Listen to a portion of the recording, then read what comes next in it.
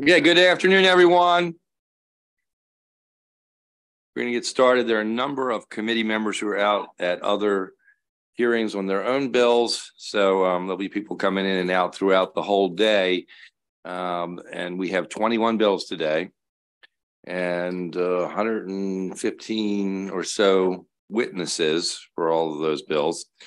So um, let me just uh, ask everyone, sponsors and people who are coming to testify, we obviously want you to be here. We're glad you're here. Um, but uh, we'll have two minutes each. Uh, and uh, we'll just want to keep moving as quickly as we can as we move forward. I'm going to ask Senator Griffith um, to come up first on her 451. And I tell you, oh, happy day. It's nice to have you back in this room. Uh, making me smile. So take it away.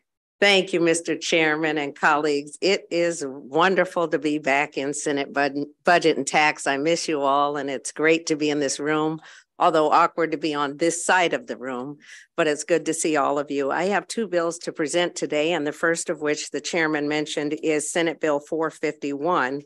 So I would say, Mr. Chairman and colleagues, I'm pleased to present Senate Bill 451, by way of background, since uh, 2017, there have been multiple efforts to reform the state's procurement system. And this bill is making a modest change to work that we did as a result of the President's Work Group on Equity and Inclusion that Senator Elfreth and others served on. Uh, basically, the mission of the Procurement Council is to maximize transparency, accountability, insight, and trust in state procurement activities. So we did the work in 2019 on the President's Work Group and we modified the membership of the Procurement Council. And as a matter of fact, since that time, I've been serving on the Procurement Council. Uh, recently, we learned that there was an opportunity to add the um, the state comptroller to the procurement council. Now, right now, the treasurer is already uh, represented on the council and many members of the executive branch. And we thought that it made sense to add the comptroller to the procurement council's important work. In addition, the attorney general um, brought to our attention an amendment. While the procurement improvement council does consider minority business enterprise in our deliberations, it was not explicitly a part of the procurement uh, council's charge. So the amendment that I've offered to the bill as introduced would do that um, at the recommendation of the Attorney General. I see that there is a lot of testimony in support of the bill from the uh, agencies that are most impacted. So I'd ask your favorable report on Senate Bill 451. Thank you, Madam Chair. Any questions? Thank you very much. Let's move on to the next one. Okay, thank you, Mr. Chair. If I could call the sponsor panel folks forward, Please, those please of you do. that I've tapped and asked you to come forward, please join me at the table. I know there are a lot of people excited about this. There are a lot of people excited about film in Maryland and Yeah. not just Prince George's County, but across the state. And this, this, this committee's been excited about film in Maryland. Yes, and many Way, of you way, are, way back, even just some, you know, previous years when there, Yes. there was a chair a bunch of years ago that was interested. in that. that's correct. That's correct. When I was across the street, and many of you, including you, Mr. Chairman, have added your name to this important proposal. So I am pleased to present Senate Bill four fifty-two, which really seeks to modernize Maryland's film and television tax credit.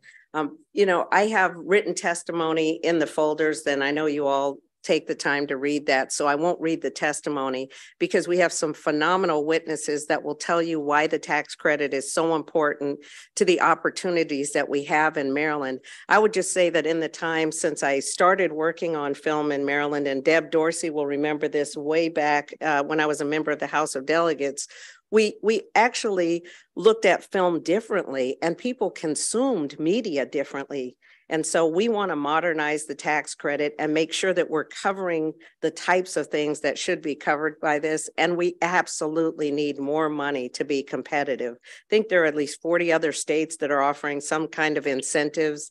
And Maryland, as you all know, is America in miniature. We have everything from the beautiful mountains to the, the farmlands and the waters. And we have some really talented professionals that want to do work here in the state. So by adding resources through Senate Bill 452, we can make more film in Maryland. So I'm going to turn it over to someone that you all probably already know. Uh, we've known her for years. She's with the Maryland Film Industry Coalition and doing a great job, Deb Dorsey. Oh, thank you so much, Senator Griffith. Thank you for introducing this bill and working so hard all these years for the film industry. I'm Debbie Dorsey. I'm with the Maryland Film Industry Coalition. We're an alliance of business and labor leaders and educational institutions and individuals, and we all work together to improve and make Maryland a prime destination for filmmaking.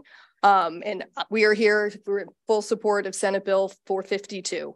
It'll create more jobs for crew and our local talent and extras, um, as well as putting a lot of money into many small businesses all around the state.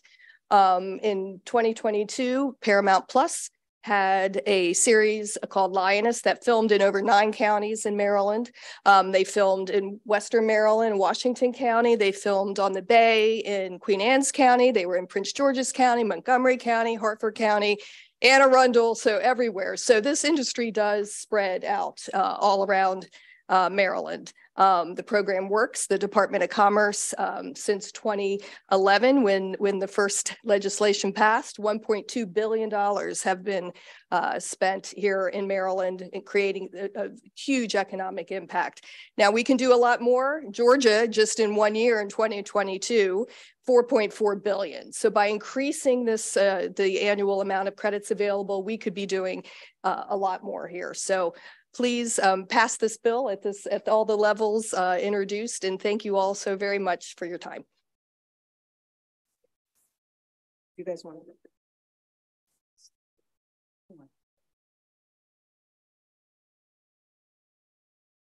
Thank you so much for allowing me this opportunity to discuss uh, why this bill is really important uh, to me and my company in Maryland. And thank you, Senator Griffith, again for allowing this opportunity.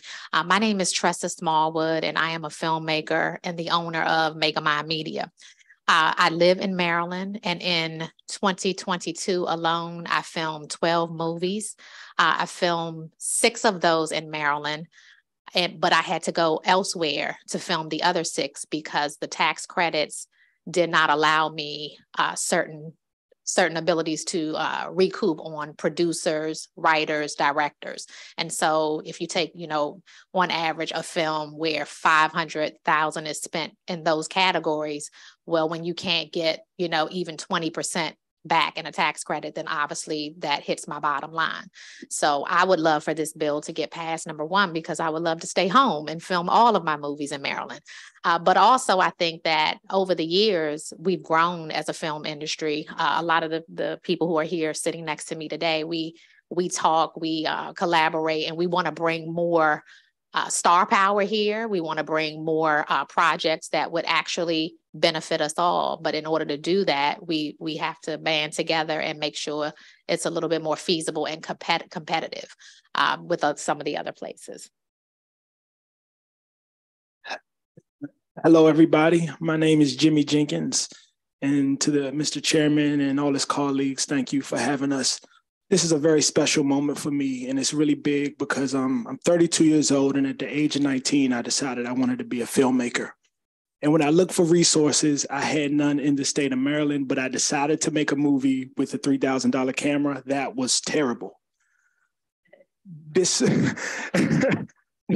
despite it being terrible it still created an opportunity for me because there were none in the state of maryland. I got a job at tyler perry studios in atlanta and there was when it hit me that I was working with all these people from Maryland.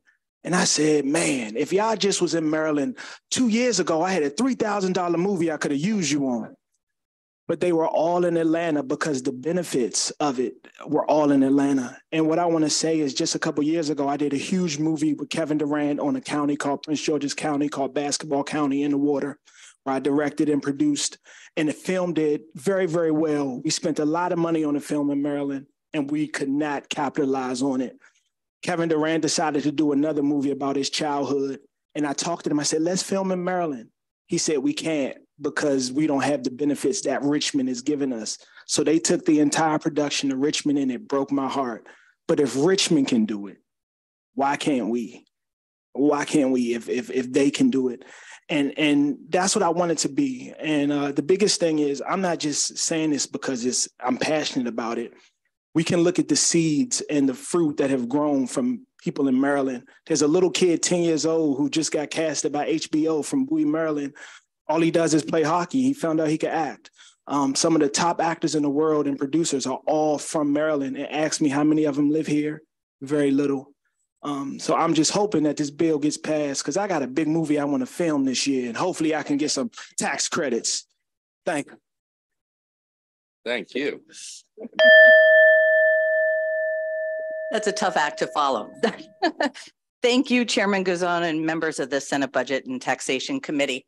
I'm Catherine Clavana, a full-time actor and voiceover performer. I live in Montgomery County, and I am proud to make my living in the state of Maryland. I currently serve as president of the Washington Mid-Atlantic uh, local of SAG-AFTRA, the Union of Professional Performers. On behalf of our more than 5,000 members, I urge you to pass SB 452.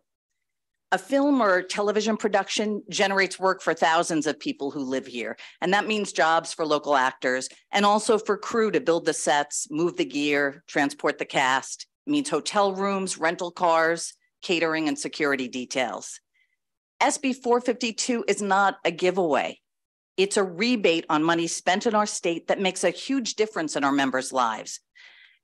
Actors in Maryland are frustrated with not being able to find more work here and routinely audition for and travel to work in New York, North Carolina, and Atlanta, areas that have more favorable tax incentives.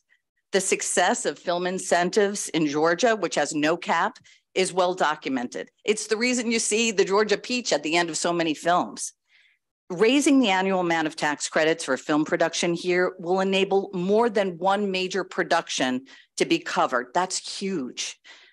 It will allow performers and crews to work at home more frequently and spend the money that they earn from that work here in their home state.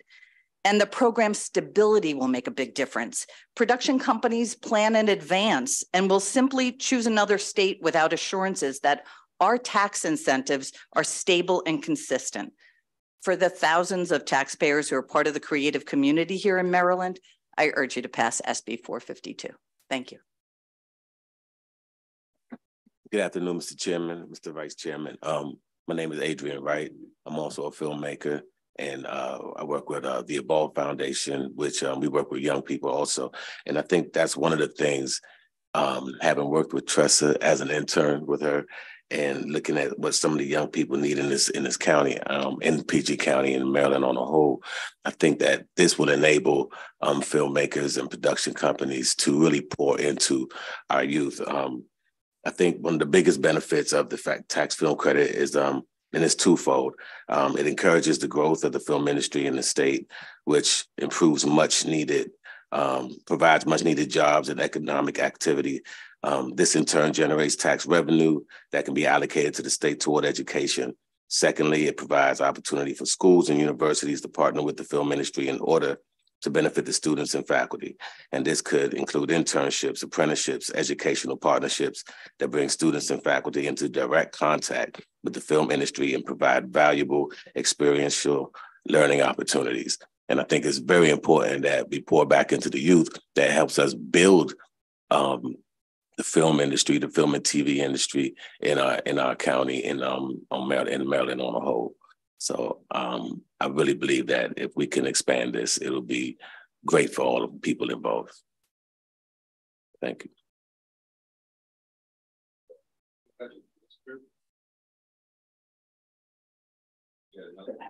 There's more people. Thank you, Mr. Chairman.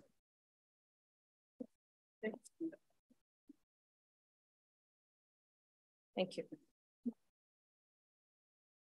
Hello. Hello. How are you?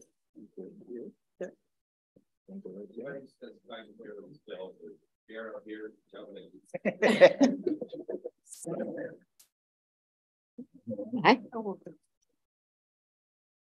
Good afternoon, Mr. Chair and members of the committee. I'm Donna Edwards. I'm president of the Maryland State and DC AFL-CIO. This is my inaugural uh, committee meeting of this session. So nice to be with you all. Thank you. You have my written testimony. And you also know that there's many tax credits in this committee that we provide uh, testimony on that says we're not doing it well enough. We need to have more transparency, et cetera. This is the most stringent ta business tax credit that we have in Maryland. And it is the most transparent. It is how all tax credits for businesses should go. There is not a single dime given until there is a thorough audit of the books. And this industry lays open its books to the department to go through in order to make sure that all of the investment that Maryland's making does benefit our state. So it is an excellent example of how a business tax credit should be run. The other thing is this is not about one industry. It's not about just the film industry. It is about the hospitality industry and the leisure industry and the vacation industry and bringing in all kinds of uh, businesses that don't normally get to play in the economy. One of the things I like to do on Saturdays is go to secondhand shops or art shops, and they are all throughout our state where I visit, and they say, "Oh, we gave uh, lent some of our um, whatever they, if they're antiques or if they're art, to such and such show or to Veep or to House of Cards. And they advertise that to their customers. So this is a win-win for workers, for the economy, for several of our industries, for small business. There is nothing wrong with this tax credit, except it's too small and we have to increase it and move this industry forward. Thank you very much. Uh, Mr. Chair, committee, good afternoon. My name is David O'Farrell. I am the business agent for uh, Mid-Atlantic Studio Mechanics Local 487 of uh, the IATSE. I represent about over 500 technicians that work and reside here in Maryland. Uh, you've heard a lot of good reasons why this bill is important. I'm just going to add a, a little bit of more flavor to it. Uh, shows like Lady in the Lake, which were just here, meant about $12 million in wages that wouldn't have been earned here and about $3 million in benefits. The show Lioness for Paramount Plus meant about $15 million in wages that were spent here and earned here by Marylanders and about $5 million in benefits. And when I say benefits, that's health and retirement benefits. Uh, Lioness had upwards of 350 crew working uh, at one time. Uh, we're in the process of uh, working with the major studios and production companies on DEI initiatives uh, to create more opportunities for those who wouldn't normally get an opportunity to work in this industry. And we're working on increased training, not just for our members, uh, but also making it available to colleges, community colleges, programs, and workforce development. Uh, as you've heard, one creation can create hundreds of jobs, multiple pre create, uh, productions create more jobs. Uh, additionally, this industry is largely recession proof. It's an industry that creates a project that fulfills a universal need, entertainment. Uh, you should also know that uh, we were amongst the first industries back during the pandemic. We were back at work within four months of the pandemic, and we were using uh, a lot of small businesses doing purchases and things that no, wouldn't have happened otherwise without this industry. So uh, with that, I see I have 10 seconds just to say 40 states and territories uh, have programs in place and it averages $62.5 million uh, as the national average. Thank you. Start from down here. Uh, Mr. Chair, committee, uh, my name is John Krumpotich. I'm the owner of Historic Fort Ritchie, deep in center of Corderman's territory. Um, we're undergoing a massive revitalization of a unused military base. Um, I sit at this table kind of on the other side as a landowner whose property was used for this. And we have a lot going on. So the thought of having um, a large scale movie being filmed or show as this case Lioness, we were met, we met it with some intrepidation, uh, but very quickly we found out how beneficial this was for our local community. Um, everyone in the area, every contractor, every store, every anybody who prov- provided almost any service at all was flooded when Lioness show showed up. It was remarkable. The team was professional. They were easy for us to work with. Uh, we were able to continue our 11 build outs in the midst of having as many people. I mean, at one point, I think there was 700 people on the property between crew and extras. The thing is, every one of those crew needs something. Every one of those extras needs something. So every day, every business in the area had work to do. You had contractors who were getting paid. You had gas that was being bought. A teeny store by us named GT's was bought out of propane in 10 minutes. You know, Lion, the Paramount went up and said, we need all of your propane tanks right now. And they, they said, they laughed and they said, no, we actually need all of your propane tanks. So for us, who's in the western part of the state and didn't have a ton of experience with the, the, impact that a film like this can provide, I can tell you it's monstrous. It is something from for me as a businessman can really start to put numbers on and say we would absolutely have something like this back on our property because it just it, it's a quick impact but a lasting impact for these places that are going to say hopefully this returns hopefully like something like this comes back and I know that they, you know, you think about tax base and what returns to the state. Well, there's certainly a return when they rent 446 hotel rooms. So I, I for one support this bill fully, and I just hope we have more films in the state of Maryland. Thank you.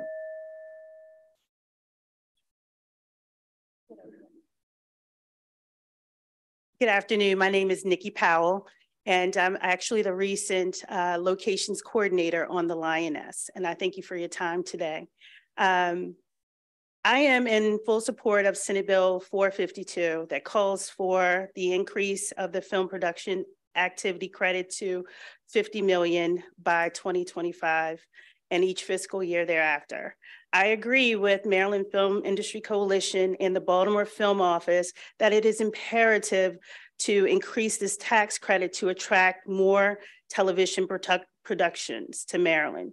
I also stand in solidarity with my union brothers and sisters of IATSE Local 487, and just to share with you how this tax credit directly impacts our lives and careers.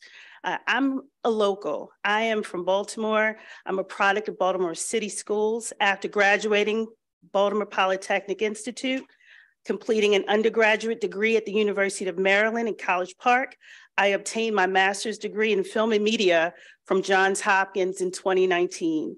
And it was a tremendous blessing to be able to work on four major productions that include The Spook Who Sat by the Door, which is a pilot for FX, Netflix's Black and Missing docuseries, HBO's We Own This City, and recently Paramount's Lioness after graduation.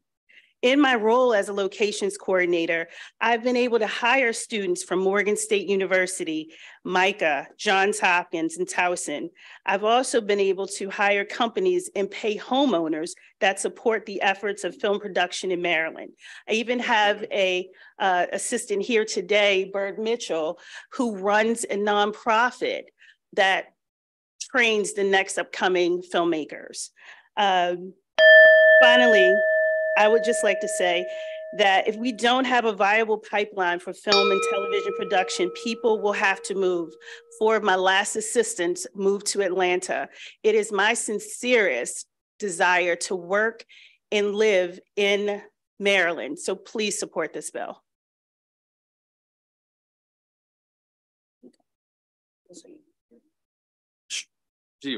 Okay. Oh, yeah, go ahead. I'll please. go. Uh, I'm sorry.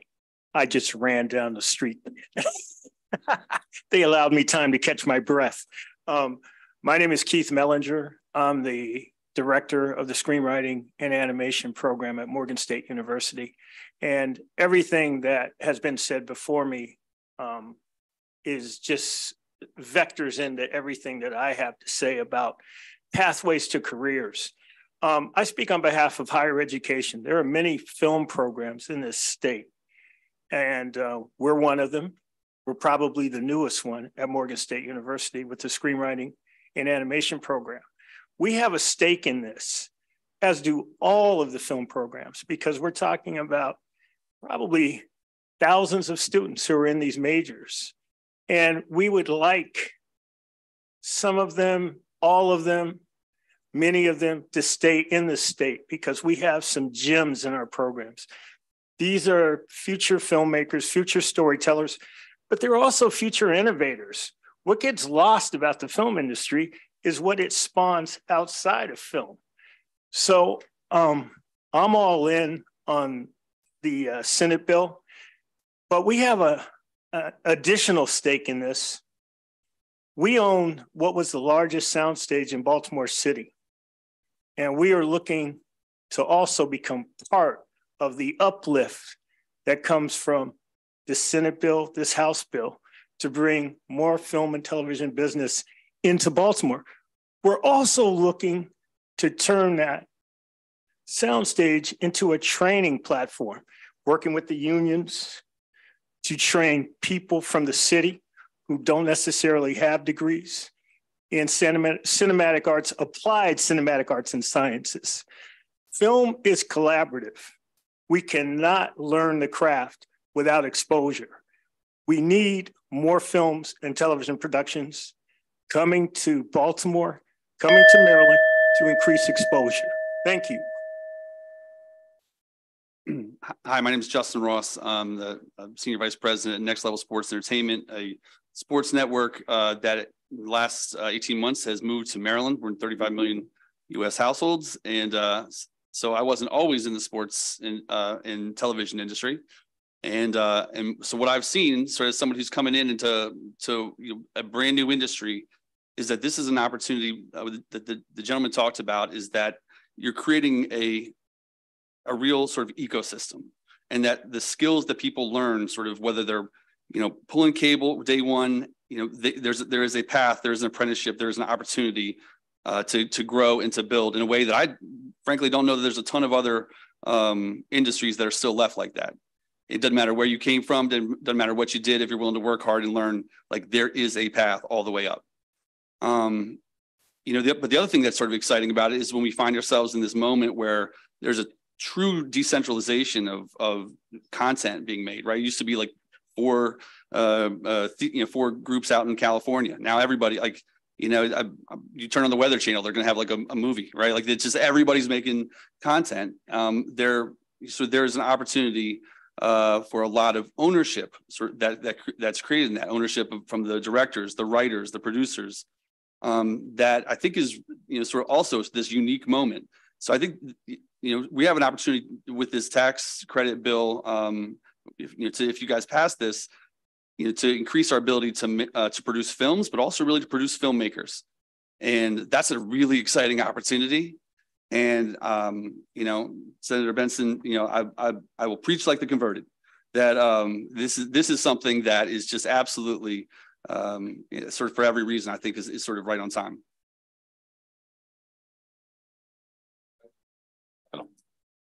Senator Salling.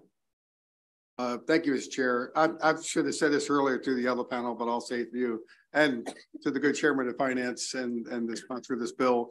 And I'm a co-sponsor. I believe in this. Um, as, as our chairman knows, I've had people come to me and, and told me more than once, we want to make a movie in your community. Um, and they're very sincere and they have backing. Uh, they have done movies in Florida and they said they wanted to do in Baltimore, but they didn't have the financing.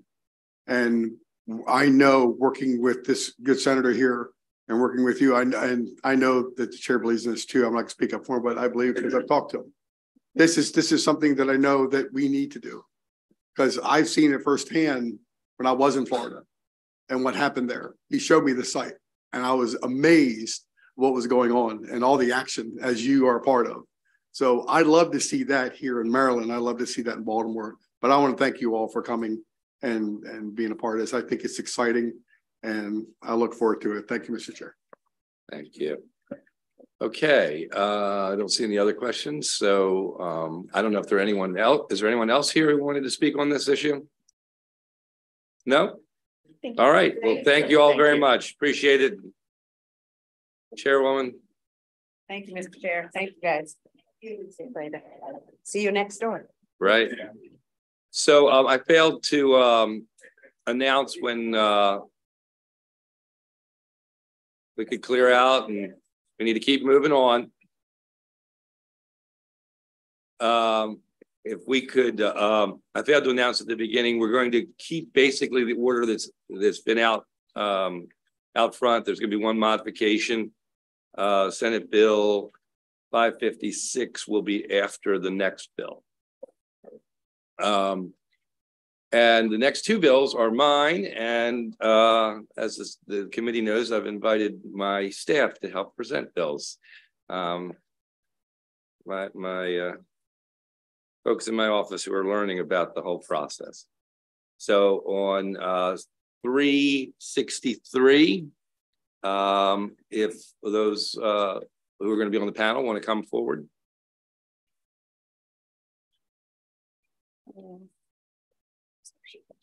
Okay. And Lola, you can kick it off. Okay. Thank you, Mr. Chair, Vice Chair, and members of the committee. My name is Lola Odioye, and I work in Senator Guzzone's office, and I'm here to present Senate Bill 363, Video Lottery Terminal Proceeds Purse Dedication Account, Ocean Downs Racecourse Operating Loss Assistance. By statute, for the last 12 years, Ocean Downs Racetrack has been reimbursed for racing operational losses up to $1.2 million. This money comes out of the standard bred purse dedication account and has no effect on state money as seen in the fiscal note. This bill converts the $1.2 million to a daily number of 30,000 so that Ocean Downs can raise additional days without returning to the legislature for approval. We have a panel that includes representatives from both Ocean Downs Racetrack and the Cloverleaf Standard Bred Owners Association. Thank you, and I ask for a favorable report of Senate Bill 363.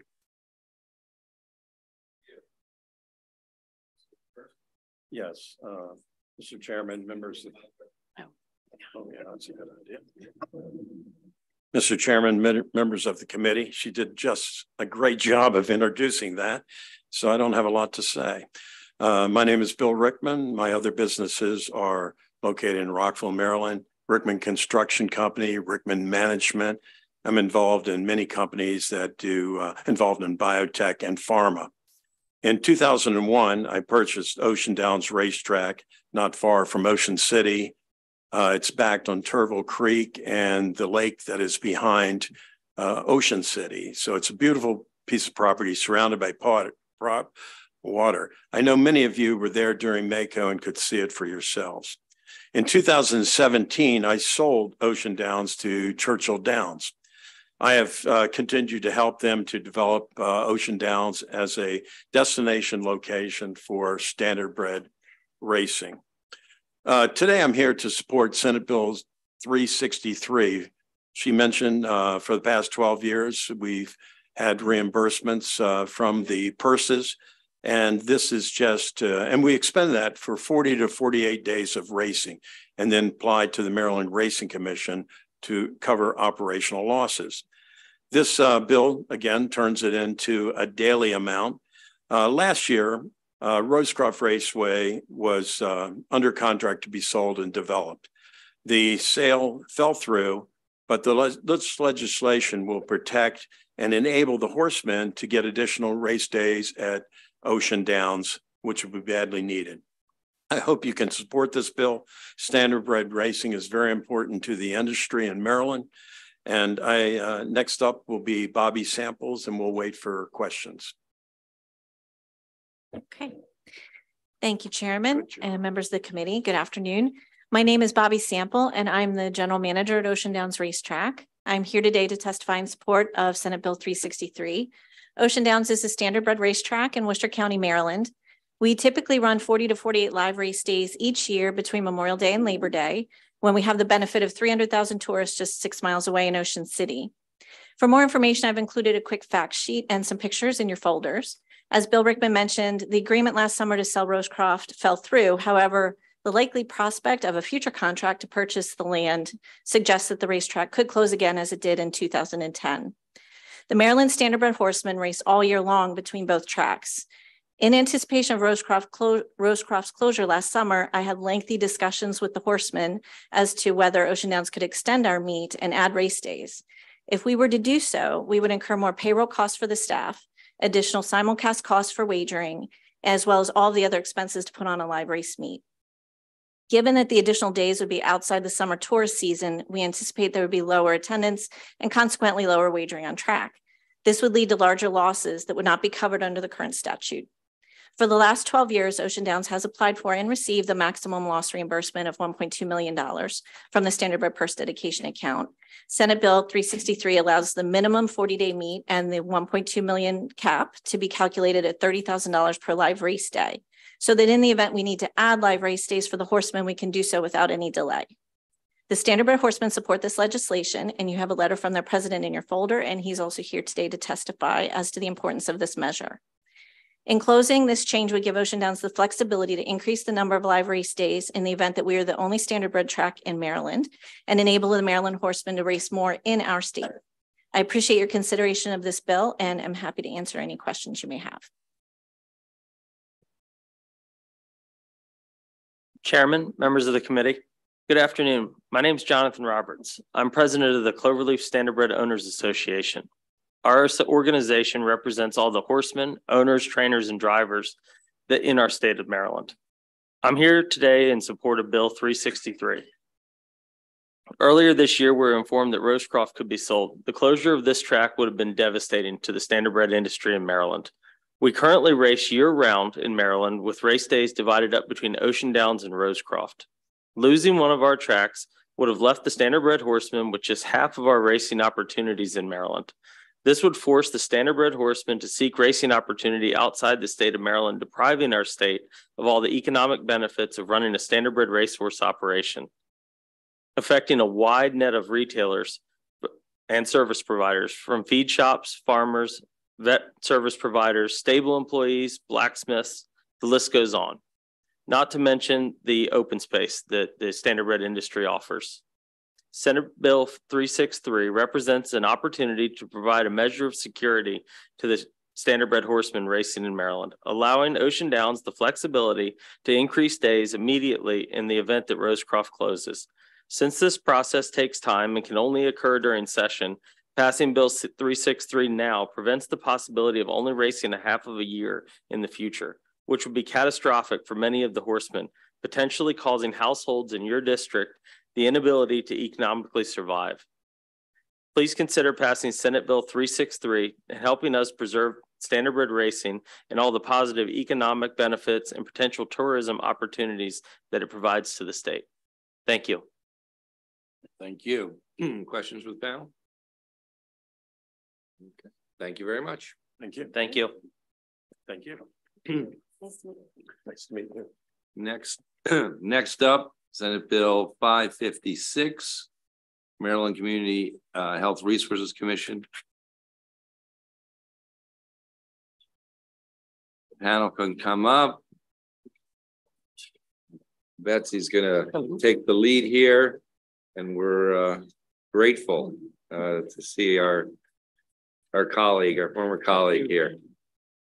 Yes. So that's a great day. I mean, doing films. I know. It that made you- me feel I mean, very good. you- No, the film's still there. That, that, that you uh, really, uh, that was a highlight of what, what you accomplished. here. Myself. That's great. Thank That's you very much. You bet. Betsy? Thank you, Mr. Chair, Mr. Vice Chair, and members of the committee. My name is Betsy Hickson, and I am a legislative intern in Senator Guzzone's office. And I am here to present Senate Bill five fifty-six, Maryland Community Health Resources Commission Compensation of Employees. Senate Bill five fifty-six would provide the Maryland Community Health Resources Commission with the authority to determine the salaries of its employees with consultation and approval from the Maryland Department of Budget and Management. This would provide the same level of salary setting authority that currently exists at Maryland's two other health regulatory commissions, the Health Services Cost Review Commission and the Maryland Healthcare Commission. The governor's budget for fiscal year 2024 provides a total of six new full-time positions for the commission. Senate Bill 556 would provide the commission with increased authority to set the salaries for these new positions and would assist the commission in recruiting a qualified and diverse pool of applicants. Thank you, and I ask for a favorable report of Senate Bill 556. Thank you, Betsy. Very much says, says what uh, the bill is and does. Uh, it's good to be back. It's nice to see uh, many of you. Makes me feel good to come back and see you're, you're in good, we're in good hands. Um, we want to thank Chairman Guzzone for uh, sponsoring this bill. Uh, as maybe you know, uh, our workload has expanded significantly. Uh, for many years now, we've provided grants for medically underserved communities, uh, usually in the area of $8 million. But in recent years, with the passages of two pieces of legislation, the Health Equity Resource Bill and the Kirwan Bill, which uh, included in, in, the end of the bill the uh, consortium on community supports, which is to deal with behavioral health of all of our public school students. Uh, our workload has increased significantly for the small staff we have. And I, I aired and before I started on that our executive director, Mark Luckner is here, who has done a fabulous job for 15 years with the commission, just, just incredible work. Anyway, um, the governor this year did give us extra funding and did provide for six uh, full-time pins to help us. However, um, uh, we've had uh, or tried to get recruit employees for over a year now. We've been unable to get a, a good quality person uh, for the uh, the pathway grants that we provided. We tried to hire a coordinator and a, a very good salary, I thought, but but not unable to do it. So we believe that um, if we had this authority with the uh, consultation of DBM, that we could recruit uh, uh, the kind of diversity and talent that we're looking for. So we ask for a favorable uh, report on this bill, please. And Mark and I'd be glad to ask, answer any questions if you have them. Question, Senator Jackson. Yeah. Thank you, Mr. Chairman, and great to see you, Mr. Chairman. Thank you. Uh, welcome home. Uh, quick question for you. Uh, here's a piece of legislation that um, uh, I'm the House sponsor of that would uh, create an advisory committee uh, regarding healthcare, uh, uh, mental health um, access for our for MHEC, uh, our institutions of higher learning. Uh, would that impact your staff as well? And if so, could you elaborate? I think the uh, direction of the consortium is just the public school. Just a public school. Okay, yes. thank you. Thank you. Other questions? Mr. Chairman, thank you. Thank you. Great to see you all. Thank you very much. Thank you. Thank you. Okay. So begins the Corderman Show.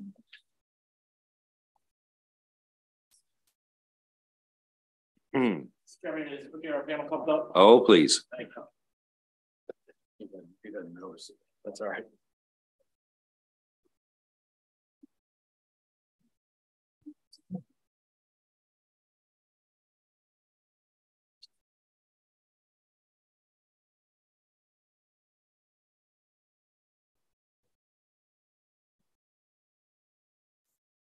Uh, Chair Guzzone, Vice Chair Rosapepe, members of uh, the committee, for the record, Senator Paul Corderman, District Two, representing Washington and Frederick counties. Uh, thank you for the opportunity today to present Senate Bill 518.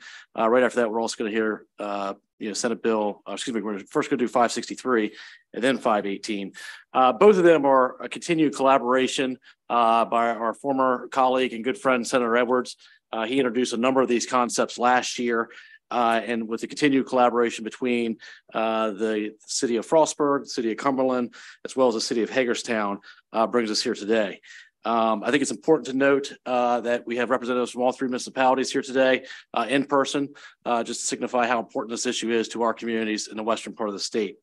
Um, you know, this legislation is targeted at properties that are in severe disrepair uh, they're dangerous and pose potential health risks due to unlivable conditions. Uh, we want to make it known that this legislation will not penalize property owners that maintain their parcels.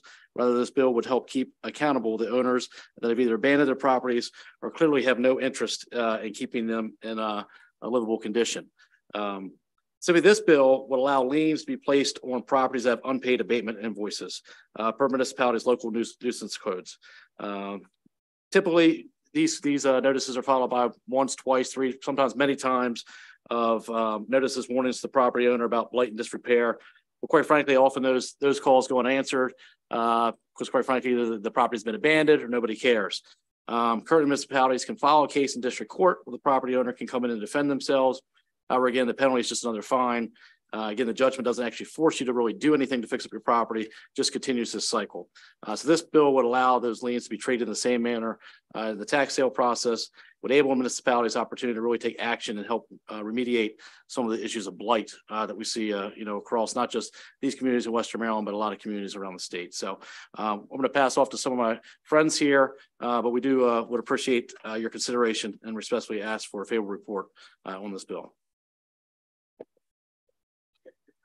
Uh, good after, uh, good afternoon, uh, Chairman Guzzone and the uh, rest of the members of the uh, of the committee. My name is Ray Morris. I am the the mayor of Cumberland. You know, and I know these bills are, you know, you look at them listed and they talk about uh, tax sales and revisions and things like that. But to me, what these bills are about is is about blight and removing blight from our community, and in some cases, being able to to help a home before it becomes blighted you know, each each home in a neighborhood affects the overall value of, of the homes in that in that neighborhood on that street. And once one or two homes become blighted, that becomes a neighborhood in which, quite frankly, people don't want to don't want to live in. And we're trying to be able to gain access to these properties to be able to restore them and make them livable. Because we're, you know, we're we're talking about uh, blighted properties that are unac- unoccupied and quite frankly abandoned. And those are the ones that we're we're speaking of here today. So yeah, you know, and, and if we can restore these homes, uh, uh, that's that's the key to this whole this whole initiative is to be able to uh, to gain access and be able to restore these homes and make our communities better for uh, for everyone. Uh, with that, I would I would ask you for a favorable report on uh, on 563.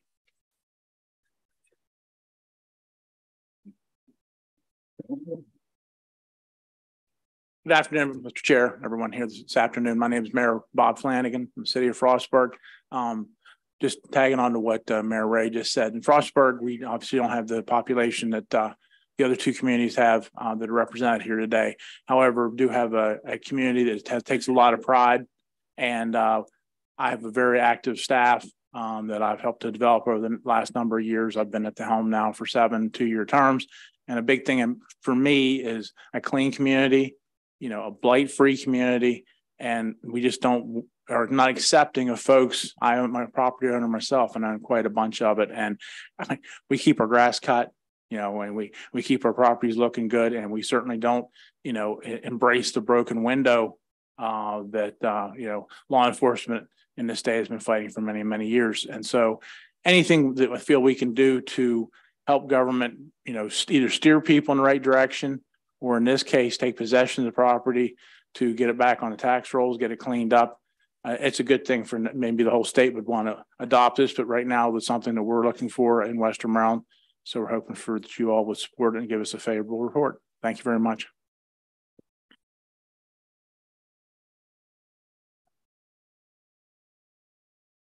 Mr. Chairman, Mr. Vice Chairman, members of the committee.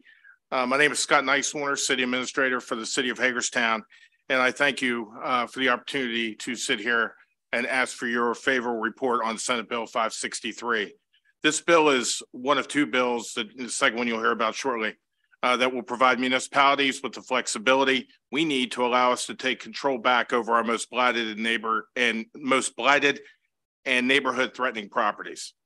Hagerstown, as you've heard, uh, it's similar to the other municipalities, suffers significant areas of blight that impede or destroy neighborhoods' ability to feel safe, live in quality housing with quality amenities, and provide a healthy home environment. The community looks to local government to partner with them in the effort to clean up these neighborhoods to allow them to afford just what seem to be the simple rights that they should be able to enjoy. Uh, this neighborhood, this legislation, another tool in the toolbox to help us help them take their neighborhoods back from blighted conditions. This legislation allows those parcels that remain tax current that continue to accrue monthly abatement charges uh, for high grass and weeds, trash, unsecured doors and windows, mainly that have been broken uh, or completely removed, and other health issues that affect those that not only reside on the block, but may reside in a, but definitely those that reside in the parcel immediately adjacent to the properties. Um, the city, the last thing the city of Hagerstown wants to do is get in the real estate business, either as a landlord or a property owner. However, our situation is such that without the ability to remediate the seemingly increasing conditions of blight especially within our urban core, which is already struggling with societal issues. Uh, we cannot expect to begin making those inroads and taking our municipalities back to provide quality, affordable, and safe housing for those that need it without the ability uh, that this legislation provides. So I, I ask uh, that uh, this uh, favorable support uh, comes out of this committee, and I thank you for your time. Thank you. Continue. Hi, my name is Michael Cohen. I am the city solicitor for the city of Cumberland and the city attorney for the city of Frostburg. So I'm here today wearing two hats. Um, I would like to say that I support what the others uh, witnesses have, have said. Uh, and I'd also like to inform you that before we came here, we ran some early interference and met with uh, representatives of large scale tax certificate purchasers. And yes, they had some concerns and fortunately we were able to work out all those concerns. So I don't think that you'll be hearing from them today, but if you did, you'd be hearing that they have no objections. Thank you very much for your consideration. Thank you. All done on the Well panel. done. Yeah. Questions for, for the sponsor, members of the panel? Going once, going twice? Okay, thank you very much. Excellent. We'll move into the next one. Is that okay with you? Absolutely. All right, so this will be, um, excuse me, uh, this will be Senate Bill five eighteen. Uh, again, thank you, committee, uh, uh, for your participation. You got more witnesses? Oh, actually, we got more witnesses. I'm sorry, we have more witnesses evidently. Sorry about that. Oh. Yes. Sorry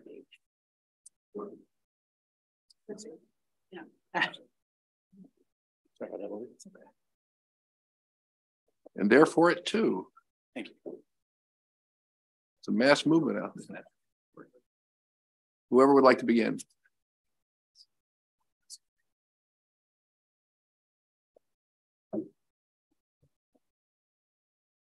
Good afternoon, Vice Chair. My name is Jonathan Glazer, and I'm the Legislative Director with the Department of Assessments and Taxation. The department is support with amendments for this bill, and we would just like to thank the bill sponsor and his staff for working with the department. Um, and uh, we, we appreciate that he will uh, view our amendments as favorable. Um, the department supports the desire of the counties to expedite the process of returning nuisance uh, properties to productive use. However, notice is an important part of any governmental action, and a notice to a property owner of an action is a serious as serious as a foreclosure, should not be waived when it may only add 60 days to the process. Current law would already allow the counties to initiate the bills foreclosed 60 days after the tax sale if they are sent a first notice immediately after the tax sale and a second notice 30 days later. When a property is vacant, current law would already permit counties to foreclose without prior notice after the tax sale. Waiving the foreclosure notice requirement for properties that are not designated vacant would give a homeowner very little opportunity to prepare and defend against foreclosure or to assemble the funds or access assistance resources to pay off or to pay off any county debt to avoid it. Thus, the department suggests amending Senate Bill 563, striking the final provision that permits the county to foreclose without prior notice.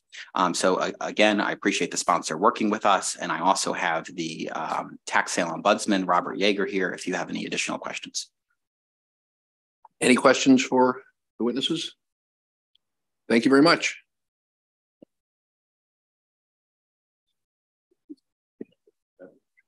I believe we have several other witnesses who signed up. Uh, Ari Plant and uh, Frank Boston and Bob Yeager. Oh, Bob Yeager we had.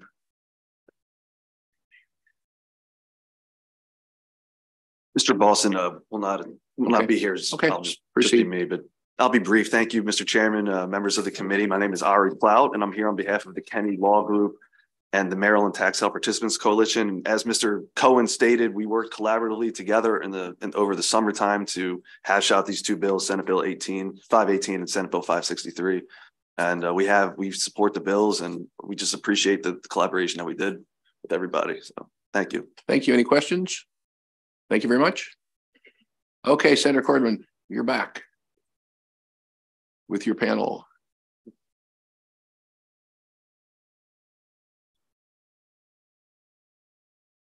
All right, Mr. Chair, so this will be uh Senate Bill five eighteen. Uh, again, thank you, uh, committee, for the record, Senator Paul Corderman, District Two, representing Washington and Frederick counties. Again, thank you for the opportunity to present Senate Bill five eighteen. Uh, as we said earlier, this bill and Senate Bill five sixty-three you just heard are a combined collaborational effort uh, between three municipalities you see here today, as well as a continuation of the work uh, that Senator Edwards did before me. Um, you know, it may come as a surprise of some of you uh, that our communities in Western Maryland are often viewed as more of a rural communities. Uh, the reality is our municipalities uh, are much like uh, the same as the municipalities around the state. We face the same challenges uh, that all the other municipalities do throughout the state, big or small. Um, and while our cities may not be as large, our cities are nonetheless the same with urban centers and with the same challenges those, those uh, come with it. Uh, you know, these three municipalities are the largest three municipalities west of Frederick, uh, Hagerstown, Cumberland, and, and, the city of Frostburg. Uh, the challenges here today, uh, much like the other bill, are in regards to blighted properties and really focused on, in on what you what you've commonly heard before is the zombie properties. Uh, these properties continue to show up on tax sales year after year. They're falling apart. They're falling down. Uh, simply, this bill would allow municipalities and the designated counties to take swifter action in acquiring the properties that were offered at tax sale, but have remained in limbo and severe disrepair. Uh, unfortunately, many of these properties uh, often breed crime uh, and they possess a danger to those within the community. Uh, additionally, this bill would enable municipalities in the designated areas to intervene on properties that have been identified for demolition due to unsafe conditions, ultimately allowing more flexibility on the municipal level to assist in tackling the issues of blight. Uh, and again, as, as, was previously stated, it should be noted, um, and you'll hear from the other members as well, it's not about occupied properties, but specifically targeting blighted zombie properties uh, within our communities to try to make our communities safer and more prosperous. So thank you again for your consideration and respectfully ask for your support on Senate Bill 518. Thank you. All right. Again, I'm Ray Morris. I'm the mayor of Cumberland, uh, and thank you for this opportunity. I, I think I really uh, said everything that uh, that I needed to say about the uh, the previous bill. I mean, the two uh, the two go hand in hand, working together to help us uh, prevent blight in our communities and and make our make our neighborhoods safer and better for for everyone to live. We, you know, as as the senator mentioned, uh, we are smaller uh, than than some what some people may consider an urban area, but we have almost twenty thousand people in the city of Cumberland.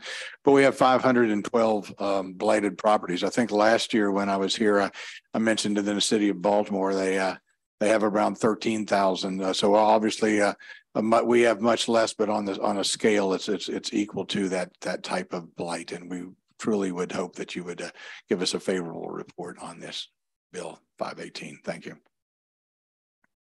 Thank you. I'll be, be brief too. Again, Mayor Bob Flanagan, City of Frostburg. You know, Frostburg is the home of Frostburg State University. Um, as an alum, and I know there's probably some folks in this room. I know one lady in particular across from me, uh, their daughter went to Frostburg State. We take a lot of pride again in our little college community.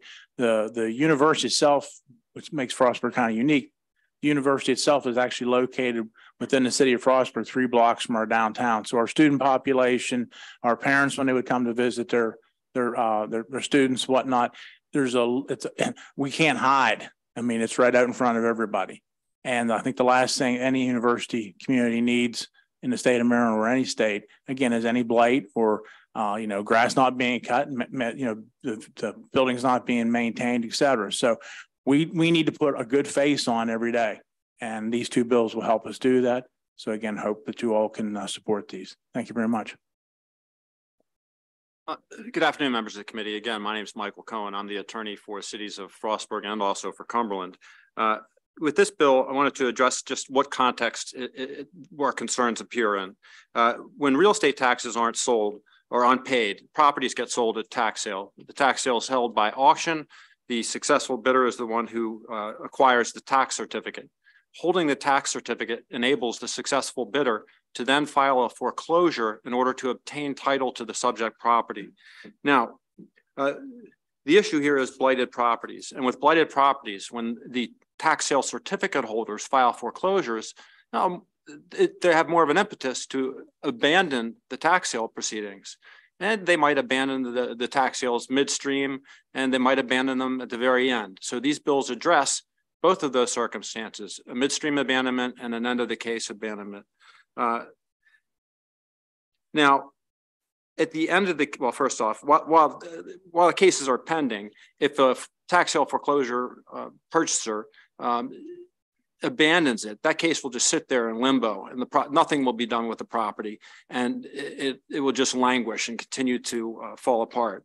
Um, with the other measure, at the end of the foreclosure, uh, property, I'm sorry, the, the, the foreclosing tax sale purchaser has the ability to acquire title. At that point in time, they then present a deed to the uh, tax collector who is obligated to transfer the property, sign the deed uh, upon the payment of the back taxes.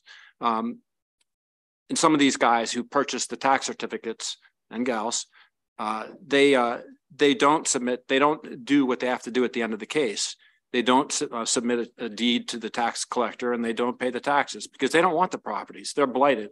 So what this enables the local governments to do is to step in and to have the upon motion filed to have the court transfer the tax certificates to them and then they can foreclose and do what you know as though they were the original purchasers. Thank you. Just briefly, um, Mr. Chairman, Mr. Vice Chairman, members of the committee, again, Scott Nicewarner, uh, City of Hagerstown City Administrator. Um, ditto to everything that's been said on this bill. Uh, I can tell you that this is a process that internally Washington County and City of Hagerstown have worked on for over a decade. Um, and the, the ability uh, to have more flexibility in trying to get some of this uh, repeated tax sales set they're called zombies. We call them chronics uh, that are always going back to tax sale. In many cases, are habitable uh, with a little bit of work done that we could get potentially into the hands of nonprofits uh, that could turn them around and make that uh, good, uh, affordable housing is a game changer for our community and uh, and and we sincerely hope that that uh, this legislation comes out of this committee with a favorable favorable report, and we can get to work on on getting our neighborhoods back to the quality of life they they deserve. Thank you. Thank you. Any questions, members of the panel? Going once, going twice? No. Thank you very much. Thank you all. And Thank then you. the next group of witnesses. Everyone who wants to testify in this bill, come on up.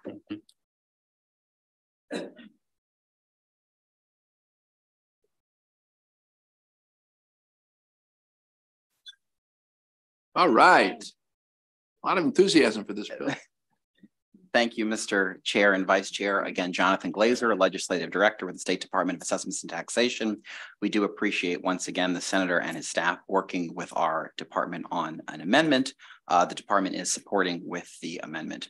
So the department suggests that an amendment to Senate Bill 518 be given to give a property owner the opportunity to exercise their right to file a motion to strike and pay off their lien before the county's new right to the same filing created in this bill kicks in.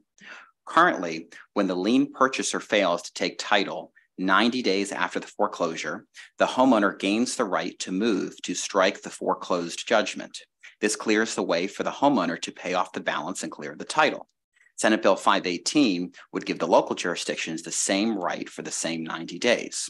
While this bill does prevent the county from moving to strike in the favor if the homeowner has already entered a motion first, it'll be a race to the courthouse after 90 days and the homeowner won't likely move as quickly as the county. To give property owners the first chance to maintain ownership, SDAT suggests amending the bill on page three, line 25, from 90 days to a larger amount of days so that the homeowner has the first opportunity to submit a motion to strike before the county gains that right. I also have uh, Robert Yeager, the tax sale ombudsman for the State Department of Assessments and Taxation, if you have any questions. Thank you. Thank you. Please. Thank you. Mr. Chairman, uh, esteemed members of the committee, once again, I'm Ari Plout. I'm here on behalf of the Kenny Law Group and the Tax Sale Participant Coalition. I believe we signed up in support with amendments, but we actually were able to work this out in the interim and we support these, the, the bill, both Senate bills 563 and 518. Um, we, like I stated in my previous testimony, we appreciate the work we did with the previous panel and we just ask for a favorable report. Thank you. Thank you very much. Any questions for members of the panel? Thank you all very, very much.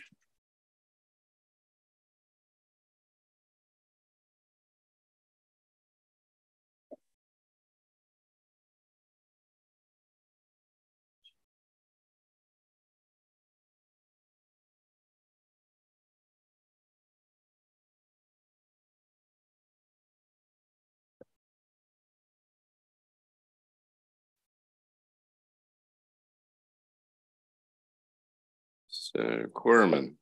Yes, sir. Did it. Four thirty-two, correct? Yes. All right, Mr. Chairman, Vice Chair, members of the committee. Uh, for the record, Senator Paul Corderman, District Two, representing Washington and Frederick counties.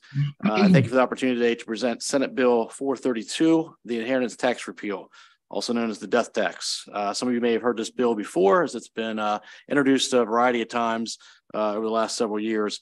Uh, currently, Maryland is only one of six states in the country that impose an inheritance tax. The current rate is ten percent. And we are the only state in the country that has both an estate tax and an inheritance tax.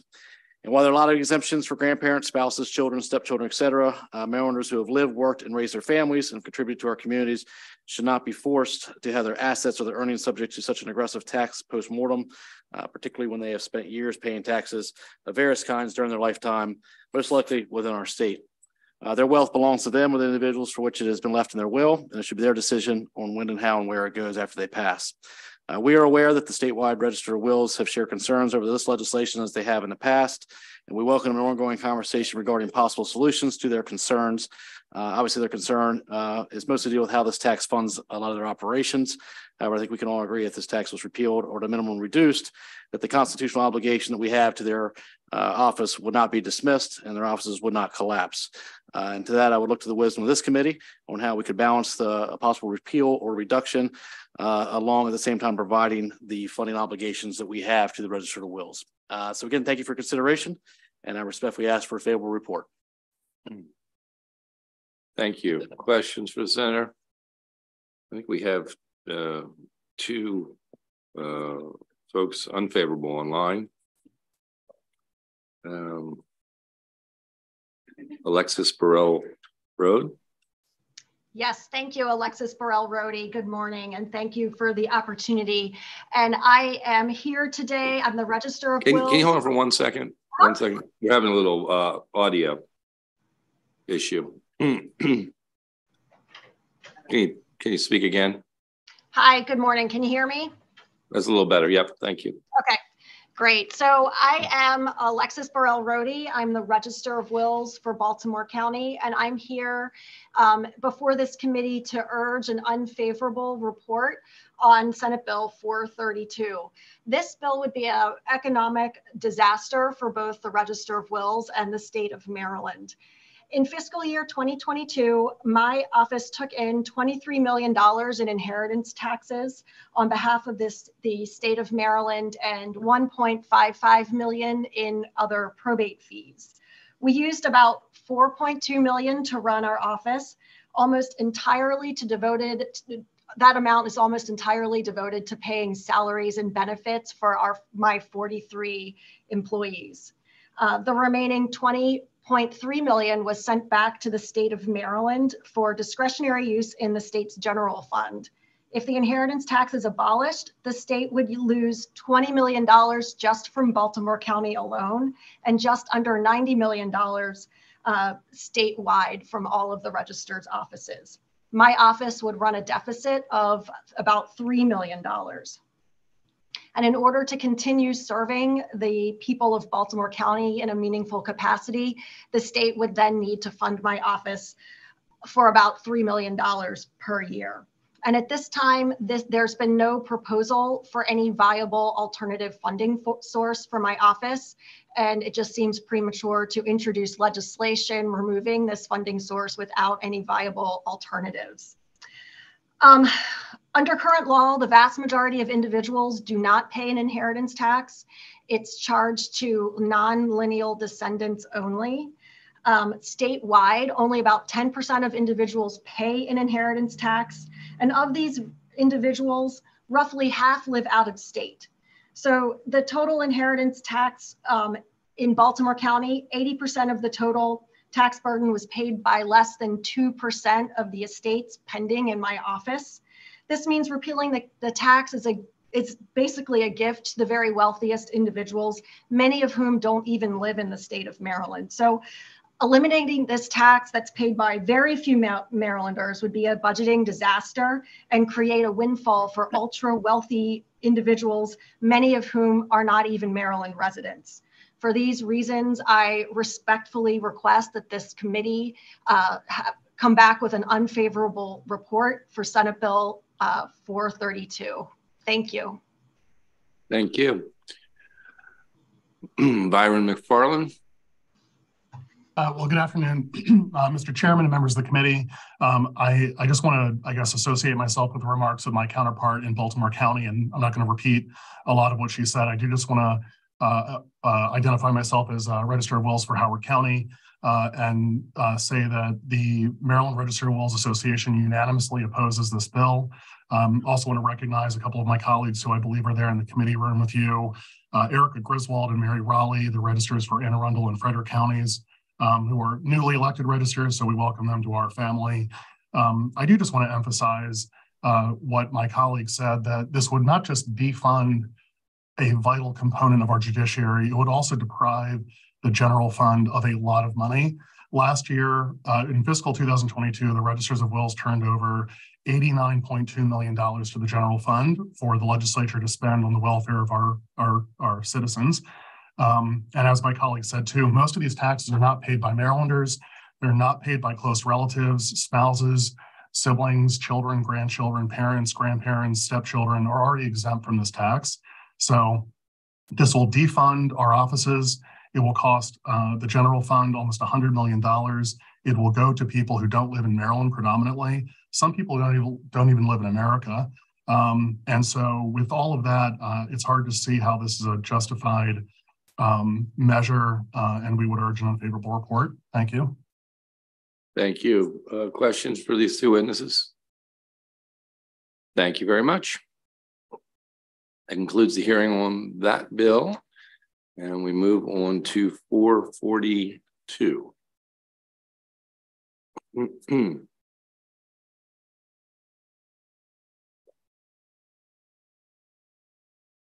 Mr. Chairman, thank you. Rounded out here. Uh, colleagues, Senate Bill four thirty-two, uh, Mr. Chair, Vice Chair, members of the committee, thank you today. Uh, for the record, again, Senator Paul Corderman, District Two, representing Washington Frederick counties. And thank you for the opportunity to present this bill to you today. Uh, this is essentially a cleanup, uh, technical fix from last year. As everyone's aware, this committee and the General Assembly passed uh, House Bill 897 unanimously uh, both again out of this committee and on the floor. That provided funding to our minor league facilities across the state, i.e. the facilities in Frederick, Bowie, Aberdeen, Delmarva. However, the Hagerstown facility was unintentionally inadvertently excluded from that list. Uh, again, this simply provides a technical change which would allow that facility to participate in the same manner as the other like facilities across the state, as was the original intent of that legislation last year.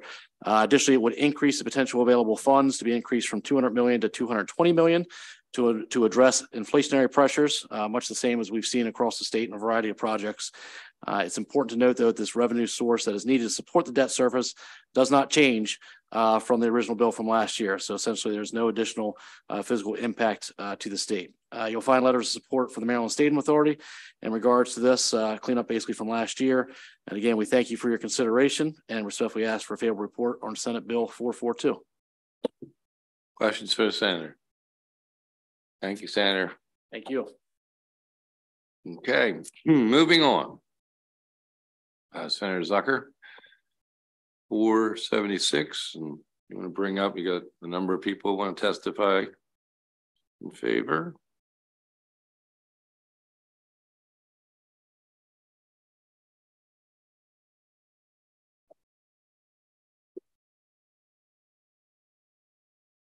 Thank you very, Thank you very much, uh, Mr. Chairman, Mr. Vice Chairman, distinguished members of the Budget and Taxation Committee. For the record, uh, Senator Craig Zucker uh, here on behalf of Senate Bill 476.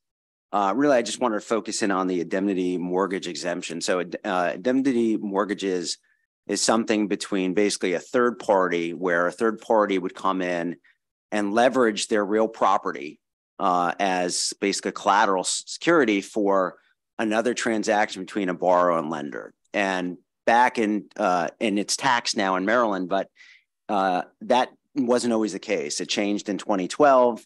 Uh, it was uh, basically taxed at anything um, uh, at a million dollars above, and then in uh, a year later it was three million.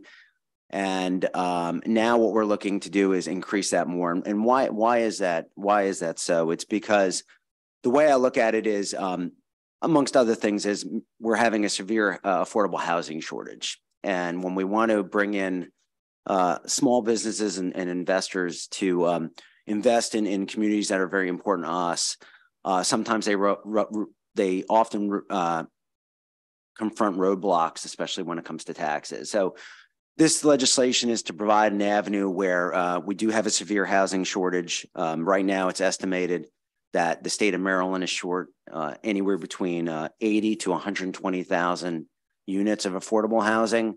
So anything that we could think of creatively to help uh, spur activity, uh, creating affordable housing across the state, and also making sure that people are investing in the state, I believe is, is the way we want to go. and with that, I'll uh, turn it over to my panel.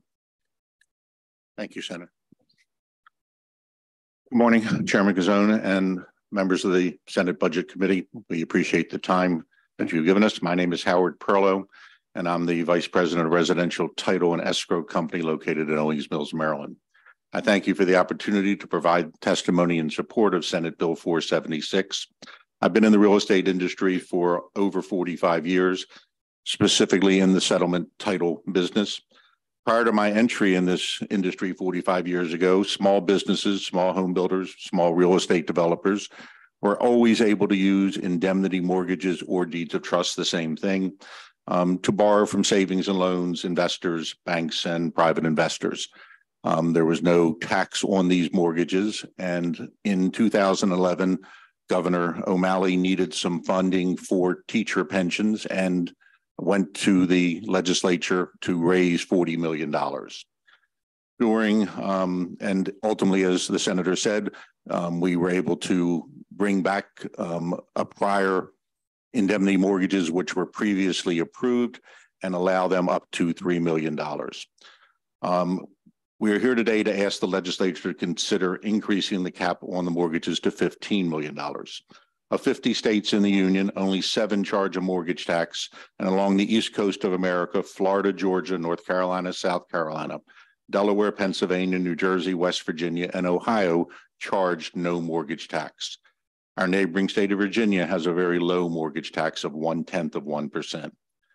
When the last increase for the use of indemnities was passed in 2013, the amount of revenue that all the counties in Maryland received was approximately $237 million. In fiscal 2019 through 21, the revenue generated from all counties was between 520 million each year, up to 637 million in 2021. Thank you. Thanks very much. Thank you, Mr. Chairman, members of the committee, Brett Leininger uh, here today uh, with residential uh, title and escrow company. Really to echo uh, the sentiments provided by uh, our sponsor and thank you to Senator Zucker for sponsoring the legislation. We think that this should not be a stagnant number. It's been quite some time as Mr. Perlow referenced, the, the revenues have changed dramatically. Uh, inflation has taken place and I think this is a balanced approach to it. Uh, on the House uh, side, the opponents uh, characterized this as really a tax avoidance scheme, something to that effect. I think it's really just uh, an ec economic growth policy um, that the, the legislature has recognized as being important. And so we're just looking to tweak it to be based on uh, today's inflationary numbers and to address the affordable housing crisis. In, in the fiscal note, uh, Mr. Perlow referenced some of the uh, the uh, revenue numbers. It's projected that additionally in FY 2022, uh, the revenue uh, is looking to be about 609 million. So it just shows that there's a, a significant trend uh, going upward, and it's not just a, a blip in the map. in a time when the interest rates were rising significantly. So uh, with that, we appreciate the opportunity to testify and uh, urge a favorable report. Any questions for this panel? Oh, so have. Thank you very much, Mr. Chairman. So you all have made reference to the development of affordable housing a few times. Can you, in real terms, walk me through how that happens and is enhanced through this bill? Absolutely, including testimony here today from other groups from the western part of the state. Um, many organizations, nonprofits, and all, um, when they borrow money from a bank, have to pay this mortgage tax as well. They are not exempt from it. There are ways to structure this, and we've done that to try to save. Um, I represented the uh, Patterson Park Development Corporation, and they did like 200 homes in a year.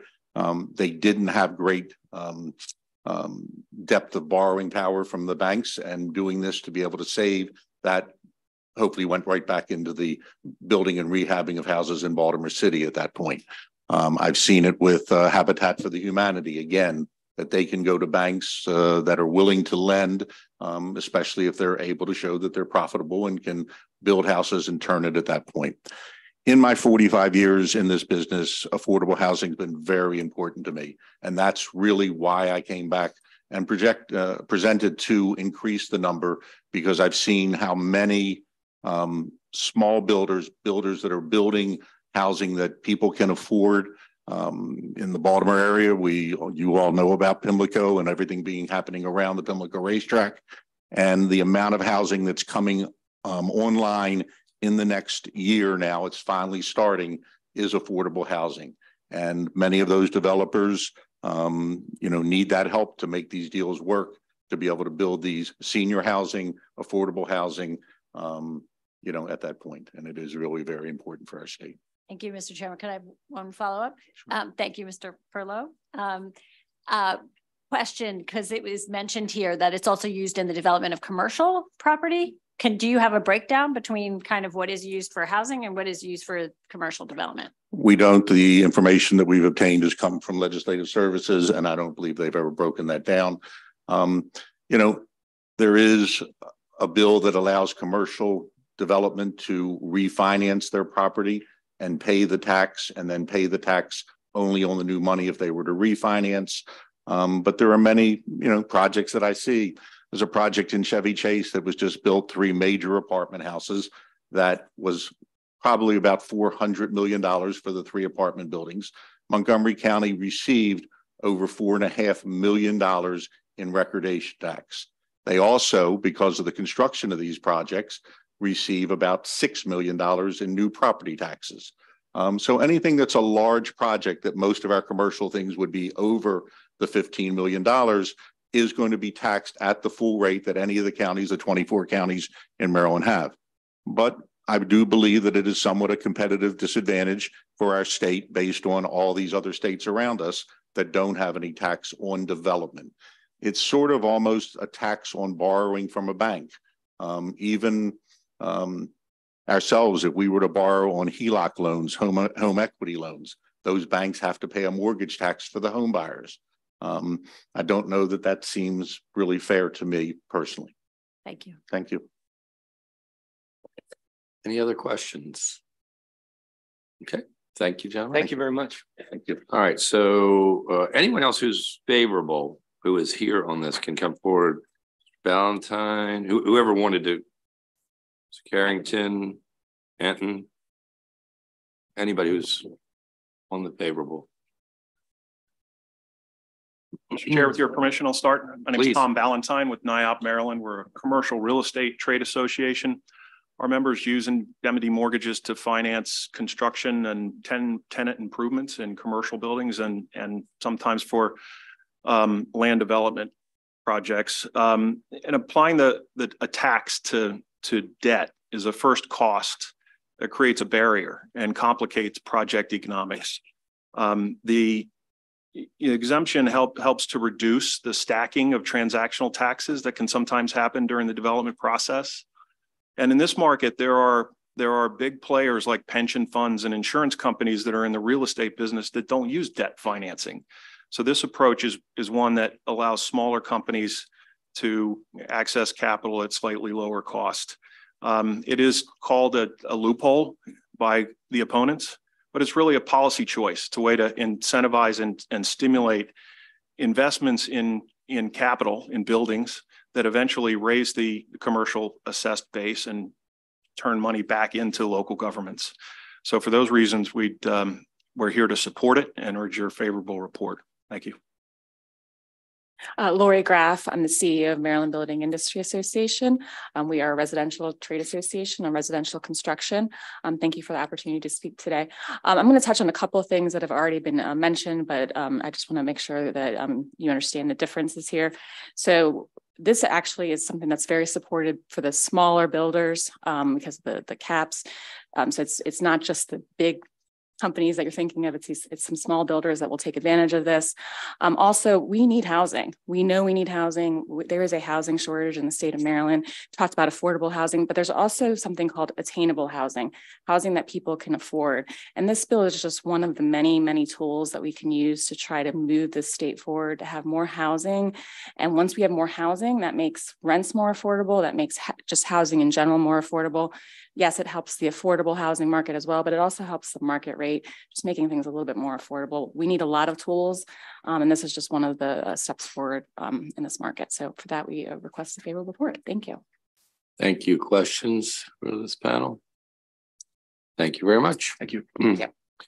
Uh, if there are no more in the favorable, I have a couple in unfavorable. Uh, Kevin Kinnally, Michael Coview, Coview, do we have someone online too? Okay. Thank you, Mr. Chairman and members of the committee. Uh, Kevin Kinnally here respectfully, on, on, behalf of the Maryland Association of Counties, respectfully in opposition to this bill. Um, I think the proponents did a, a, good job explaining what the bill would do. Our opposition to the bill, yes, there's a fiscal impact, but this is also an issue of fairness. Um, recordation tax, Maryland has decided that's part of the revenue structure. You heard about other states who don't have this tax, but they have taxes that Maryland doesn't have. So there's a, there's a lot of balance that goes into this. Um, this bill would only apply for a mortgage that went through an IDOT process. So first of all, an IDOT is for the entire purpose of avoiding taxes. There's there's no other way about it. So if somebody went out and got a $15 million loan and didn't use an IDOT, this bill would not apply to them. It would only apply for folks who went out and had an attorney or a CPA that could draft up this IDOT, uh, and then they would get the tax break. It's also important to remember that homeowners pay recordation tax on these transactions. So what we're asking for here, what they're asking for is to expand a loophole that currently exists. Um, we've also heard a lot of talk about affordable housing. There's no mention of affordable housing in this bill. This bill would apply to affordable housing projects potentially. It would also apply to the Burger King down the street that somebody wanted to build, right? So I think we'd be amenable if the bill was amended to say that this would only apply to affordable housing projects. We care very much about affordable housing. It's something that counties are very invested in. And, um, and so again, I think that that's a good point that they make, and we want to see those projects advance as well and make them easy to build. But there's nothing in this bill that talks about affordable housing. So we really think this is a fairness issue. Again, homeowners pay this tax. We think that um, these loans should be taxed in the same way. And with that, we'd ask for an unfavorable report, and we're happy to work on amendments or answer any questions. Thank you very much. Questions for Mr. Kinnally? Okay, online we have Diane Fox. Good afternoon, Mr. Chair, Vice Chair, members of the committee. Thank you for allowing me to testify. As the Director of Treasury for Frederick County, I urge the committee to give Senate Bill 476 an unfavorable report. The purpose of the bill is to alter the threshold amount for certain indemnity mortgage transactions. The bill will provide exemptions to previously taxed documents and will have an unfair and broad negative revenue impact in Frederick County and in other counties. As um, Mr. Kinnally said, the indemnity mortgage is simply a loophole used to avoid recordation tax. This loophole was closed by the 2012 General Assembly. At the same time, the state required counties to begin paying the cost of teacher pensions, and the revenue generated from removing the IDOT exemption was part of the offset that helped counties fund that cost. Reversing the action um, while not adjusting local government expenditures will create significant budget challenges for counties. Thank you for your consideration. On behalf of Frederick County government, I urge an unfavorable report. Thank, thank you. Questions for Ms. Fox? Okay, thank you very much. That concludes the hearing on that bill. And now we move on to Senator Washington. Uh, Senate Bill 380. Good afternoon, Chairman and colleagues. Could my panel, sponsor panel, join me? Sure. That would be great. Thank you. Thank you, colleagues. I appreciate the opportunity to present for your consideration uh, Senate Bill 380, uh, Water Affordability Assistance Program. Uh, water is uh, a basic right, um, and it must be made available at affordable rates across race, age, uh, and region.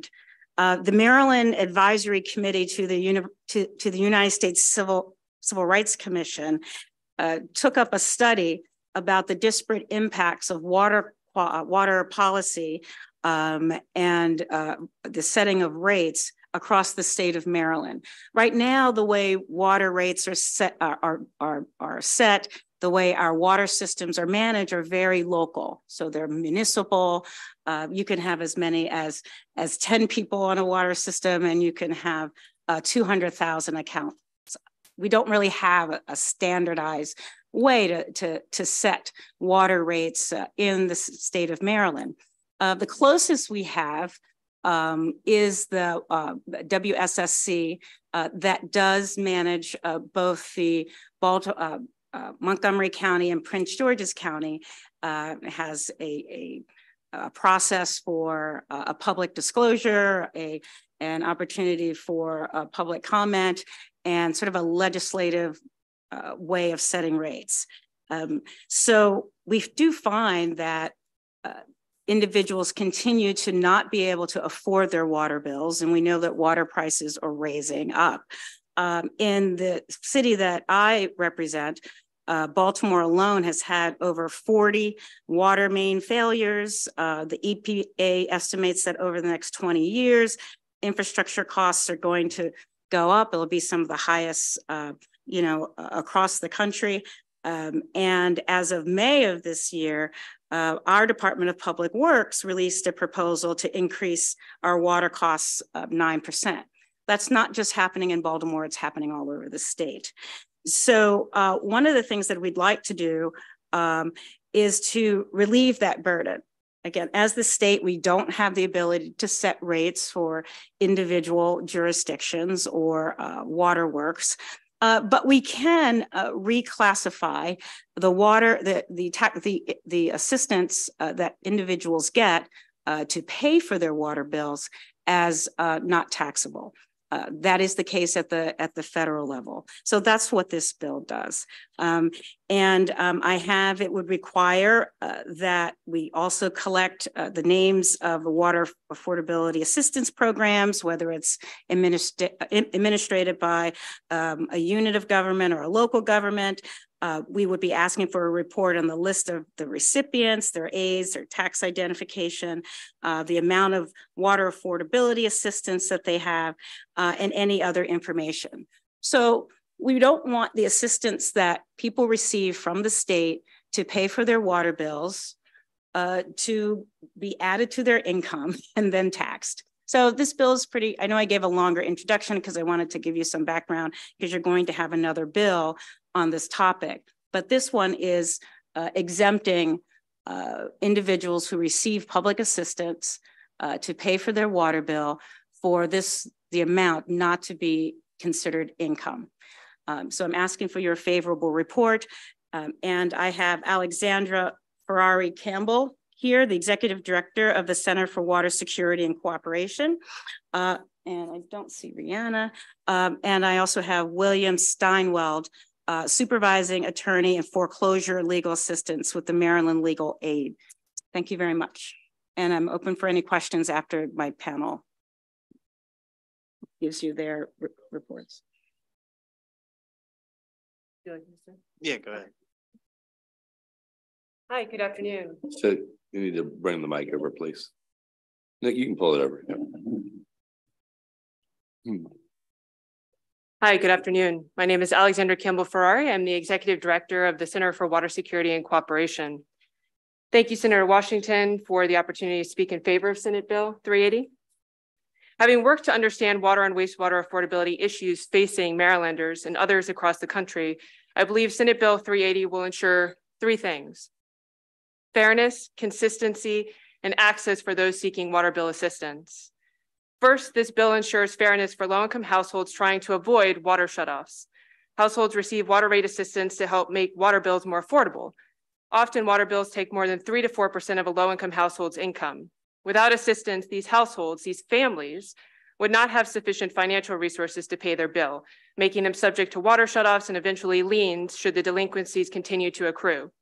Ensuring that water assistance is not counted as taxable income ensures households can apply for and receive water assistance with peace of mind and not worry they will be punished later with additional taxes. Second, this bill ensures consistency. There's already a lot of inconsistency across local communities regarding the rules and policies governing water access and water shutoffs for non-payment, as well as access to water assistance programs generally. Not all water and wastewater providers offer assistance programs. In fact, the majority do not. This bill will encourage all local governments and water providers to consider offering assistance programs by clarifying that such assistance would not be taxable and therefore create other burdens for households. And finally, third, this bill ensures that households will apply for the assistance they need and be able to continue receiving necessary water and wastewater services. In my experience, if families are concerned that assistance under one program will make them ineligible for assistance they are receiving in other programs or cost them more in the long run, they won't apply. This does a disservice to the household and the program because the household does not get the help they need and the program is not able to achieve the purpose for which it was established to keep families connected to water. Thank you, and we encourage this committee and the broader General Assembly to vote in support of this bill. Hello, my name is William Steinwittle, and I'm a supervising attorney with the Foreclosure Legal Assistance Project of the Maryland Legal Aid Bureau. I'm also an enrolled agent um, with the IRS. Certified accounting professional with the IRS. And that is from this point that I am testifying today, uh, basically to give some tax background on, on this particular issue. The biggest concern that I had with this and why legal aid is in strong support of this bill is, is that um, under IRS publication 525, water bill assistance should not be considered taxable at all. Um, but however, from what I've been told, some jurisdictions are issuing 1099s to taxpayers believing that it is taxable. Um, and this causes a lot of problems. First, um, there is a limit on unearned income for the earned income tax credit. Um, so if a person is issued a, and since water, since water assistance will be considered unearned income, if they were issued a 1099 incorrectly, that may eliminate or limit their ability to obtain the earned income tax credit, which can have a very adverse consequence for uh, low income homeowner, low income taxpayers. Second, um, if uh, this would also not be considered, if the if it was issued as a 1099 NEC, this would be considered self-employment income, which could result in additional taxation uh, since all since uh, payroll taxes for self-employment are, are on all income earned that is greater than $400. Finally, a person issued, uh, there is nearly, there's over a billion dollars of unclaimed tax refunds every year uh, with the IRS, uh, mainly because people are concerned that if they file a tax return that they will be they will have to owe money instead of getting money back. Uh, so we want to promote as many people as possible getting these refunds because for every low income person, one dollar has a very, very strong factor. So we issue a, a favor, we request a favor report on this bill. Thank you.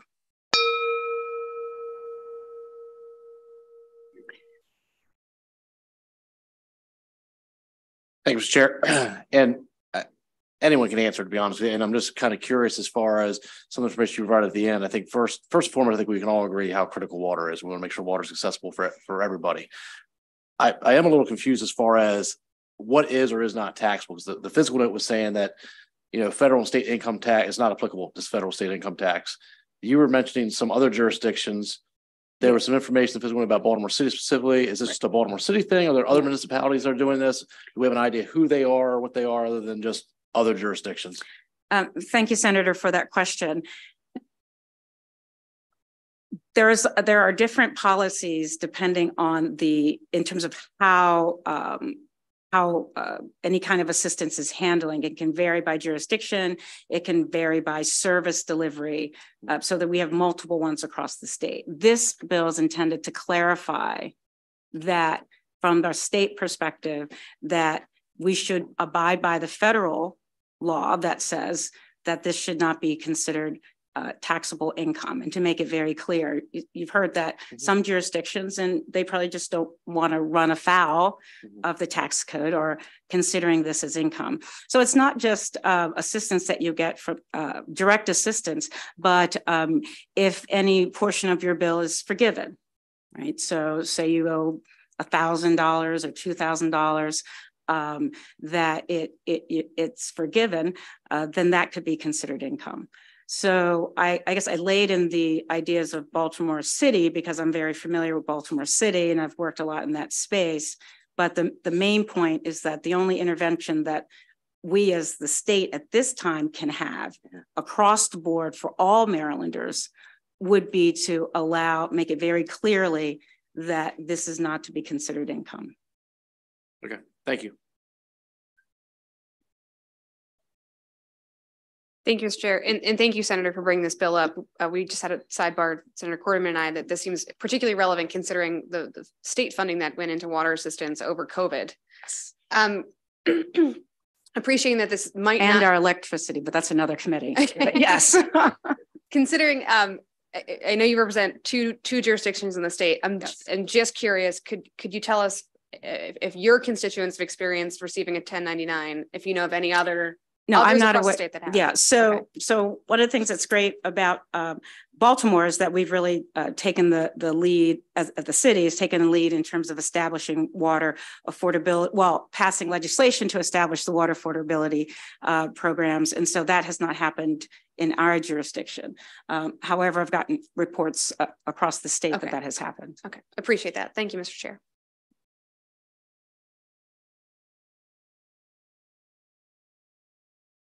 Um, and thank, Rianna is also part of my. I can okay. Yeah, see that. Thank you.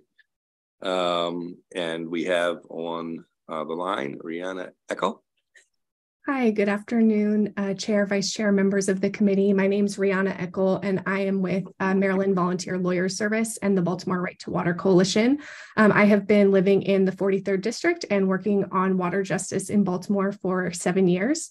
Um, and I'm here to testify in support of Senate Bill 380 because, as my senator mentioned, uh, Baltimore has a water affordability crisis, and having water assistance count as taxable income is acting as a barrier for tenants who really need support.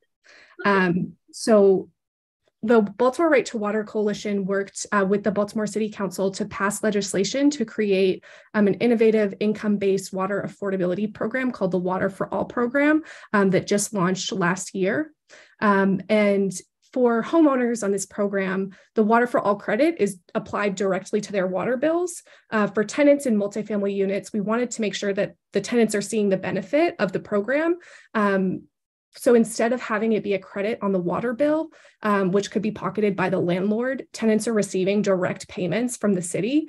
Um, those are coming as uh, loaded debit cards uh, via a vendor called Equity. Um, but because the assistance is being issued as direct payments, the city is saying it is taxable income. So tenants have to fill out a W 9 form and will be issued a 1099. And nearly a year after the launch of this program, we're seeing the impacts of it counting as taxable income. 53% of Baltimore's residents are tenants, and yet they are staggeringly underrepresented in the Water for All program. Um, as of February 1st, the City Department of Public Works has received 3,630 applications from homeowners, but only 2,090 from tenants. Um, additionally, we have heard from our partners at the Department of Public Works that there are many tenants who have gone through the application process um, and been approved, but then uh, after their application is approved, um, when they've been asked to submit a W-9, they've declined to enroll in the program um, because they know the imp implications of um, having this assistance count as taxable income and how it could complicate their taxes and potentially disqualify them um, for other assistance programs as well. Um, and so while this is currently a problem in Baltimore, we know that as our water affordability crisis uh, gets um, it will become an issue in other jurisdictions. So we urge a favorable report. Thank you. Thank you very much. Questions for the virtual witness? Okay, thank you very much, Senator. Thank you.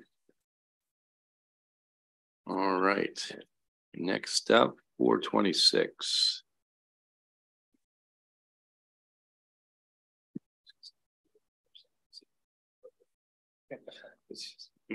Center King. Okay.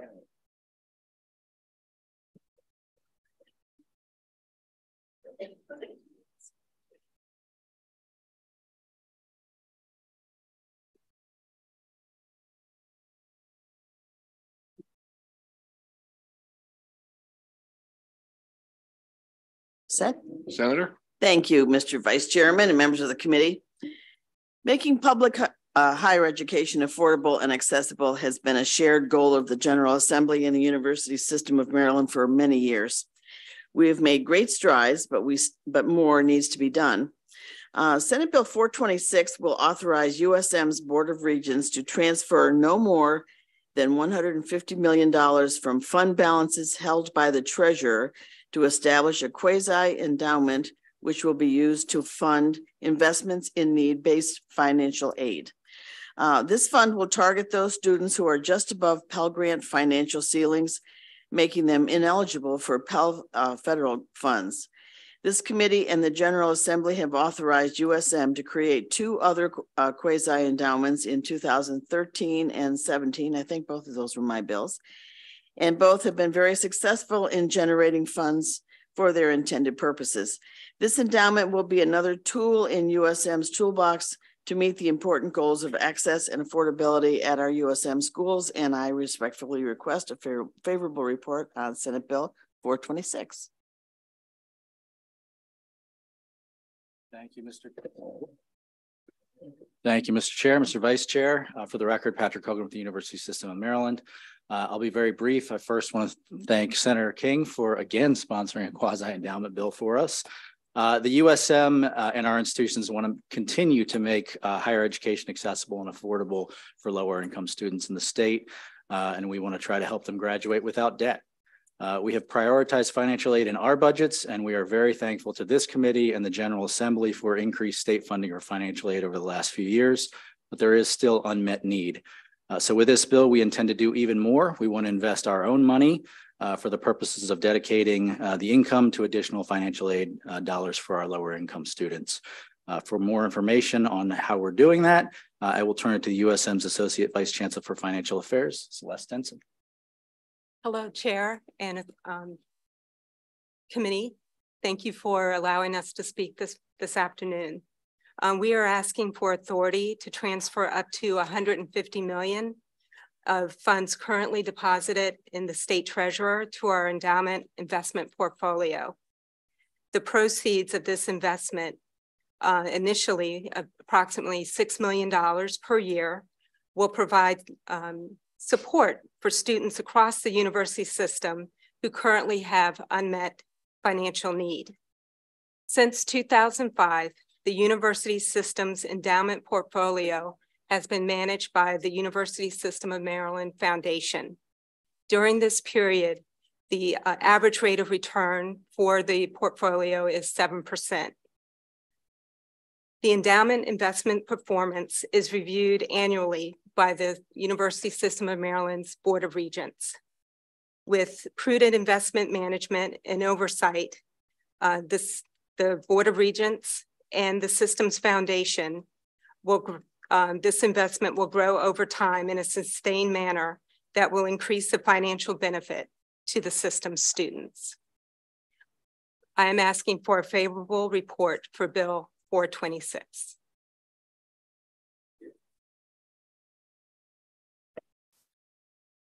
Chairman Guzzone, Vice Chair Rosapepe, for the record, Ross Stern, Executive Director of Government Relations for the University of Maryland. Um, Celeste just did a very good job of explaining the bill, so I, I don't want to belabor that. Just want to say that the University of Maryland under President Pines has put a huge emphasis on financial aid, on need-based financial aid in particular. Uh, President Pines recently announced the Terrapin Commitment, which was a $20 million effort by the university to help meet unmet financial need of Pell eligible students. We believe this quasi endowment is, is another tool to help us meet all of the financial aid that uh, our students need. And so we urge a favorable report.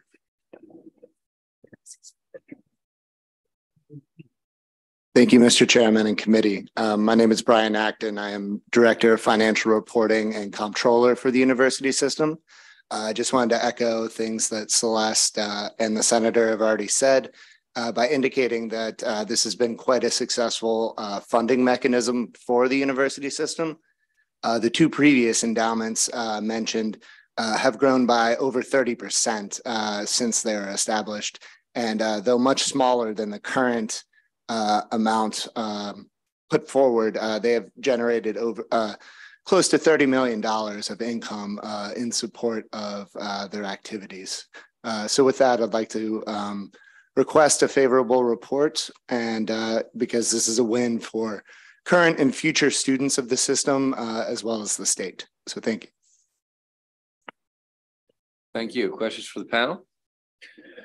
Senator Elfreth. Thank you, Mr. Chair. And directed to anybody from the system, two, two questions. What's the current uh, status of the the the fund? Uh, so how much are you you're drawing down 150 million? So what what would that leave you with? And then how is the financial aid distributed amongst the universities? Is, by, is it by population of the universities? Um, it will be um, it will each institution will determine how much they can contribute to the fund. Um, there will be a separate fund for each institution's share so that the money that the institution contributes will benefit the students of that institution. Okay. okay. And then your first question. What, what's the remainder in the fund balance after? Of, um, we'll have um, 1.2 2 billion. Okay. Thank yeah. you. Thank you very much. Senator Elfreth, I would I would just add from a rating agency perspective, this is still fund balance because this is a quasi endowment and not an irrevocable endowment. Thank you. You're right. okay. Other questions? Thank you very much. Thank you. All right. Just for those who are paying attention, we're halfway through. um, Senator Kramer was up next, 840, but I just got word that he is still jammed up on another bill, evidently. So we will take 438. Senator Hayes.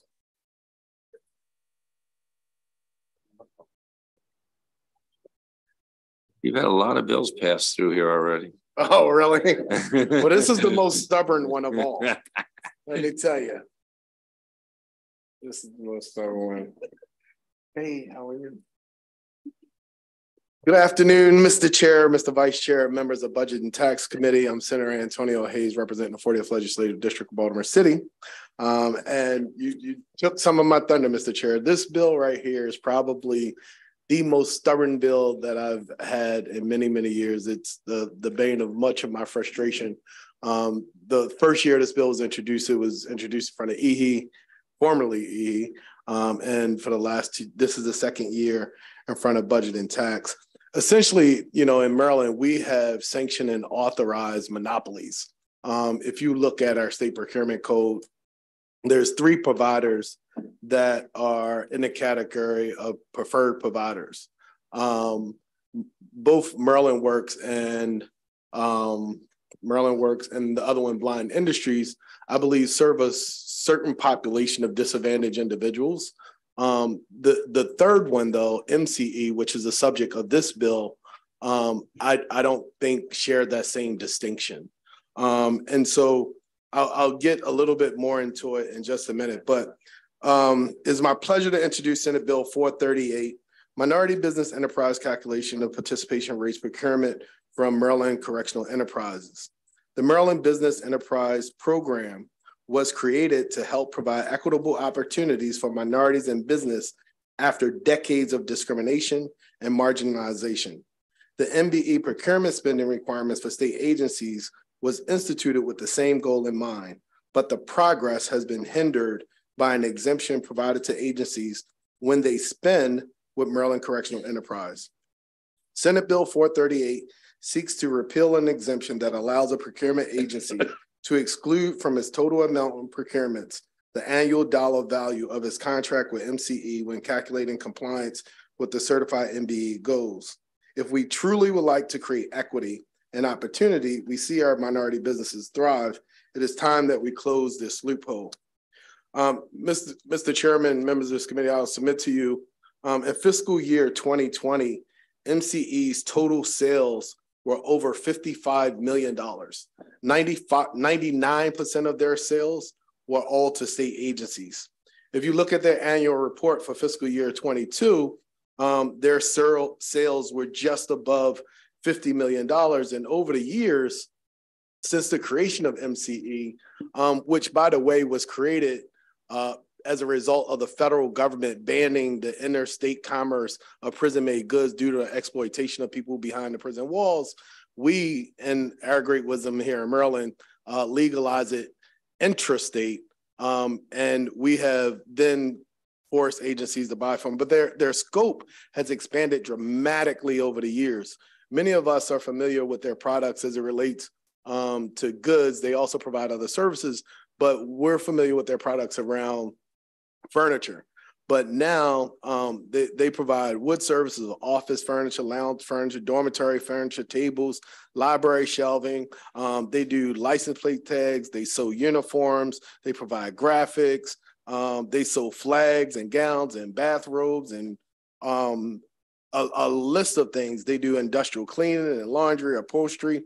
One of the things that was most shocking to me um, in their in their annual report in in 22 they had greater than $11 million in sale in meat of roast of uh, ground beef, chopped steaks, meatloaf, roast chops, ribs, hot dogs, lunch meats, sausages. Like the list goes on and on. The different things um, that they provided, and they occupy a space that mandates that state agencies must purchase from them um, before going to other places. And I think that this put us at a huge disadvantage in, in the amount of opportunities that may exist for small and minority businesses um, here in our state. This is a considerable amount of revenue that our minority business businesses could have benefited from. Senate Bill 438 will alter the procedure for calculating the minimum dollar amount paid to MBE organizations. Only procurement contracts from Blind Industries and Maryland Employment Work Program will be deducted from the total value. And that that's I didn't include those two in this bill because I think they they provide a unique space in helping um, serve disadvantaged communities. I provided, uh, with the help of my staff, um, and Danielle Ziegler is here as my chief of staff, a quick um, slideshow just to kind of illustrate a little bit more about like what this bill is actually trying to do. And so I'm gonna ask Danielle, go to the next slide. Okay. All right. Okay. It must have been a little bit. Um, the the the um so so this bill uh requires that each procurement unit um, include the dollar value in its contracts with Maryland Correctional Enterprises, and the total dollar value is spent on procurements for the purpose of calculation of unit's performance. Um, I, I, would note you all, we all know that most recently, um, the governor has um, issued an executive order wanting to know all the dollars that are spent with minority businesses and what their um, petition ratio has been, you know, what their um, participation rate as it relates to minority owned businesses is. Um, in the comments earlier this week from our treasurer, he has prioritized the spending with MBEs. Um, our comptroller has done the same thing. So it, it we're we're in a and we're in a situation now where all of our statewide leaders are calling on greater spending with um, MBE. And so I would just ask my colleagues that we also do this, but we can't, we won't have a true picture unless we um, unless we include all of the spending. And so this bill essentially, you know, I wanted to break it down to the least common denominator, for lack of better words. But what is the numerator? The numerator is the number above the line in which a common fraction showing how many of the parts uh, indicated by the denominator are taken, for example, three quarters. Next slide. The denominator is the number below the line, and you guys might remember this from grade school, is the in, in the common fraction of divider, a figure representing the total population in terms of which uh, statistical values are expressed. Next slide. So current calculation, currently an agency must take its MBE dollar value, the numerator, and divide it by the total procurement dollar um, denominator. But agencies are not required to include providers such as MCE when calculating the total procurement value. This creates misleading statistics, which may represent MBE performance being higher than it actually is. Uh, next slide. What does this bill do? So by including the dollar value of MCE contracts and the total dollar value of all procurements, uh, Senate Bill four thirty-eight increases the denominator, only the denominator used to calculate each agency and the state's performance related to MBE goal. The bill has no effect on the numerator uh, value of MBE contracts and the subcontracts. Next slide. As a result, it lowers, it has the potential to lower the agency's, um, you know, participation rate. And I'll speak a little bit later to this, especially as it relates to the uh, governor's office of small business and minority affairs um, testimony that you should have in your bill file. Uh, I, I, would, you know, and part of their testimony is that, you know, currently the, their participation rates are already low, which is embarrassing. And I think that's why a lot of uh, officials are calling their attention to it um, by including the money that's spent with MCE into the denominator has the potential to lower it. But I think there that then creates other opportunities for these state agencies to prioritize spending in other areas. Um, and so I'm not sure if that's a strong enough argument. As agencies are required to purchase available goods and services from MCE, the bill will likely have no, uh, no effect on MCE sales. Um, I'm gonna go to the next slide. All right, so essentially this is what it comes down to. I took, you know, a fictitious agency, agency ABC. If, and, and if you look at their contract budget of $100, I wanted to use a real plain number. Currently, if they're spending $20 out of their 100 uh, out of the $100 they're spending on contracts uh, with MCE, that number is taken away, is, is not contributing to their goal. So if they're spending $20 with MCE, and the goal of that agency is to spend 29% with um, with minority businesses. The 29% is based off of $80, not the not the entire amount of $100 that they're spending. And so that that equals about $23.20. Where on uh as as it relates to this bill, what we're saying is the $20 that they're spending in MCE should be included in that denominator, and the 29% should be reflective of all of the contracts that they're spending, which is $29, which is that difference. And so um, you all heard my testimony earlier. MCE is having sales greater of $50 million um, on an annual basis. That's a significant amount of money that could go um, to supporting um, some smaller minority businesses. Is that the last slide? All right.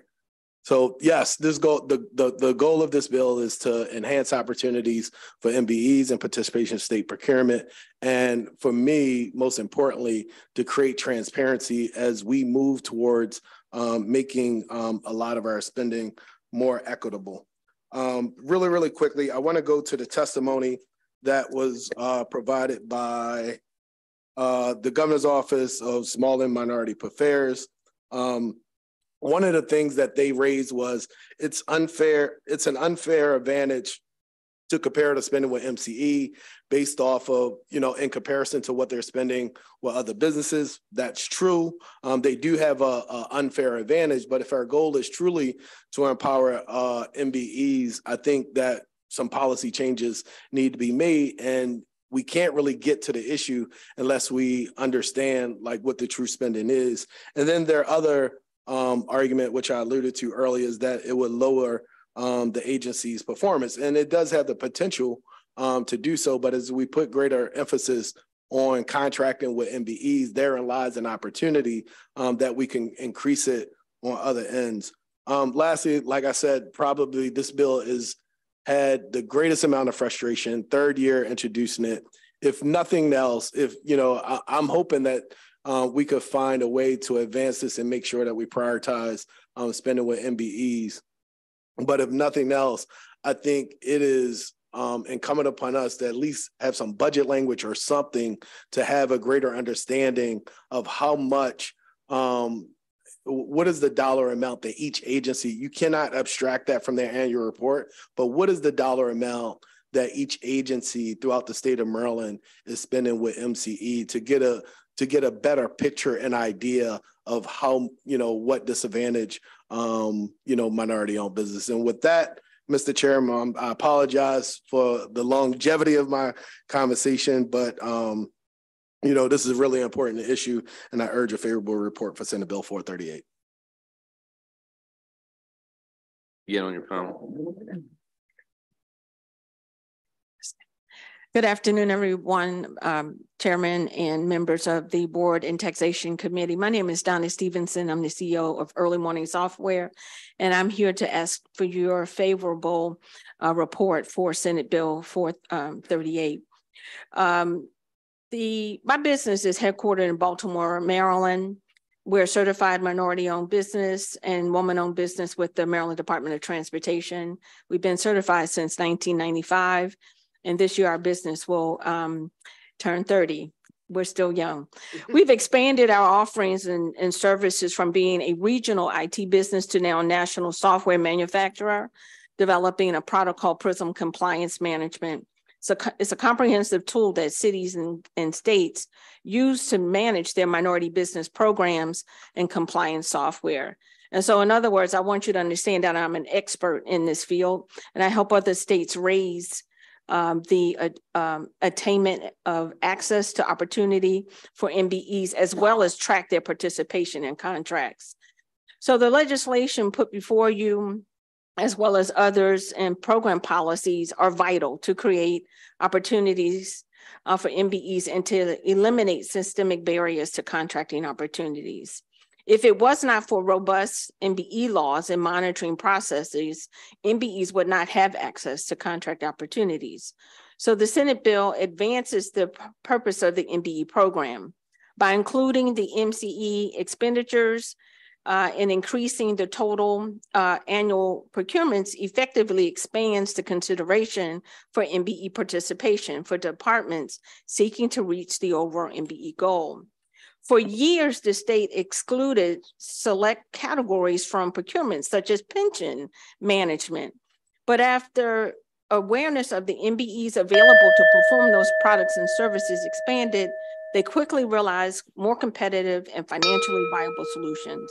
And for that reason, I ask for you your success, um, support of this uh, Senate bill that uh, Senator Hayes has put forward. Thank you. Good afternoon. My name is Carla Nelson Chambers. I'm the managing principal for the Nelson Ideation Group. Like my colleagues here, I also am certified among um, as a DBE, MBE, ACDBE, and SBR firm here in the state of Maryland. And I'm happy to be able to say that the Maryland certification program is very vital and one of the best. It's a model within the country. However, as a multi-certified firm here in the state of Maryland, it's vital for state agencies to conduct business with us in a fair and equitable manner and to report their full and complete numbers of their minority business contract awards and the actual dollars spent. The current reporting measures used by the Maryland Correctional Enterprise to calculate MBE awards and spend severely skews the minority participation goals that are set by the state of Maryland. Over the years, the minority business community has called into question if certain state agencies have truly met their MBE goals or if their approved waivers were justified.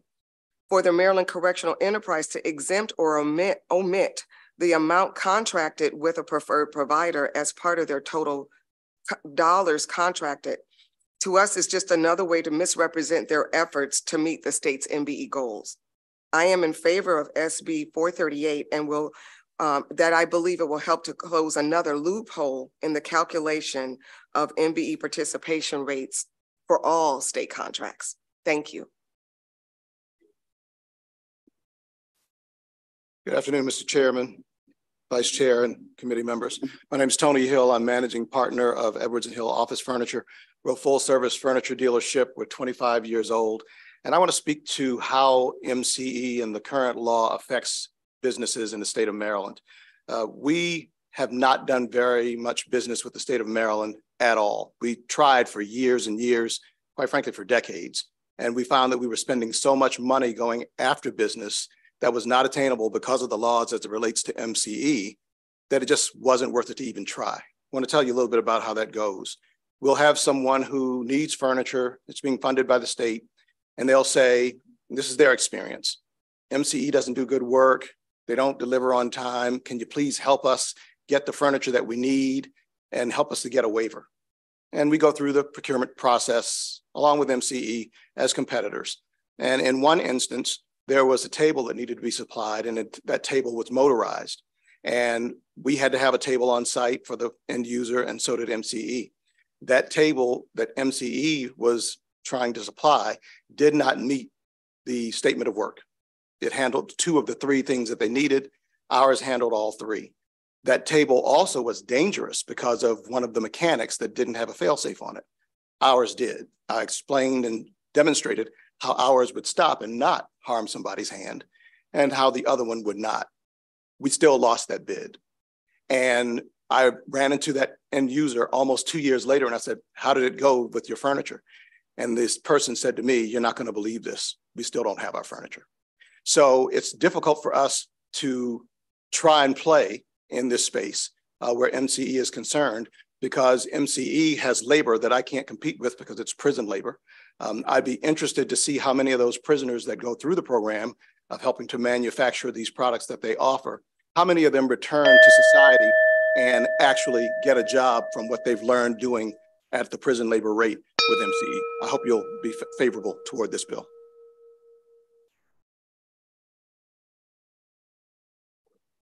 Thank you, Mr. Chair. I want to kind of pick up right there at the end because that was actually one of my questions. And Senator, I appreciate you bringing bringing the bill here. And uh, first, I want to make it clear. I think anytime we're having this conversation is a good conversation. We can obviously I want to prioritize MBEs over MCs. So I want to make sure that's clear. Being someone that represents an area of the state that has five of the largest correctional facilities, and we talk about uh, reentry and we talk about what those services are supposed to be. I have a, just just more of a question as far as as you've been working through this over the last three years where is the department DPSCS in on this? I, they didn't provide any testimony or anything like that. Do they really seem to care? Because, I mean, as you said, the numbers that were put out there are astronomical of, of the money that they seem to be making, and we shouldn't be doing that off the backs of, of our incarcerated, and again impacting business business like yourself. So, um, you know, I'm all for that. I was curious what their position was, or if they had a position that you know of. Yeah, no, in the three years that we've introduced it, um, uh, Department of Public Safety has never um, submitted testimony one way or the other. Um, I think there is some value in in providing the skills to those who are behind, um, who who are incarcerated. The problem comes when you talk about the competitiveness of the private market and what um, may have out there, and also um, it, the, because they've expanded so much um they're you know they're it's a significant amount of revenue that they're bringing in. Um, that money, as you know, is folded back into the general fund. It's not going back into reinvesting in training and other opportunities um, in the community. And so um, I think if they, you know, especially if they had a product that wasn't able to compete, if there was greater opportunities for other businesses to participate in that market, um, it, their margins of uh, profit may not be that great, but you still get, you know, you'll get other opportunities in the community. But the the, the training part definitely um, have value added to those, especially if they were reentering. Um, what I've heard anecdotally, which I don't have um, any concrete knowledge of, and I haven't been supplied with the agency, that many of the people that participate in these programs have long sentences. And for an organization like MCE, I understand how that may benefit them. One, they have low labor costs. And two, if you have someone with a life sentence, you know it's pretty predictable that they're going to be there um, working for a while. Um, I, I, don't know what the breakdown in those who have shorter sentences versus longer sentences are, but what I've heard is um, many of the people who participate in these programs um, have, you know, pretty extensive sentences and they won't be returning back to the community anytime soon. I don't want to speak as true to anyway. I'm with you guys on what you're saying. Mm-hmm. I was just curious of where the department was, if they weighed in at all during your conversation. So I uh, appreciate the, the bill and, and, look forward to supporting it. Thank you. Yeah. Okay.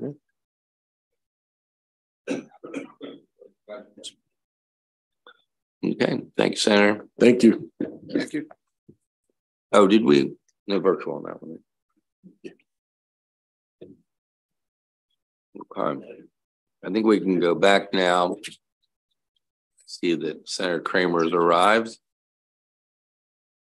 Senator. You bring up whoever you like. Thank you for that, Mr. Chair. Mm. Sarah, are you coming up? Good afternoon, Mr. Chairman, members of the Budget and Taxation Committee. Ben Kramer here to introduce Senate Bill eight forty. Um, colleagues, this is a pretty straightforward bill. Um, as we see. They all daily- are, Senator. Yes, they Yeah. are. Now, I've got one today that's not quite so straightforward. That'll be in a committee downstairs, so uh, this one is easy peasy. Um, as everybody sees in our news daily, um, we have religious institutions that are under assault. Uh, the bill before you is uh, one of a package of five bills that I have worked very closely with the Senate President's office to develop um, to address the increase, the dramatic increase in hate crimes uh, that are finding their way to our mosques, synagogues, churches, and um, and assaults that are happening there, attacks. Um, just last week, uh, not that this would have affected it, but in Los Angeles just last week, uh, there was a man who uh, shot um, at two men who had just left prayer services at a synagogue. Um, so uh, the goal and the intent and the purpose here is to place uh, annual funding um, into a fund. It's called the Protecting Against Hate Crimes Grant Fund. Uh, there will be a, an annual um, uh, appropriation of $5 million to the fund, of which at least $1 million uh, will be available exclusively to um, uh, faith-based institutions. And um, it, it really is that basic. Um, the language in here makes it clear that these funds are in addition to, they are not to replace uh, other funds that are provided for for this very purpose. And uh, Mr. Chair, colleagues, like I said, it's pretty straightforward, but uh, a very important piece of legislation to help protect all of our residents here in the state who very sadly now, and uh, it, it's a shame we have gotten to this point in time where we're here now, having to uh, provide security at uh, nonprofit organizations and faith-based institutions in our state, but it's the world we're living in. It's true, Senator. Thank you. I, um, and I, and I want to check and we'll, we'll check and see what other programs are out there as we look at this. I, cause I, I remember several years ago, when we were having some problems in Columbia. Um, I helped uh, a group get a grant for just this purposes for a synagogue, for interfaith center, actually. Um, so, um, we need to, we'll, we'll look into that, but certainly the, the issue is, is real and important. Thank you, thank you, Mr. Chair. Yes. Um, thank you, Mr. Chairman. Uh, thank you for bringing this bill forth. Uh, and I think, uh, you know, we do have a, a little bit too much hate, uh, in our world. Uh, and I think, uh, unfortunately, uh, it's, uh, indiscriminate. You know, it's all over. Uh, I'm a Catholic guy and we just lost a bishop, uh, to some, uh, senseless, uh, uh, violent acts. So, I, I commend you on bringing this bill forth and, you know, let's continue to work together to chip away at, at this challenge that we have across the board. So thank you. Th- thank you for those thoughts. I appreciate it. Good afternoon, Mr. Chair and members of the committee. I'm Sarah Mersky Mickey. I'm the Deputy Director of the Baltimore Jewish Council, which represents the Associated Jewish Community Federation of Baltimore and all of its agencies and our over 50 local area synagogues. We're here today in support of SB 840 because of the ever increasing rise in hate in our country and our state. The Jewish community continually is the second highest community in terms of who um, is at risk of hate crimes in our state and in the country. Yet in the United States, we are under 2% of the population, and in Maryland, under 4%. Um, is the Black and Jewish communities that make the majority of hate crimes in our states. Um, just kind of give you a scope of how much it costs now for security, just for the Jewish Federation system in Baltimore. So not for any of the synagogues. We spend over a million dollars every year for security personnel and for security. Before 2017, which is when the JCC bomb threats started, we were spending less than $300,000 for the same security. You don't see it on the news every day. You do see a lot on the news, but we continually get bomb threats continuously at our JCCs, most recently just about a month ago. Synagogues still have people entering that shouldn't saying really disgusting things. We get suspicious packages continuously again. While certain things we do see reported we've seen a lot of things reported lately about schools.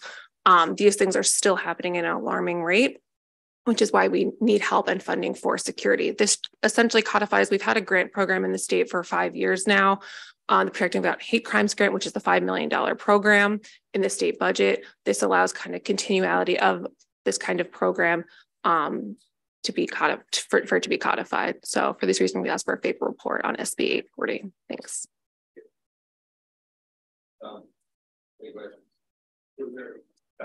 Anyone else who are, who are here in person that were here to uh, that signed up? Yeah, Mr. Chair, thank you.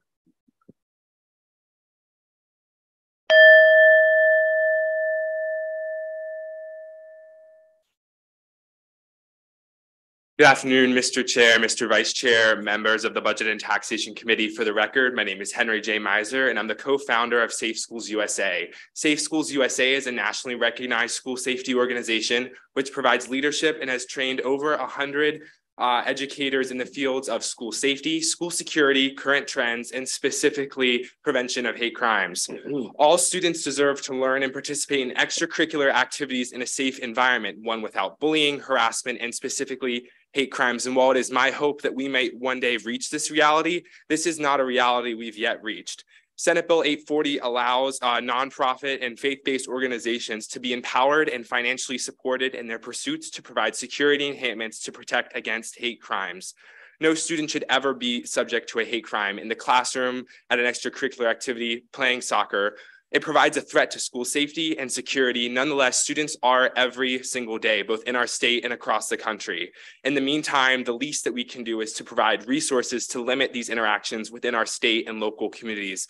So for these reasons, and on behalf of the students of Maryland, I urge this committee to produce a favorable report. Thank you. Thank you. Questions for the folks who are here in person? Okay. Thank you all. We have two in favor and one opposed on in virtual, maybe. Here's one. Ron Halber. Yes, sir, Mr. Chairman. Proceed. Yes, please. Uh, good afternoon, Chairman Guzzone and members of the Senate and Budget and Taxation Committee. My name is Ron Halber, and I'm Executive Director of the Jewish Community Relations Council of Greater Washington, I'm testifying today in support of Senate Bill 800, uh, 840. For 85 years, the JCRC has represented the interests of the Jewish community in suburban Maryland and now is a unifying force of more than 100 Jewish agencies, synagogues, and schools serving a population of over 120,000 Marylanders. In truth, I wish I didn't have to testify before you here today. I wish we didn't have to spend so much time dealing with anti Semitism, racism, and bigotry and other forms of hatred, which has reached historic levels throughout the United States and also here in Maryland. Senate Bill 840 provides funding to provide nonprofits and faith based organizations with assistance for security upgrades to protect against hate crimes, a desperately needed resource in these worrying times. I want to thank Governor Moore for including $5 million for the Protecting Against Hate Crimes grant program in his 2004, 2024 fiscal uh, budget proposal, and to extend my thanks to our own Montgomery County Senator Kramer for sponsoring this important legislation, which simply codifies the $5 million annual appropriation for future budgets. There is simply no better or more important investment than the safety and security of our state's residents. Sadly, acts of anti Semitism are on the rise locally and nationally. In fact, the Jewish community constitutes less than 2% of the American population, yet constitutes well over 60% of religious based hate crimes.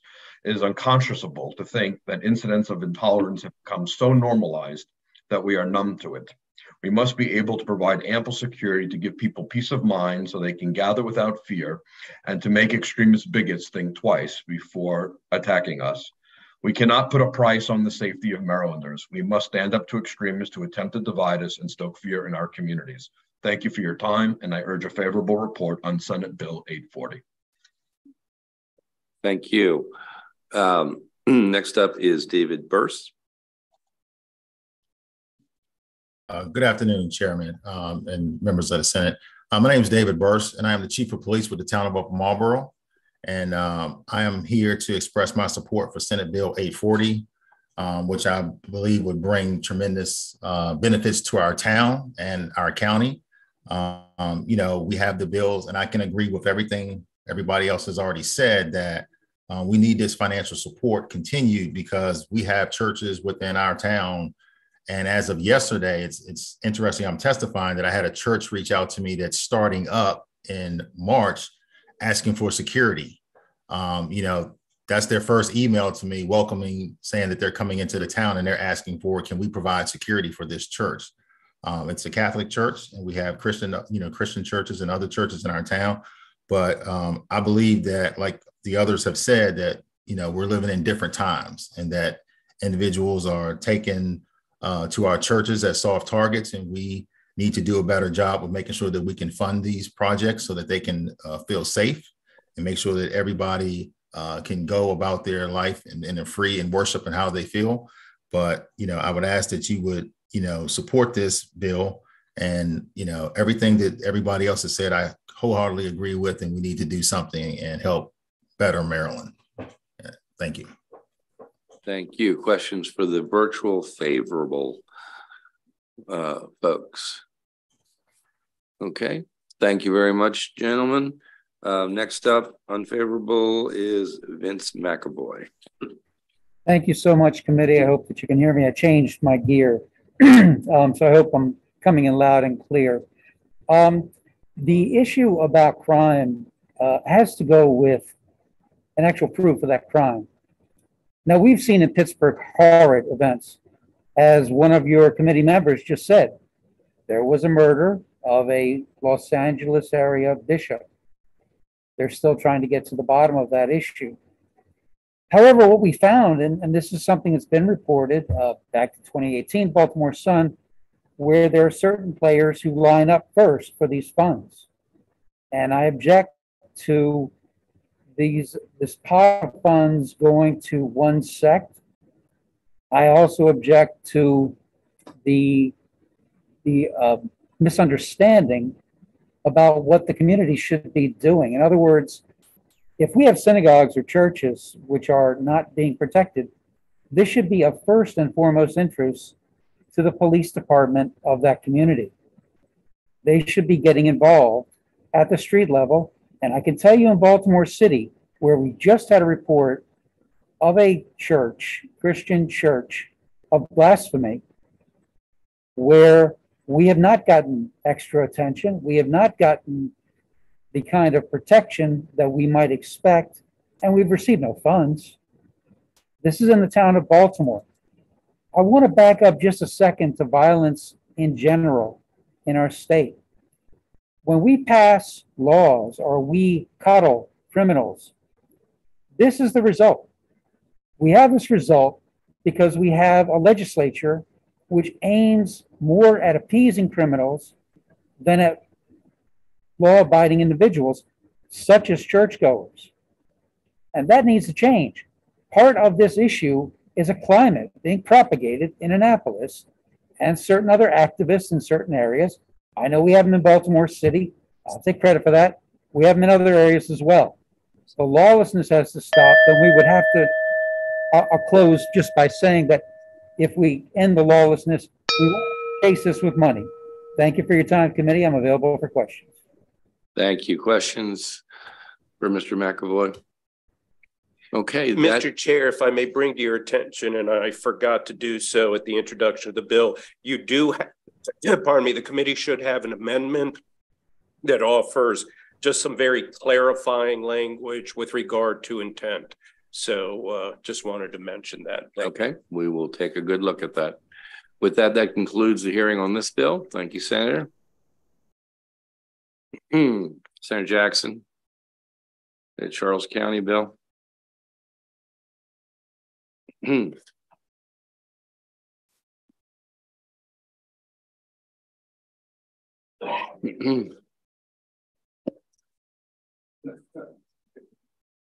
Good afternoon, Mr. Chairman, members of uh, the committee. For the record, Senator Michael Jackson representing uh, District twenty-seven, which includes Charles County. Uh, The bill you have before you, Senate Bill five twenty-one, um, is a straightforward piece of legislation which establishes a property tax credit for volunteer emergency response, uh, first responders and or unmarried surviving spouses of the deceased emergency responders. This legislation came to us from the Charles County Commissioners, and this is the Charles County delegation uh, legislative priority. We believe that it will be, uh, it will serve as an effective way to attract and retain these important public safety professionals. Uh, to note, uh, committee, uh, Charles County's uh, volunteer fire and rescue services, uh, the only paid members are their EMTs, down, EMPs down there. Uh, as you know, Charles County is a home rule county, and we require this sort of enabling legislation in order uh, to take this, these sorts of actions. Uh, with that, Mr. Chairman uh, and members of the committee, I would ask for a favorable report. Uh, and I believe we have a panel, both, uh, well, virtually. I'm not sure if we have anybody in person. I think all we ha- have So is is virtual. virtual. Okay. Right. Thank you very much. Ask for a favorable report. Thank you. Very, very good. Uh, Commissioner Bowling? Good evening, Mr. Chair and members of the committee. Um, come before you today representing the Board of County Commissioners in support of this bill. I, uh, don't have to bring to many of your attention the, the very much need for our volunteers, especially in a county that does not have a paid fire system. We do have paid uh, DES, which are EMTs and paramedics. However, the need is greater than what we are able to provide from a paid perspective. The volunteers provide that stopgap for us. Um, they're invaluable to us as a community, and we felt as a board of commissioners that we needed to move legislation forward to ensure that uh, the volunteer system it thrives, has adequate volunteers, and um, can still provide that service for free. Uh, we proposed this legislation. Um, I know there was some confusion in the House with the amount of cap that would be on the level of income. Um, but as many of you know, in Charles County, like many jurisdictions in the DMV, um, we have a pretty uh, high cost of living here, and we felt the 250,000 cap was appropriate. And so we presented it to our delegation during our legislative process, and they agreed to push this forward. I'm proud to stand here before you and uh, support the bill. Has no fiscal impact from a state level. We have been uh, working on this for a while um, with our financial folks over in county government, and we're ready to take the um, take the burden of that on ourselves. Um, also, there was a study that was uh, conducted by the fire service, the volunteers, and the county jointly. And one of the recommendations that came out of that study was the fact that we needed a property tax credit that does two things. It provides some financial relief to our volunteers and also incentivizes our volunteers to live in the county and be hometown heroes, uh, what they are. So I'll stand for any questions. Um, I know you have somebody from the volunteer system here on the um, meeting. And thank you. Thank you. William Smith? Mr. Chairman, good afternoon, uh, and all of the uh, delegation for your time today. Uh, my name is Bill Smith. I am the Fire and EMS Coordinator here in Charles County, representing approximately 1,200 active and retired volunteers. Uh, this encompasses 18 departments within our county, uh, with an increasing call volume each and every year. Uh, just last year, your volunteers answered 17,000 calls. That's 17,000 times these people got up off of their dining room table, uh, answered the call. Uh, they missed their ball games, missed their kids' uh, uh birthdays, etc., to answer the call for service. Uh, this legislation, uh, when you when it gets through the system and is adopted, will greatly enhance our retention efforts here in our county. we have a dynamic system to where uh, we are recruiting and our retention uh, issues are, are ongoing. This will help approximately uh, almost 490 uh, uh, volunteers that own homes here in our county. Uh, and we would greatly appreciate the legislation to pass with that 2000, I'm sorry, the $250,000 a cap as proposed. We, we would encourage a favorable response. You see, uh, Senate Bill five twenty-one. Thank you, Mr. Chairman. Thank you very much. Any questions for the witnesses? Thank you very much. That concludes the hearing on that Thank you, bill. gentlemen. And uh, actually, um, if you just step aside for one second, Yes. Senator Jackson, I know you got another bill. but We're gonna let Senator Klausmeier come in. And she's got, I think, one person on her panel. Thank you, Mr. Chairman. That's worth voting. Okay. Well, maybe she's got two people on her panel.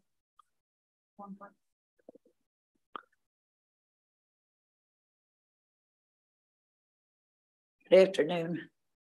Mr. Happy Chair. birthday. Oh, thank you. Um. Senate Bill four thirty-five, property tax credit, disabled law enforcement officers and rescue workers. And um, definition and eligibility and members of the Budget and Tax Committee. Senate Bill four thirty-five is simple, enabling legislation to give counties authority to expand the eligibility of an existing tax credit offered to disabled law enforcement and rescue workers. Many counties offer a property tax credit for disabled state law enforcement officers and rescue workers. This credit is essential for many of those individuals who are forced to live on a fixed income due to their injuries. However, currently the benefit is only available to state agents and not federal agents, even if they were living in the state when they were declared disabled. Senate Bill four thirty-five would require counties to set a definition of disabled law enforcement officer or rescue worker for the purpose of receiving property tax credit. This will give local governments the opportunity to expand this existing tax credit to disabled Capitol Police officers and other federal agents who sacrifice so much for our country. Two years ago, on January 6th, many of us watched in horror as the violence unfolded in the U.S. Capitol. The only thing that stopped the violent actors from reaching elected officials and their staff was the heroic actions taken by the Capitol Police officers and Metropolitan Police. Unfortunately, under current law, counties would not be able to extend this tax credit to the brave men and women who protected our democracy on that day. Every day we benefit from actions of these brave individuals, and it is important to showcase our appreciation and support by extending this credit. I should also add that this legislation was unanimously approved by this committee in the entire Senate last year. But the two chambers could not come to an agreement on Sine Die. I want to thank the committee for their consideration of Senate Bill 435 and would like to request a favorable report. This is the same exact bill. Anything change? Just a little bit, I think, isn't it? Yeah. Yeah, good afternoon, Mr. Chairman, members of the committee. Kevin Kinnally here on behalf of the Maryland Association of Counties. I think it is uh, mostly the exact same bill that you passed before. We appreciate that very much. We appreciate the flexibility that this bill provides, and we'd ask for a favorable report. And also, happy birthday, Madam Senator. Okay, Thank you. I, I have to take a look. I, I think it is the same bill. Uh, I, I really do. I'll, I'll, I'll take a look at it. But there are several of these bills. I'm not sure exactly. Okay, thank you. Oh, uh, Senator, uh, okay. Oh, you forgot my name. I did. I did. Uh, Mis- Mr. Chair, just more or less a comment. I'm gonna pile on and just say happy birthday to my friend Edgy. Okay.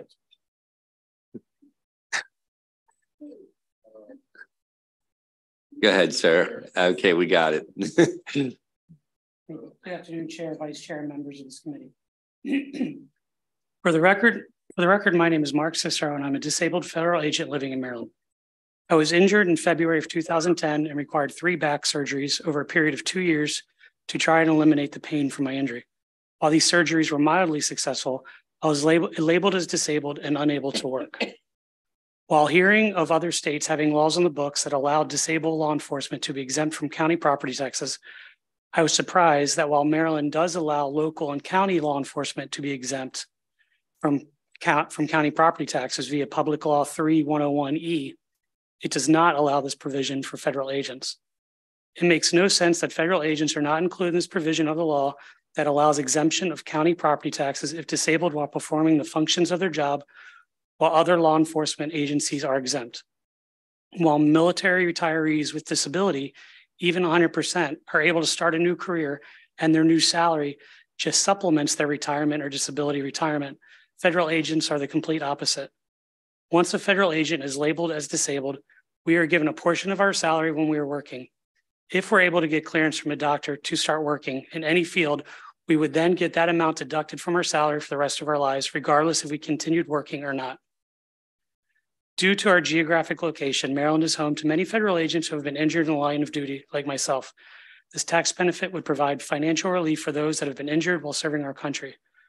For these reasons and the fact that these men and women have put their lives at risk, just like local law enforcement, I believe we as disabled federal agents should receive the same benefits and tax breaks that they are entitled to in Maryland. I ask you in favor of this nonpartisan bill so it may become law. Thank you. Any questions for the panel? And I do have an answer about what changed. So last year, the House passed their version unanimously last, and then you guys passed your version. You guys couldn't come to an agreement. So the bill that's presented this year is the Senate version from last year. Yeah. Great. Thank you. Um, any questions? Is there a motion? All those in favor? Opposed? Happy birthday.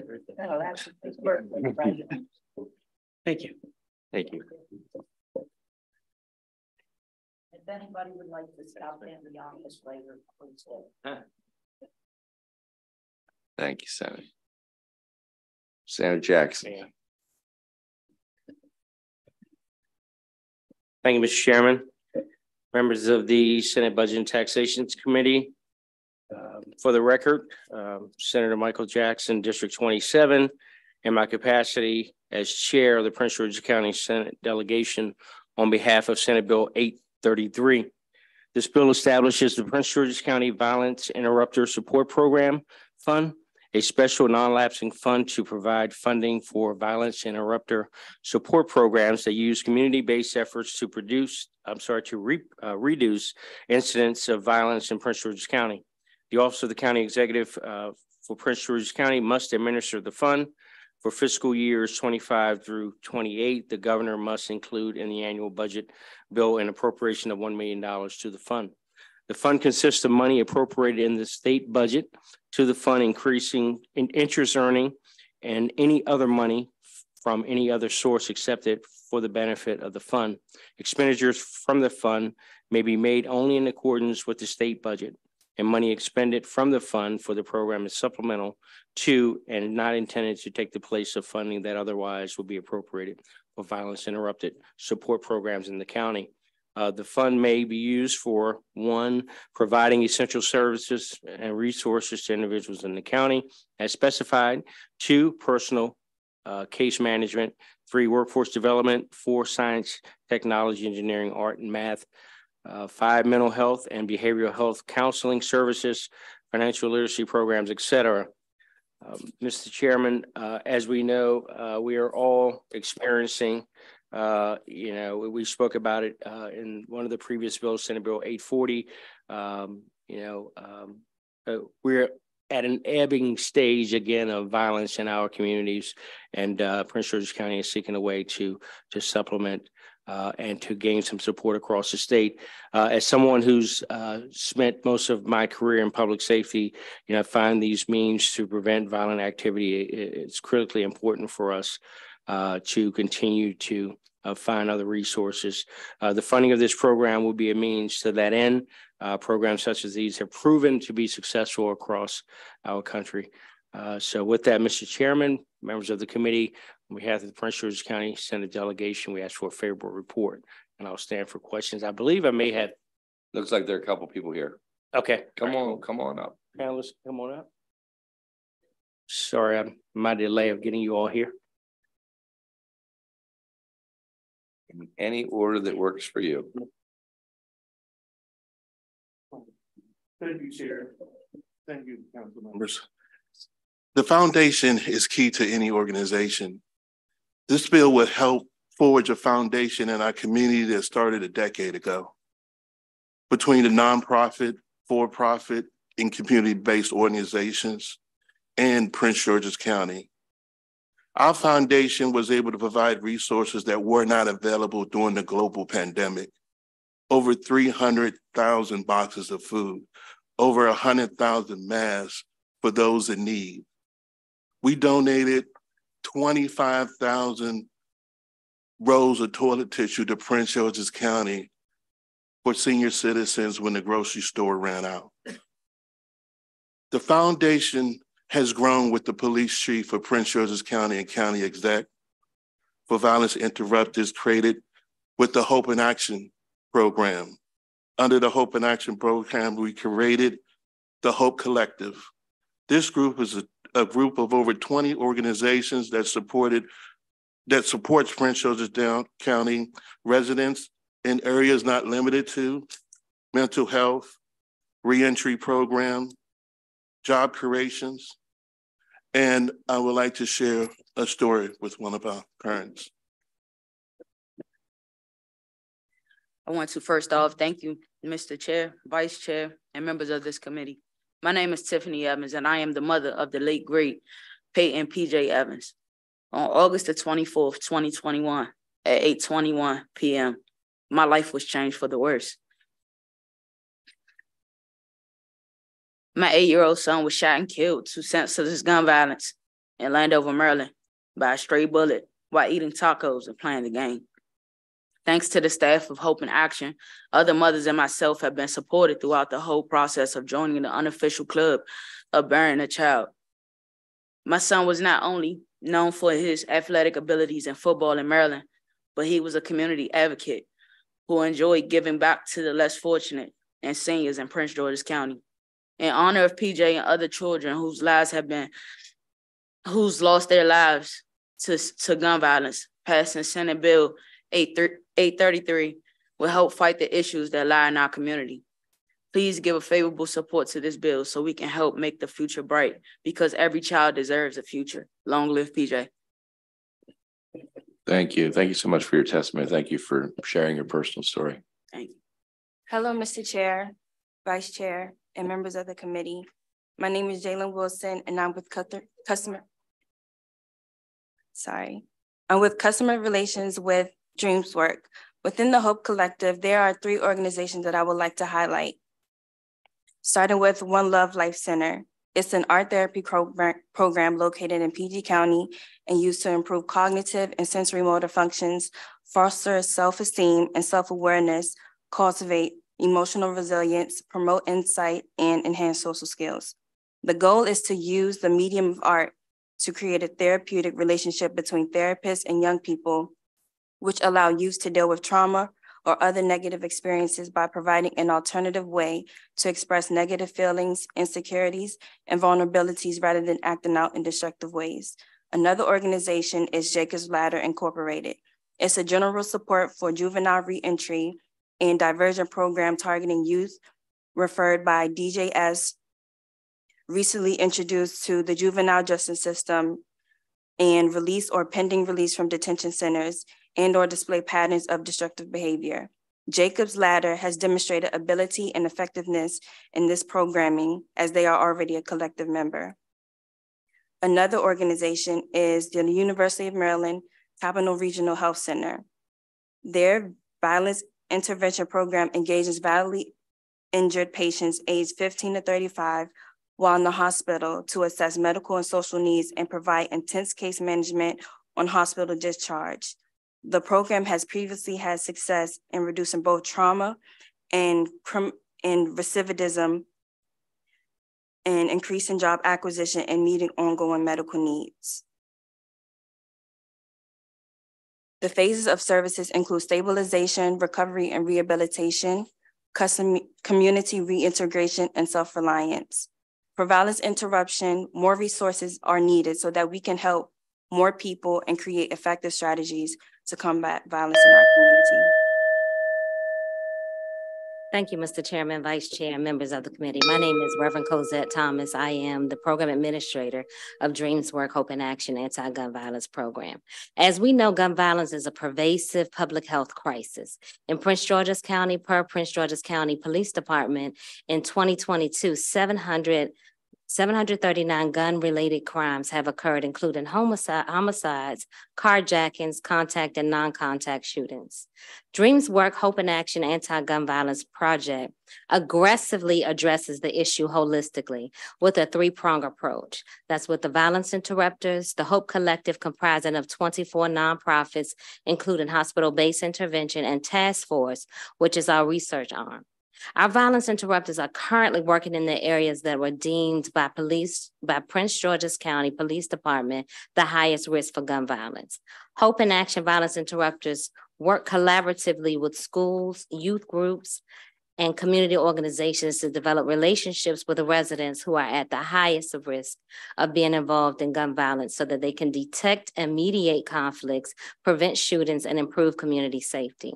Our violence interrupters build intimate relationships with community members that are victims and perpetrators of gun violence to prevent and reduce incidents of gun violence. Our VIs employ um, our VIs employ resources of the Hope Collective, including hospital-based interventions, mental health resources, adult and youth reentry services, after-school programming, workforce development, wraparound services, and um, all kind of services that the community may need. To date, Prince George's County violence interrupters have impacted over 6,000 county residents and the Hope Collective 25,000. Collectively, all three tiers of the Dreams Work Hope in Action Anti-Gun Violence Project has positively affected over 35,000 at-risk Prince George's County residents. Given more resources and opportunities to continue this work, gun violence reduction will increase. Thank you. Any questions uh, for this panel? Thank you very much, Senator. Thank you. Thank you all. Step in the hall real quick.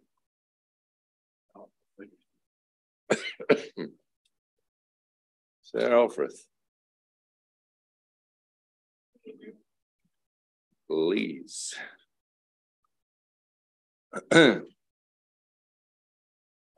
Yeah, bring up everyone who is, um, there's favorable, there's a whole, another group of favorable, uh, with amendments. So let's do all the favorables first. Right. Thank you, Mr. Chair and members of the committee. Senator Sarah Elfreth representing District thirty, here to present Senate Bill four eighteen, property tax, agricultural land and improvements assessments. Um, this bill, at the end of the day, is about tax fairness and supporting our agricultural community.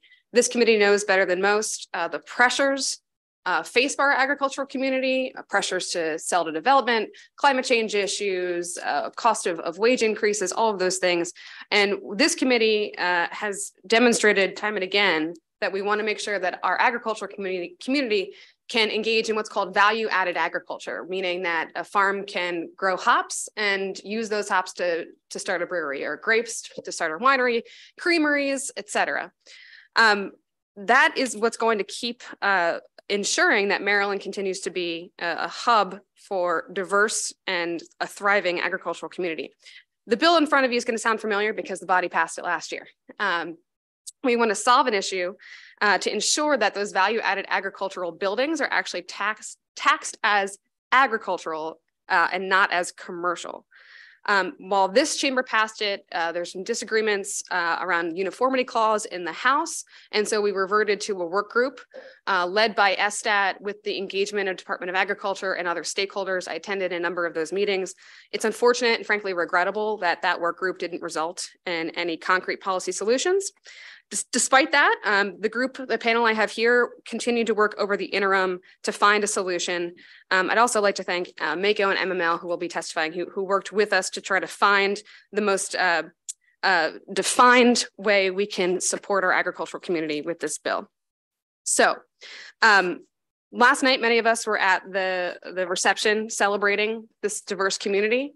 Um, uh, farm breweries, farm wineries across the state. I, I met somebody who has a winery in Prince George's County who experienced a 2,300% increase to their tax bill when they opened um, because of that, the improvements and the change in assessment. Um, so it's still agriculture is still one of the largest uh, commercial industries in the state. We know that has an $8.25 billion uh, impact on our economy. Um, but again, we need to make sure that uh, the farms we have now can be the farms of the future. And that's where value added agriculture comes in. Um, Unfortunately, uh, SDAT continues to claim that they have not changed their methodology in, term, methodology in terms of taxation. But you will hear from folks today, the community at large, that they believe their assessments have changed. Um, even if we can see the point that SDAT has not changed the methodology, uh, if that if that's what they would like us to believe, uh, I still think it's important as the industry is changing, agricultural industry is changing. It wouldn't hurt us to be more specific about our tax code. And so, one way or another, I think this bill is incredibly timely and critical for supporting our agricultural community. Um, Mr. Chair, the fiscal note is a head scratcher, um, to put it politely. Uh, they fiscal note writers have to rely on the departments, and uh, uh, continues to claim that there is currently no problem. Um, and the words in the fiscal notes say under one set of assumptions. Um, again, this bill, we intended to be as tailored as possible. And I'll explain to you the, the few ways that this is tailored. Uh, we've worked with the local partners to ensure that local zoning is going to prevail. So a local a, a county or a municipality still has the ultimate say in zoning. We've narrowly defined value add, added agricultural activities. We've ensured, working again with MACo and MML, that large wedding venues are not included in the legislation. And the most important component here is that the improvements have to be on an actively used farm. You might hear from the agency today that under the bill as drafted, a brewery in my own district in downtown Annapolis that utilizes hops, let's say in the other part of my district in southern Anne Arundel County, that under this bill, that brewery, again in downtown Annapolis, could seek an ag use assessment. Um, that's laughable, frankly. Again, we've tried to be narrowed and tailored. It's unfortunate and frankly regrettable that the department has not uh, been a partner to us in this work.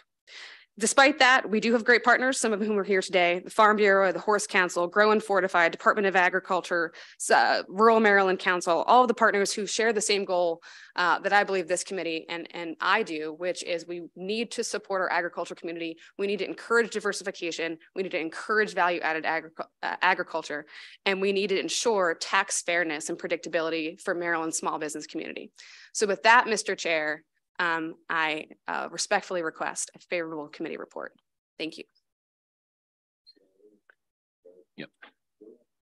Good afternoon. Matthew Bohle of RWL here on behalf of Maryland's breweries, wineries, and distilleries in support of SB 418. First, I'd like to thank the committee for taking action to resolve this issue last year. We greatly appreciate your leadership on this. Unfortunately, this legislation ran into some late questions in the House last year. As a result, we are back with the modified version of last year's compromise effort. Now, with that said, you will hear some of the same concerns you did last year, including the size of the fiscal note, which just as last year, I think may be based on some faulty assumptions and a stretch of some of the language in the bill. Additionally, a question regarding the uniformity clause was raised late last year that has been resolved by creating a subclass of property for value added agricultural improvements in order to assure uniform assessments will be conducted of that property. However, I am here to stress that the problem of extraordinary uh, assessments in ag is persisting and they need relief.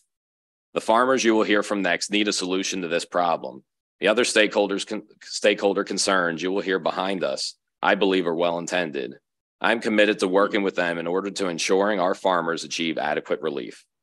Particularly, um, I think we may we we we've begun to have a better dialogue with SDAT in recent days. We've had some more productive conversations, but we still have a way to go. And despite that, we need to see a willingness to work toward a consensus and a solution on this matter, one that needs to be effectuated this legislative session. One other theme that may be present here is that as times change, as industries change and evolve, we must ensure that our laws, policies, practices, and procedures keep up with industry changes certainly agriculture has changed over the last 50 years, and this underscores why I think that SDAT needs to be newly directed on this matter. I thank you for your time and attention to this matter and urge a favorable report.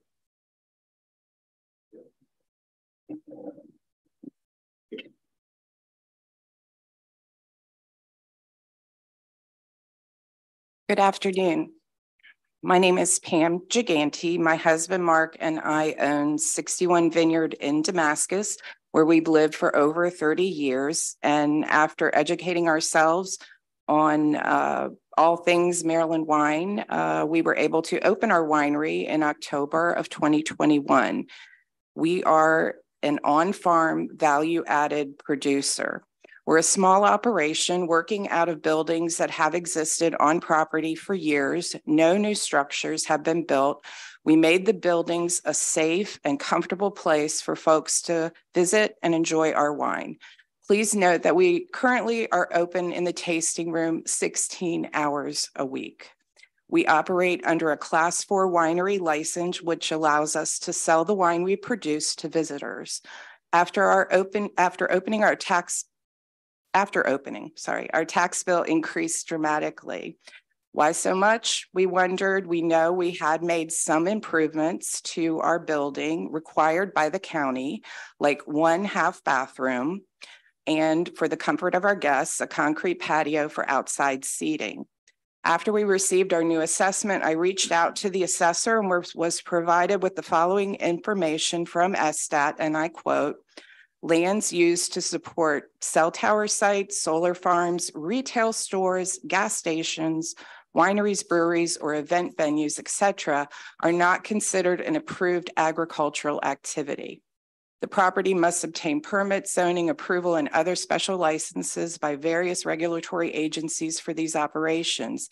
Therefore, the land used in support of those facilities is used in a more intensive use and not eligible for the ag use assessment. So herein lies the problem. Our state assessor's office does not consider our winery an approved agricultural activity. How is this possible? We are a farm. I thank you for your time.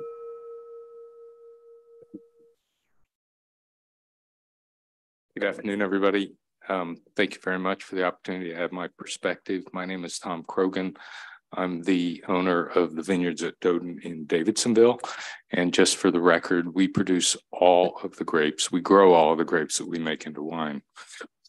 Um, you're going to hear rightly that um, that we should be concerned about the loss of revenue for our, for our communities, and I think that's that that's what they get paid to do. They should. So you should hear what we do with the money uh, that that uh, would go to this otherwise go to this tax revenue. You should know first that my wife and I don't take a draw from our winery. We put all the money back in to the operation.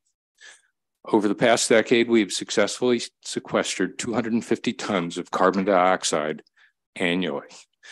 That adds up to about nine or 10 kilograms of carbon dioxide per bottle that we produce, that's about the amount that's in a gallon of gas. We've improved the soil structure of our, of our land, preventing runoff and nutrients going into the bay. And I'll mention this again later. We've been able to successfully increase the vitamin C in the fruit that we produce. We've added uh, pollinator meadows and hedgerows, adding to the biodiversity, which some scientists believe is the greatest threat to human longevity. We pay a livable wage, uh, offer health and uh, retirement benefits to our workers. We've recently taken on projects to become zero waste, including the bottles that we use to bottle the wine, and to add a market garden now, this latter food production is really important to me as a physician. Our food system is, uh, is not doing us any favors. We see exponential increases in diabetes and obesity. 15% of Americans have scurvy. Now, remember, I said we make this investment to add vitamin C to the fruit that we produce. We should invest in our farm system. Thank you, Mr. Chair, members of the committee, Colby Ferguson on behalf of Maryland Farm Bureau here in support of uh, Senate Bill 418. and again, we've been working on this for a while, um, and that's a short way to put it. But um, this is something that's been happening pretty predominantly for about about three years now. Um, seems like COVID caused it or something. I don't know. But um, the problem that we're seeing is is that a barn that was built 80 years ago all of a sudden becomes dramatically more valuable when I change its use from putting cows in it to making wine or bottling bottling my milk, retaining ownership and bottling my milk or making ice cream. It's still the same barn. It's still in the same location. It's still an agricultural use, but now the assessment value dramatically goes up. The property is not worth any more than it was before I started before I started bottling the milk. So why is the price? Uh, why is the value of that barn gone up? And you'll hear most likely again because we had this bill hearing yesterday in the House that SDAT hasn't changed their formulations of how they how they do their assessments since 1974.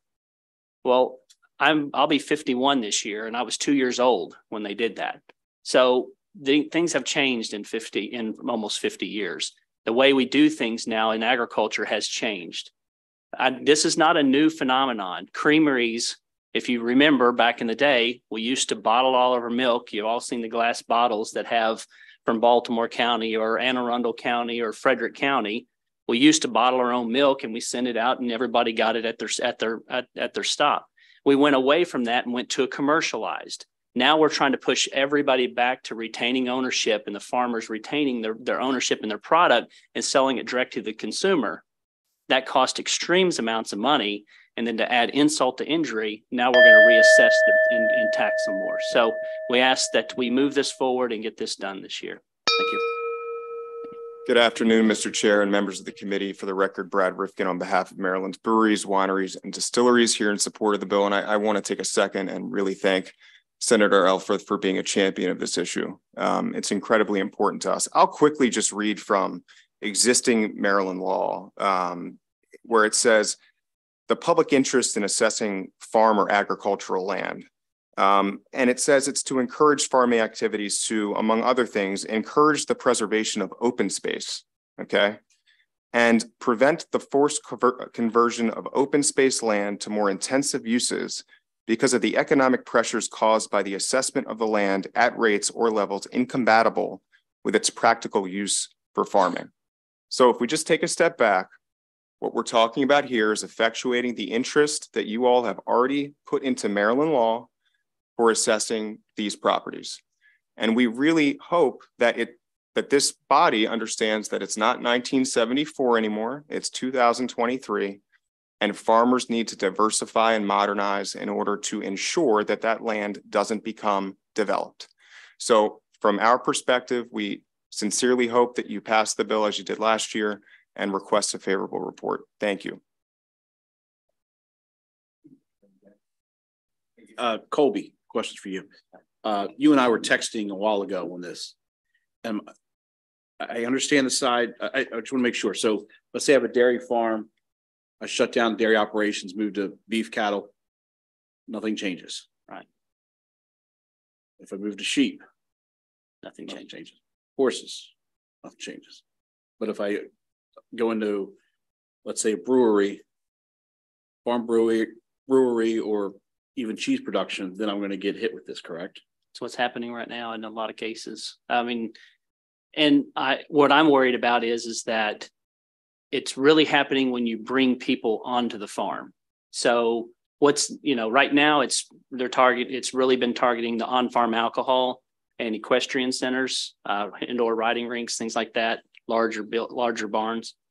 But you know as we move forward with more as this is becomes more of the nature of the limited number of farms we have left in the state that they need to retain ownership to be to survive. Yeah, I think we call it agritainment agritainment, agritourism. used in the house. Right. So if you use agritainment or okay. value added agriculture, um, if I if I start to retain, maybe I decide I want to put a um, uh, a creamery in. Uh, maybe I want to continue to milk the cows, but I can't make a living on twenty dollar hundred milk. But I can make a living if I can sell ice cream or I can sell the cheese. If I put that value added piece in there, even if it's exi- existing barn, that now is being assessed at a higher rate and it's still the same barn. And even if it wasn't the same barn, it's still an agricultural use and should be assessed that way. It's not, we're not creating Walmarts here. We're not putting in restaurants. We're, we're taking the agricultural use. And that's, this is very de- narrowly defined that we are very, very much focused on those value added agriculture uses on a working farm. And it actually says about accessory use. This is not trying to turn it into an event complex and all the other things that we're seeing certain counties do. This is very much tailored to this one specific area. Okay, another question, Mr. Chair. And this is for, I guess, the uh, wine producers. So my farm cattle, if I buy feed or anything like that, it's tax exempt because it's going to agricultural purposes. What about when you guys buy product to work on producing your wine? Um, are those considered agricultural exempt products? So when we buy for the vineyard, we get the tax break. When we purchase supplies for winemaking, say You mean you yeast get the and so tax? forth. You said Well, tax. I'm sorry, yeah, no, we're, Tax we're not exempt. taxed. We're tax exempt. Okay, sa- so, from so sales. according to the comptroller, he considers sales tax on that to be agriculture, correct? In the vineyard, yes. Yes. Right. Because what I'm trying to say is, Yeah. what I'm trying to look at here is, okay, comptroller's office is saying, hey, if you're buying this product, I don't know, let's just say this Mm-hmm. cup and it's being used in your winery, it's considered ta- uh, agriculture, so you're not going to pay sales tax on it. But we would pay for taxes on glassware. Yeah, I was trying to use an so example. I don't I have any understand. grapes or anything at my desk. Winemaking stuff.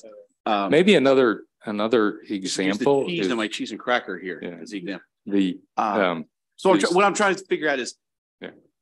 does comptroller's office treat you one way and SDAT treat you a different way with the way that we do the two different taxes? And I guess the answer is yes. I'd agree with that. Okay, perfect answer. Thank you. Thank you very much, Mr. Chairman. I was just uh wanted to recognize my constituent from sixty-one Vineyard, Pam. When she walked in, I had to do a double take and make sure that I was actually on the bill. So thank you. Thank you. Thank you. And thank you, Senator, for bringing uh this bill. We have definitely have a lot of interest in it. I just wanted to um uh ask uh a question to see. We have uh a lot of education uh facilities in our area that are working farms where they bring the children uh out there. Now, originally, when they they've always been taxed as farms.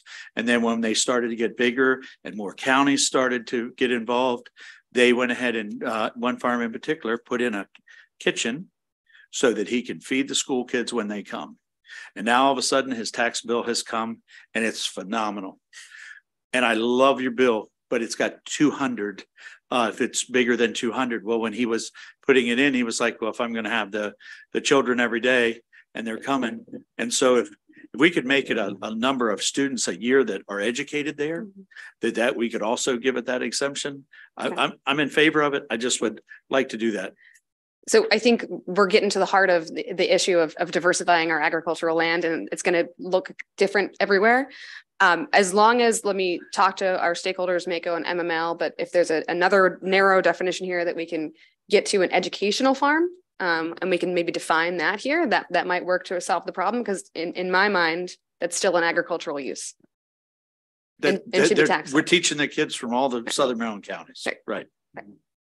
And Mr. Chair, I believe there's um supportive uh testimony from Department of Agriculture and- and folks packets. I'm not sure if they're able to be here today, but I wanted to point that out and thank them for their help on this bill. I know the new secretary is incredibly passionate about value added agriculture.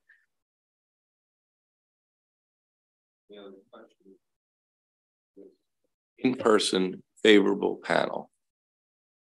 Okay, thank you very much. Thank you. I have uh a favorable on uh virtual.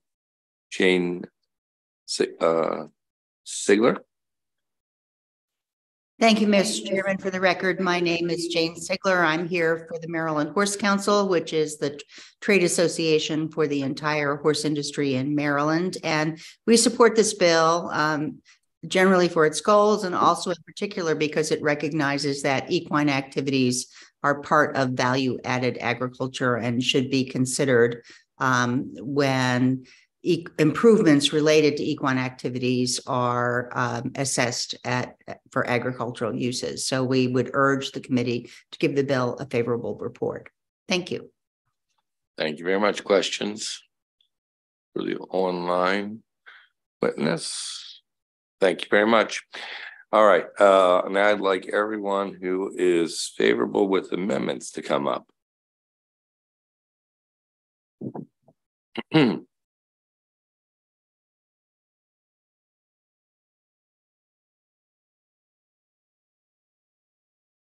Hmm. Okay, can begin, anyone? Good afternoon, Mr. Chair. My name is Jonathan Glazer, and I'm the Legislative Director of the State Department of Assessments and Taxation. So before we get into this bill, I want to make sure that all the committee members know that SDAT has not made any changes to the manner in which buildings located on agricultural land are assessed since at, at least 1974. There have been plenty of arguments that have been made to create a new tax break. However, I want to end the rumor that SDAT has changed our assessment methodology. Unfortunately, SDAT was not able to show up last year, nor even submit a letter to this committee to end this rumor, but we're here this year. no examples of changes in methodology have ever been presented to the department or during the study or in the interim. This bill creates a new class of real property and new valuation methods to grant a new tax benefit for these properties. If the intent of the General Assembly is to create a new tax break for a new class of real property, the department respectfully asks that we have three years to implement this to align with our current reassessment cycle instead of the emergency legislation that is demanded under this bill. The department notes that this bill, as written, also does not conform with the recommendations made by the study that was mandated under Chapter 643 of the laws of 2022. The department requests that this bill be amended to conform with the recommendations of the study. I also have Dan Phillips, the state supervisor of real property with me, who'll be able to answer any questions with me. Um, and that is all. Thank you. All right. Good afternoon, Mr. Chair, members of the committee. Justin Fiore here on behalf of the Maryland Municipal League in support of Senate Bill 418 with amendments. You have our written testimony. I'll be brief. I think we're all relatively on the same page. We want to do something to help farmers that make value added improvements. The tricky part of this bill is doing so while getting a, a true understanding of both uh, the cost and then keeping those costs reasonable. Um, between the definitions as they currently stand and trying to apply a, a land use rate to an improvement like a structure makes it hard for local governments to truly know the cost of the bill. So we see the fiscal note at $300 million for local governments. And I can't tell you that that's exactly what that should be. I just know that I don't know the number well enough to sit here and say, we think we have the answer today. I'm committed to working with the committee, the sponsor, and the advocates on finding that answer. Uh, the option thrown out by SDAT to have a local tax credit also makes a lot of sense for us. We already define agritourism lo locally to be able to define this and then create a tax credit option based off of that would make a lot of sense and would be a clear path forward for local governments in our budgets. So with that, we ask for a favorable report on Senate Bill 418 and thank you for the time. Good afternoon, Mr. Chairman, members of the committee. Kevin Kinnally here on behalf of the Maryland Association of Counties in support of the bill with amendments. I'll echo a lot of what my colleague, Mr. Fiore, just said.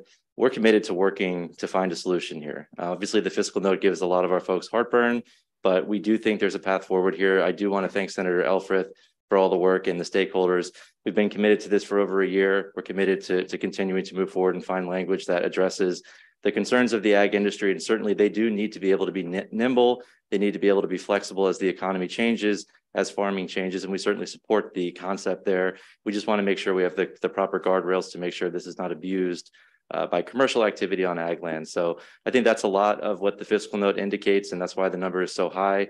I do think we'll be able to find some language that addresses everyone's concerns and move this issue forward. So uh, again, we appreciate the opportunity to, to continue to work on this, and we'd ask for a favorable report with amendments. Thank you. Uh, Mr. Glazer, what, um, I'm guessing that you said three years because you have a three-year assessment cycle and but by the same token, it strikes me as a pretty long time to figure out how to get it going. Is there some place in the middle or quicker that you can sure. imagine? It seems to me. Uh, well, tell me why. Sure. No, yeah. thank, th thank you for the question.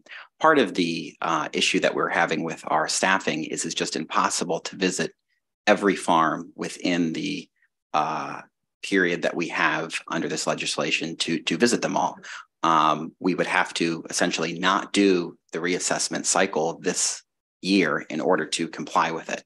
So, you know, if there's um, a different number that we could meet in the middle, that would be great. But right now, our intention is to reassess every property either every three years or when a permit is pulled for hundred thousand dollars or more. Um, so if there's a if, if there's a different number, you know, we can do it. Uh, we, we can try to do it. But again, our, our main thing is that we just want everyone to understand that this is a is a new tax break. It's not changing something that we changed before. Okay. Senator Corderman. Uh, thank you, Mr. Chair. Jonathan, you, you mentioned there towards the end that the, there was a work group and that this legislation wasn't following the recommendations of the work group. Can, can you enlighten the, the committee what those recommendations were specifically? Sure.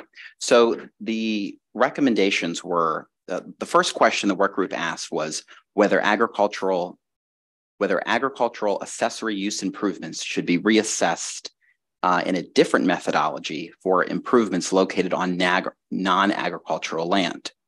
And the conclusion was no, it shouldn't be assessed uh, differently.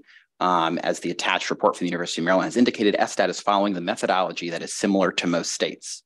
The second question that the study asked is if a different uh, methodology for assessing agricultural property use improvement is recommended, the proper method for assessing agricultural accessory use improvements.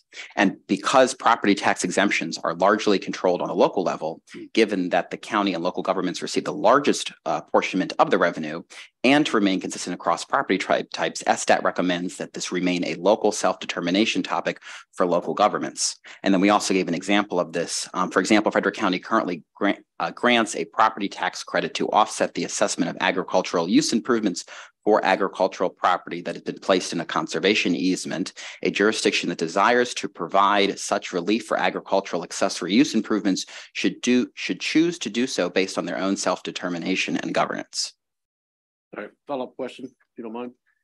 Um, in regards to fiscal note, I know that MML and MACo both spoke to that also. What, to your, what is the the you know, the bill sponsor put out there, the set of assumptions, what, what is that all about? Like, what's the set of assumptions that's, that's generating this thirty-five million dollar scary I- numbers got everyone freaking out about? I, I really appreciate the question. So essentially, the bill uses a term called the agricultural use rate. This is an undefined term. So we're assuming on this fiscal note that the agricultural use rate is the same as the agricultural land rate.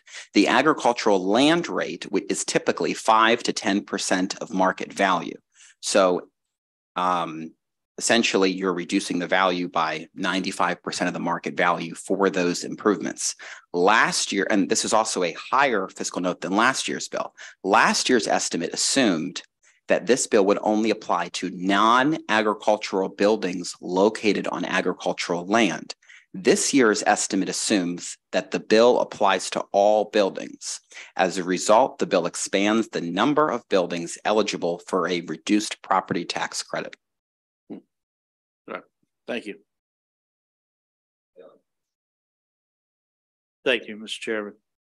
Is, let's say if you were gonna, you grew apples on your farm and you wanted to sell the apple cider in a building, uh, in an improved structure on your farm, is that commercial? Not necessarily. That's Not about as clear as mud. E- What, what exactly, does and- not and- necessarily mean? It Well, either, either is or it isn't. Well, it, it kind of depends on the, what's there. I mean, we've, we frequently, growing the apples is an agricultural use, growing grapes is an agricultural use. They're defined in COMAR for growing crops, the same thing as the equine activities are defined as agricultural activities. Um, we have produce stands all over the state that we look at and we go, they really, they might be a pole building that's very minimal expense to put up. It really adds no value to the property. We'll have no, we actually notify them as NCV, no contributory value. They're there, they don't add any real value to the farm. So it might be that's the case. On the other hand, we have properties that, um, you know, we, one of the things like Big Cork Brew, uh, Winery. And they have a building that is as nice as any restaurant in the state. I mean, marble, uh, bars inside, crystal chandeliers. The big, uh, parking lot that accommodates, you know, 100, 150 cars. Is that a commercial operation? Is it, how, how does that apply? And, and that's what we run into with trying to come up with the definitions of what qualifies for what. So we, um, property taxes or ad valorem taxes. We look at what does value does that add to the property for those types of buildings based on the features they have.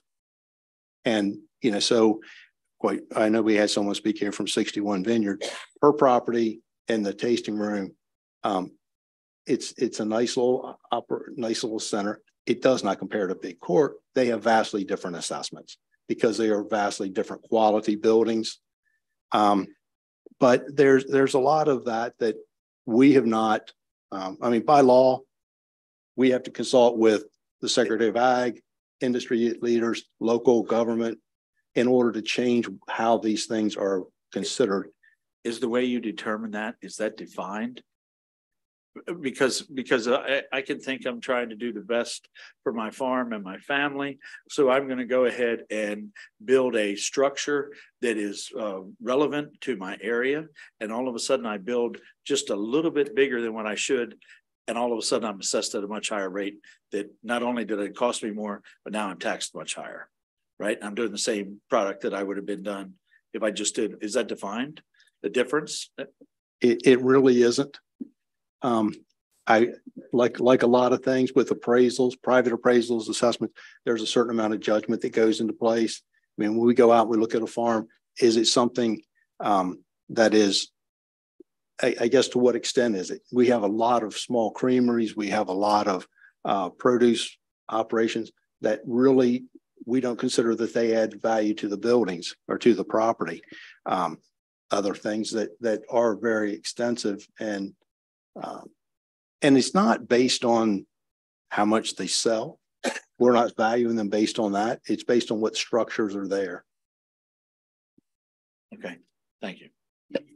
So let me just say to the committee, we're we're going to figure this out. This is getting done this year and it's going to be simple and understandable so people can move forward with their lives and not have a complicated um, problem as they as they do so and and build these um, these these whatever they are they're small businesses to to uh, provide for and to and to provide a, a really great alternatives to our quality of life in the county i mean in the state so we're going to figure this out um, so we will do a work group on this and it will be done.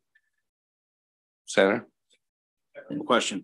So if my house gets assessed and I don't like it and I appeal it to SDAT, I think I have to provide comps for the area that, you know, I live in a three bedroom rancher in this community and you got in, in you know, these prices, we're just using round numbers are 500,000, but you guys assessed me at 700,000. I can make that argument. How do you do comps on barns? Because I got to tell you, I've been in the ag business my whole life. I've never seen two barns alike. Well, and, um, and that, that how do you say, hey, you know what, her tasting room and this is comparable to this in a totally different county? It's, I'm just curious how how you do that on the comp side. And for the most part, everything is done on, on these farms based on a cost approach for what features, what quality it has, what's it cost to replace it, what's the physical depreciation. And once again, just like a house that's built in 1920, it gets renovated in 100 years later. The barn, when it has it's renovated and has new features added, it get it changes in value. Um, but we start with that cost approach. We typically then deduct off because it's it's on a farm. It, it's not the same as a commercially zoned piece of property. It may require a special exception by the county for the operations, but we start at that base and work down. We had yesterday uh, a gentleman that testified, and he had built a new indoor riding arena on his farm. We, we picked it up. He appealed the value. He came and gave us some information. We adjusted the value. The appeal system worked. Every property owner in the state has a right to appeal. And, and, I, and I often tell people when they talk to me, if you have any question, file the appeal. It's your right. It protects your rights. And we can look at that and, and make a proper adjustment to it if we if you feel it's improper. Um, you know, okay. so that that process is in place as far as coming up with a comp, it, it's hard on farms. So you don't do comps on on on these facilities. Well, the hard part of that is all the land's receiving an agricultural use assessment. And when I look at a farm, um, I had a friend of ours that bought a, a horse farm up, up off of I 70 in Howard County, and she paid uh, $2.2 million for it. And it's assessed at somewhere around six hundred thousand dollars because it's, it's got um, so much of the land is receiving an agricultural assessment except for the home site and the house. All the land under the barns receiving an agricultural assessment. It has an indoor riding arena. It's got a little bit of age on it, but it, it's drastically different than the price that, so that's the hard part about comparing that sale of that farm to the assessment because they're all, it's already receiving a use assessment that's substantially lower than market value. Okay, thanks. Okay. Any other questions for this panel? All right, thank you, gentlemen. Appreciate it. We'll be in touch. Senator Elfreth, you have another one? it's Four twenty-four.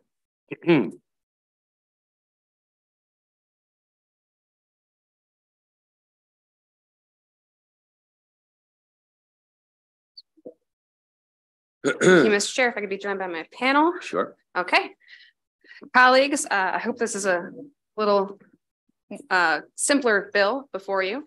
Uh, Senator Sarah Elfreth representing District 30 here to present Senate Bill 424, Public Projects Global Warming Potential of Materials or the Buy Clean Maryland Act. Uh, Mr. Chair, considering the impacts of climate change on my district uh, in, in Annapolis and the District of Peninsulas, I thought I knew a little something about um, how we we got to where we are. Uh, I didn't know until uh, some some small businesses in my community brought me this bill that one of the leading causes of greenhouse gas emissions um, is actually the concrete industry, which accounts for uh, roughly eight percent of the world's carbon dioxide emissions. Eight percent. In other words, if the if the concrete industry were a country, it'd be in the top five of global emission producing nations in the world. Now that's the bad news. The good news is that actually there are more uh, environmentally friendly ways of producing concrete. Um, and a number of businesses here in Maryland actually use those more environmentally friendly ways to, to cut down on the carbon emissions in the creation of concrete. So that's what this bill is seeking to prioritize uh, when it comes to public projects. Um, at the same time, other states have moved on this as well in my testimony, you'll see examples in, in New York, in New Jersey, California, Colorado, Ohio, I'm sorry, Oregon rather, Hawaii, um, and the federal government is also moving forward on this issue as well. President Biden in uh, uh, 2021 issued an executive order to require net zero emissions for federal procurement by no later than 2050. It's quite a long timeline, but that's okay. Uh, the order also included a buy clean policy for federal procurement to promote the use of construction materials with a lower embodied emissions through the creation of an interdepartmental buy clean task force, similar to the work that this body achieved last year with the Climate Solutions Now Act so this is just, I think, a, a, another tool in the toolbox of reducing our state's greenhouse gas emissions. So there's such a thing as an environmental policy declaration or EPD, and that's the tool we're going to utilize uh, through this bill in order to, again, uh, make sure that we are prioritizing or at least identifying uh, the, the, the I don't want to say good actors, but certainly the more environmentally friendly actors in production of concrete. So the legislation as drafted is going to do three things. It's going to require a bidder on all eligible projects to submit to DGS for each eligible material uh, in this in this uh, legislation that'd be concrete. That EPD, the environmental uh, policy declaration for the project. Uh, we do also authorize the department to waive the EPD requirements under certain circumstances. Number two, it requires the department to set a maximum acceptable global warming potential for each category of eligible materials. Again, concrete in this legislation to guide procurement rules. This will work in tandem with the EPDs to ensure we are using cleaner concrete. We also require the department to update the global warming potential in 2028 and every th three years thereafter to make sure that we are actually gaining progress here. Lastly, it requires reports starting in 2025 from DGS on anything that the department has learned, any obstacles the department has had with these requirements. Now, Mr. Chair, um, uh, this is a new day, a new year. I'm really grateful to DGS for coming to us uh, with some suggestions here to make it a little more streamlined. So if it's uh, up to the wisdom of this committee, but uh, working in, in hand with DGS, uh, they proposed a number of amendments that I, am happy to, to bring to the committee as we work group this um, to, to narrow the project so we can at least start somewhere and, and build off of there. So uh, DGS has suggested the following amendments. Adjusting the timelines to primarily give the department more time to utilize this EPD striking the word facility specific and requiring the use of EPD project based procurement processes for projects uh, that are uh, also have to be required to meet the Maryland High Performance Green Building Standards that we passed last year. So really narrowing the focus here. Um, with that, Mr. Chair, we've set some pretty ambitious goals as a state to reduce our greenhouse gas emissions. I don't know how we get there if we don't tackle some of the highest producing industries. Um, we have, like I said, folks in the industry here in Maryland who are leading the effort nationwide, and we really need to make sure we lean on their expertise and uh, really become partners and in terms of public projects in doing all we can to reduce our greenhouse gas emissions. So with that, Mr. Chair, I request a favorable report. Thank you. Thank you, Mr. Chairman, members of the committee. I'm John Favazza with Manis Canning and Associates. I'm here today on behalf of Holcim US.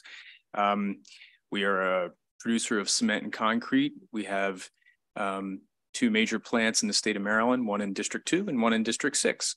Um, uh, we also are a subsidiary, Aggregate Industries, our uh, concrete ready mix subsidiary. Their regional headquarters is in Greenbelt. We have over 650 employees in the state of Maryland. I want to thank Senator Elfreth for her leadership on this. She and her staff have put in a, a incredible amount of time in helping us get to this point. So from our perspective, what's this bill about? It's about better choices. Um, concrete's the most widely used product in the world. And if there's concrete products that are available that check all the boxes for, for performance, for safety, for durability, then and that have a reduced carbon footprint, then I think it's time to encourage more widespread widespread use of these products in the market. The bill's a bit dense, the concept straightforward. As the senator said, for a state project, it's going to require the submission of an environmental product declaration. It's essentially a nutrition label for concrete products so that you can see the global warming potential or the, the carbon footprint of that particular product. It's disclosed in a very transparent way and we think that transparency is what is going to lead us to better choices. Um, Senator Elf indicated we're working with DGS on amendments on the bill or consulting other industry stakeholders trying to address some of their concerns as well. I just want to make one observation on the fiscal note. Um, it was based on a Green Building Council study that was done during the interim. There's a lot of great information in there. Unfortunately, the timeline to complete that report was very condensed and there are some things that are inaccurate. And the most glaring issue is that it indicates that no one in the state is using environmental product declarations right now. Um, in my discussions with the Ready Mix Association, there's probably 25% are using them now. That's going to be up to 50% by the end of the year. We're using them. Um, so we just encourage this committee, you know, we just don't want to kick the can down on this road, you know, down the road on this issue any longer. It's just sort of a gap in the climate change policy that's staring us in the face. So um, we look forward to working with the committee uh, on this issue. Thank you. Yeah, just curious, what does this do to the cost of concrete? Um, so Zach uh, Lovett from Holcim US. I mean, I can address it, but he can address it better than me. It's part of his testimony. So, um, you know, we're happy to to answer that question through. Zach can answer it now, or he can just he can do his testimony or whatever you like. Okay. So it's not a incredibly straightforward answer. It's not in, incredibly simple. It really depends on how far of a reduction you would like. I mean, a 30% reduction in current CO2 levels for concrete is really almost cost neutral. If you wanted to go to say 90% reduction or 70% reduction or something along those lines, then it gets a little more costly because you have to use admixtures to overcome some of the challenges there. Okay. Does it do, are we looking at anything with asphalt or just concrete? In for this bill, I believe it's just just, just concrete. Concrete. Okay. Asphalt's such a much lower contributor to greenhouse gases that I think the focus is on concrete and specifically the cement that's in the concrete. Okay, thank you. So, um, and with that, I'll just do my piece. I, my name is Zachary Lovett. Thank you for allowing us to testify today for the Maryland Buy Clean Act. Uh, I do work for Holcim US. We have, as mentioned, a, a cement plant in Hagerstown and then multiple ready mix facilities throughout the state. Uh, I've been working on EPDs in the state of Maryland for about four years now. And I truly believe that this is the way the industry needs to move. It, you know, the US has been stuck primarily on type one, two cement, which is essentially one of the dirtiest types of cement we can produce for many years. As EPDs have been introduced and really raised the awareness of companies like the one we're sitting here representing today. It's taught us how we can change our behavior and what levers we can pull to start to reduce that carbon impact. And, you know, I've gone and spoken on the private side to companies very big and very small, many of whom are large employers in the state of Maryland who are are wanting EPDs. But my message to our industry in general for, for these last four years has been we just need more willing partners. And this bill would create one of the most important willing partners in the state, that being the state itself. EPDs are a very transparent way for companies like mine to show in a third party verified way. I think that's one of the key points here is that it is all third party verified. You're not just taking the company's word for it. Uh, in a very transparent way what we're doing and how we're able to reduce it so that you know what you're buying is getting the result that that you want on any structure project or what have you. And thank you for your time. Thank you. All right uh, good afternoon. My name is chris clow. I'm general manager for ready mix concrete at Holcim. I'm uh, one of the co-workers of, of zach uh, I'm also a board member of the Maryland Ready Mix Concrete Association. So, uh, and certainly this is an issue that impacts uh, all ready mix concrete producers uh, in the state of Maryland. Uh, thank you for the opportunity to provide an industry perspective on the Buy Clean Maryland Act. Uh, I believe that the adoption of this bill can help unlock the future of sustainable construction through the establishment of a clear Buy Clean standard. Furthermore, an EPD requirement, as, as Zach was describing, would encourage better business decisions on purchasing low carbon building materials and impactfully reduce carbon emissions in the state of Maryland. Uh, one of the true real business impacts on ready mix concrete producers is the cost to go about acquiring uh, an EPD generator. Uh, you are really required to, to to uh, acquire one of these per plant, and they're approximately about $15,000 each. Uh, there's also a minimal yearly subscription fee paid to a third party that stores and verifies the data. So most producers would need to make the one-time purchase of an EPD generator for each plant, and that's a significant cost. Uh, and the state certainly can assist the industry in making this change by making it easier for companies to overcome this financial hurdle. Uh, the federal government recently passed legislation that includes funding to assist producers in developing and acquiring EPDs. Uh, financial assistance from the federal government alleviates the financial burden an EPD requirement might potentially have, and then additional funding could be provided from the state uh, to close any additional financial needs of the ready mix concrete producers in the state. So thank you again for the opportunity to testify, and I look forward to your questions. Thank you. Mr. Chair, may I address Senator King's question briefly? Because I did uh, reach out as, as, soon as I saw the testimony from MTBMA. I reached out this morning um, and I believe that certain, but the amendment from DGS can narrows the scope so much that we're really talking about, we're not talking about asphalt. So I promised them I would bring them the amendment as soon as we have it drafted and hopefully that's going to eliminate their opposition. Thank you. Senator Salling. Thank you. Um, a couple real quick questions. I know there's all types of different concretes and mixes, of course, which we know uh, between ready mix, slag, Portland, quick mix, you know, they all the different types. But we know there's types that blend. So we know slag and Portland, you know, when you use both of those together, make them stronger. Is any of these going to affect in any way types of materials that you do blend or you mix, or is it going to affect any parts that are out there that's going to maybe hurt the industry? Because I know when we use slag from melt furnace, which is not there anymore, you ship it in. So you check the contact and make sure that it's a good material. But are you making sure that the CO is lower? Because I know it's it's not as easy to get, but are you looking into that just to make sure that that is? I know it's a lot there, but I appreciate it. Yeah, I, it, it won't affect the materials we use. If anything, it will encourage more innovation on alternative materials to traditional cement. So those blends and things that we use, if anything, it would it would encourage more of that because for example, utilizing fly ash or slag uh, would be a benefit from a carbon perspective. I know fly ash had, is, they had a problem with that for a long period of time and now they're so much finer product. Yeah, we, know- we've come a long way with Yeah. fly ash specifically and, and the quality. And we've got a lot of buried fly ash even in this state that we can find a home for if a bill like this passes.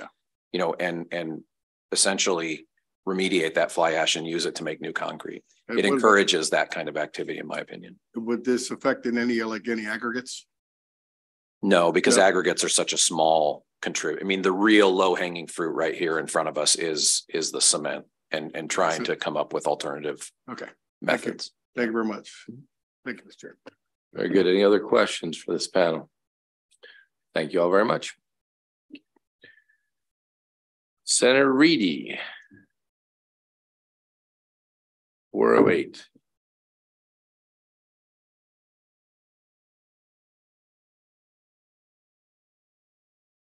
Thank you, Mr. Chairman. Good afternoon. I know you all have had a long day with lots of bills. Uh, so I'll try to be relatively brief. Uh, and, but it is an important issue and it's one that I uh, am thankful there's a lot of bipartisan agreement on. So I want to start with just thanking you for the opportunity, Chairman Guzzone and Vice Chair and members of the committee, the opportunity to present Senate Bill 408, uh, which would deal with um, tax policy related to broadband grants. Uh, the lack of high-speed internet, all of you know, is, has been a problem in parts of Maryland.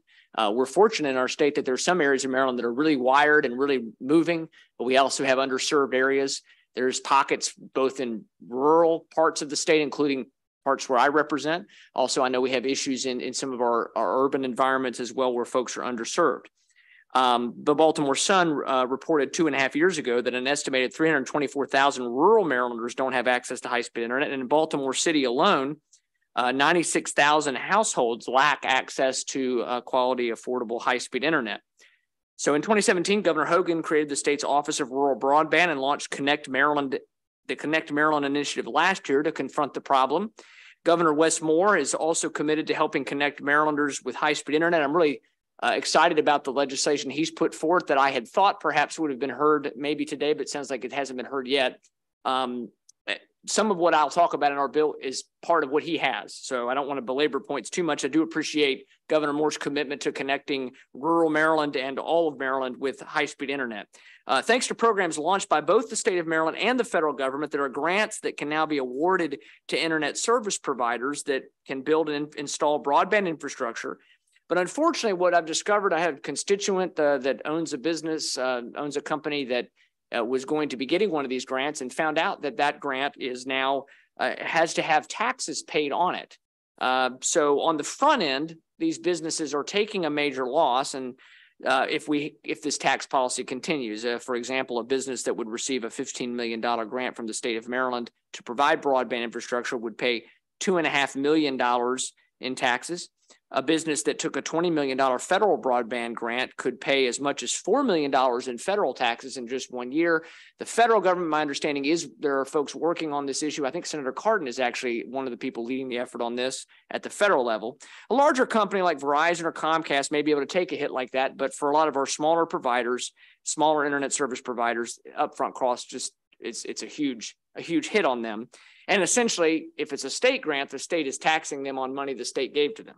So um, we want companies to step up and seek out these grants and, and, get Maryland connected. But as I mentioned, it's particularly in the case of a constituent business of mine, uh, they they were going to make it was going to make it very difficult for them. And so the goal of this legislation is to remove that taxation at the state level. Um, the um, the the bill, I believe the difference, I think, with uh, one of the differences with what the bill that the governor will present is I believe his covers only federal grants, and we may want to be sure we say state grants in the law. But the governor actually, in his proposal, as far as the line by line we've we've looked at, he has sales and use tax also relief in his for equipment and purchases, which my bill is silent on. I'm under no illusions that my bill would be the ultimate, the end vehicle. I obviously would, you know, the governor has signature legislation and I'm a co-sponsor of it. Uh, but I did want to come present this bill today um, and ask for your support and consideration to make sure that I know a lot of the state grants, there's federal money flowing through them, but I don't know the tax implications of whether I think we want to be sure we make it clear that State grants are also uh, not subject to um, the state income tax. And um, yeah, so that is the bill. And I'd be happy to answer any questions. Ask for your favorable support of the overall issue. Uh, and um, as I said, I'm a co-sponsor of the governor's legislation as well. So definitely enthusiastic about working together on, on this issue. It'll be a huge help for my community, my county, and, uh, and I know for many that are in this room. So with that, I'll stop and take any questions. Thank you, Senator. Any questions for Senator? Okay. Thank you very much. Thank you. All right, we're just about there. All that's left are two of my bills. and there's a lot of people signed up for them. I don't know if we've kept them all around. Um, both of them relate um, to meals uh, for students. Um, and uh, I'm just going to quickly just briefly talk, and I'm going to let the people who have been working on this really uh, tell you more about it. But 557 and 559, um, we'll take them in that order.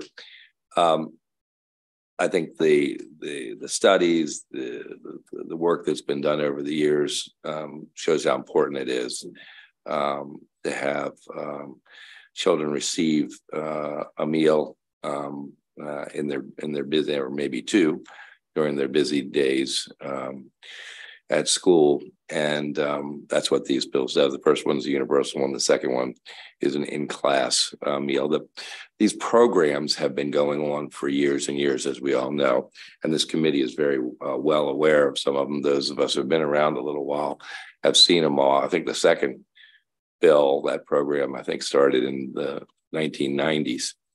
Um, so, um, but there are gaps. Um, we just had this experience with COVID where um, there was federal dollars to do the uh, universal program, and we want to, uh, I think, uh, continue that for lots of reasons. Um, obviously, there are significant costs uh, to this. This committee is well aware because it has jumped out at us in the charts of on the blueprint um, when we um, through the blueprint um, decided to um, require um, the use of um, Medicaid information to uh, tell us who is who would be available for school lunches. the numbers jumped considerably and has and added to the blueprint costs. But the bottom line is, all in all, um, I think we have this committee has shared for many, many years the importance of these types of programs.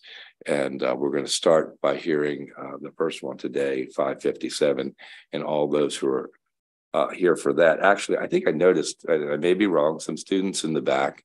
And if there are students, I'd like to have them come forward um, first so they can get back to their their day or their night since we've kept you here all this time.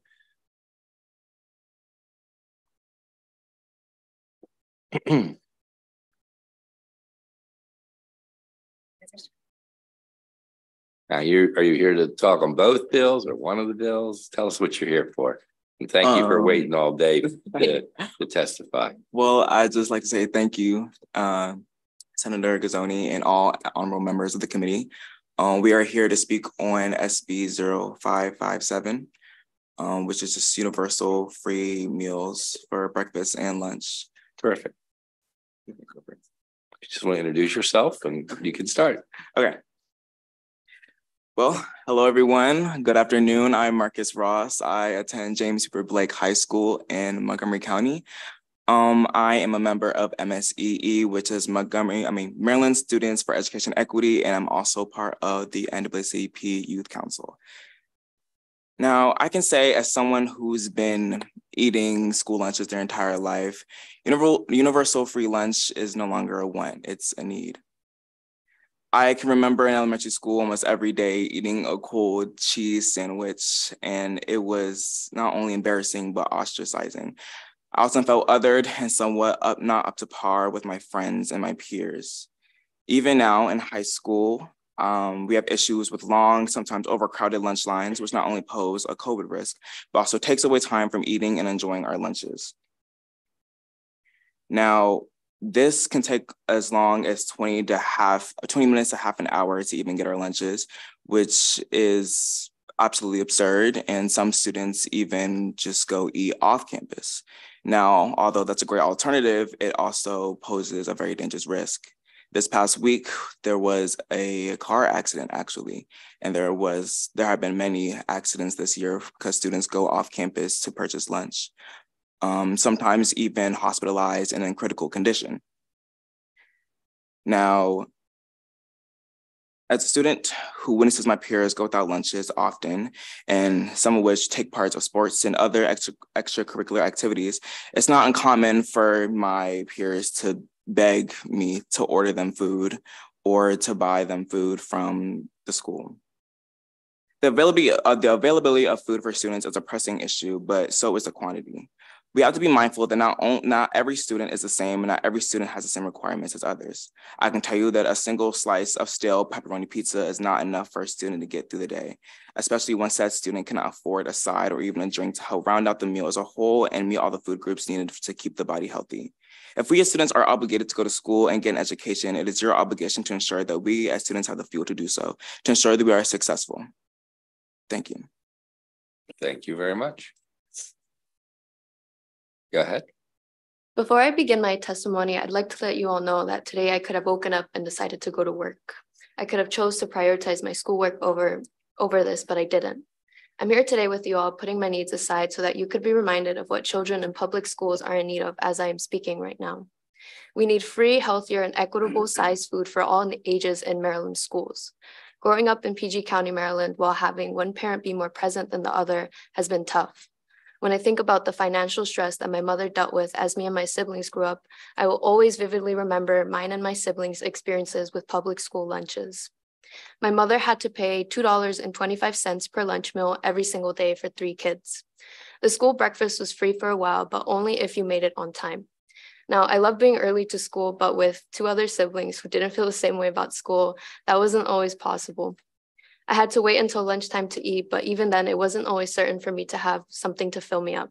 If my mom had forgotten to add money to my lunch account or given me money to pay for my lunch, I had no choice but to starve. I remember when I'd enter my PIN number, the register would always make a loud buzz for everyone to be aware that I could not get lunch that day, at least not a decent one. It was and still is to this day the most embarrassing thing that occurred to me while I attended public school. I did not deserve to be learning on an empty stomach and wait until 5 p.m. in the afternoon for my mom to come home and cook something. No child does. I'm not here to feel pity for me and my siblings' experience. I'm here because my nephews deserve a free lunch at school. My whole community does. I'm here because I know from a personal, personal stance how bullying begins, and this is definitely a major factor. Lastly, I'm here today to advocate for what should be prioritized already. What, what I wish I could say is already exemplified in our state which is nourishing every child's stomach in order to ensure a better learning experience and environment. I'm Ashley Chavez, an MSEE PG County leader, hoping you take my words with you as you consider what is best for our Maryland students today. Thank you very much. You guys did great. Thank you. Thank really you. appreciate it. Thank you. It's always important to share your your personal experiences and perspective. It's I think it's a lot. I think we have a question actually. Uh, Senator Elfreth. Thank you, Mr. Chair. That was an incredible job. We really appreciate you being here and spending all day with us. Um, can you tell us, the committee, your plans after you finish uh, in Maryland Public Schools? I know we'd be really interested in hearing about your bright futures. Um, well, I uh, um, am planning on attending NYU to major in molecular biology. Um, and I'm hoping to get an internship this summer. Um, I'm thinking of joining Montgomery County's uh, Summer Rise program, which is really interesting. So, yeah. And there might be a few senators on this committee who can uh, help write letters of recommendation, I'm sure. uh, my plan after uh, graduating from high school is hopefully getting accepted into Georgetown, uh, into their School of Business um, or uh, Fordham's Law and Business program. Very exciting. Thank you, Mr. Chair. That's great. Thank you guys again. We appreciate it. Okay, uh, so I'm looking for people who are in person who are favorable on this bill.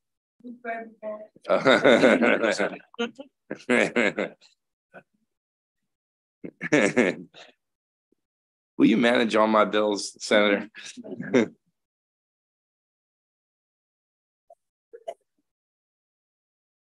Hmm.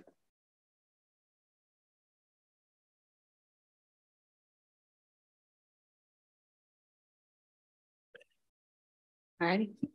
Good afternoon, everyone. My name is Laura Hale. I'm the Director of Government Relations with the American Heart Association here in strong support for Senate Bill 557. We truly um, believe that students need healthy breakfast and lunch to be able to succeed in school. We in the state have set forth our priorities on where we will fund, and the great wisdom has been made to push for our children's academic achievement. We have set forth the task of funding a variety of things to make that better. But the space we currently lag behind is, may, is in feeding our children. During the pandemic, this happened. We saw great success because of federal funds that our kids got free breakfast and free lunch. Uh, but now that federal funding is gone, and whether that parent makes slightly too much to qualify, whether because of the stigma students are concerned, or whether uh, or, or being labeled the poor kid, children are not eating. We uh, have the opportunity to change all that with this legislation.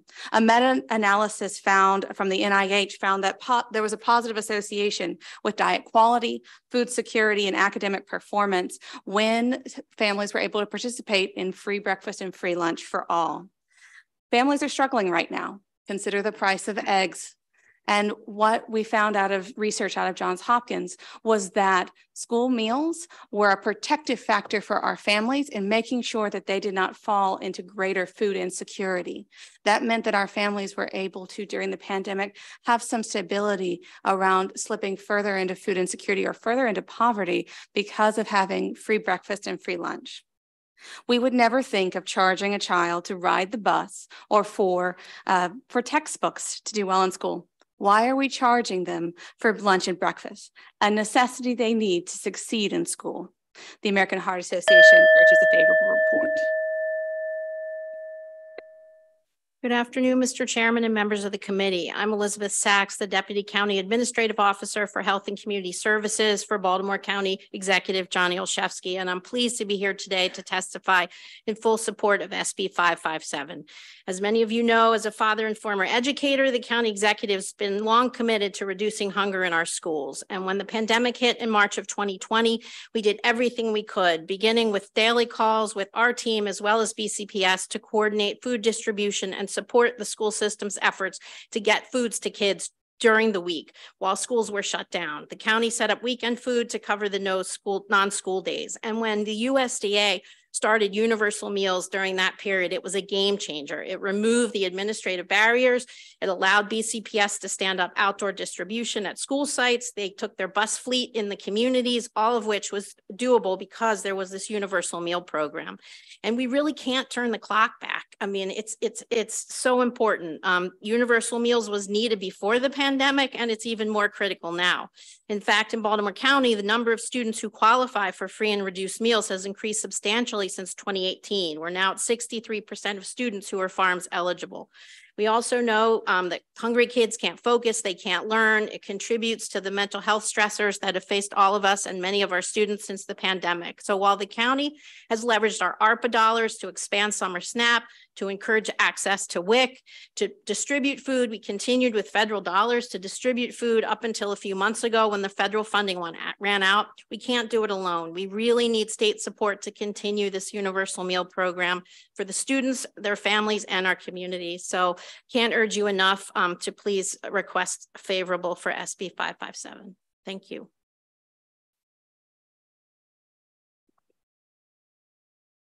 Good evening, everyone. I'm Megan Doran. I am the Director of Food Nutrition Services for St. Mary's County Public Schools, and I'm also the current president of the Maryland School Nutrition Association. I am here to urge you to please consider supporting this bill, SB 557. As many people have stated already, the importance of this bill is very significant. I'm here representing 21 active chapters of the Maryland State Association, and we just urge you to please consider everything that has been already stated to you. The stigma is there.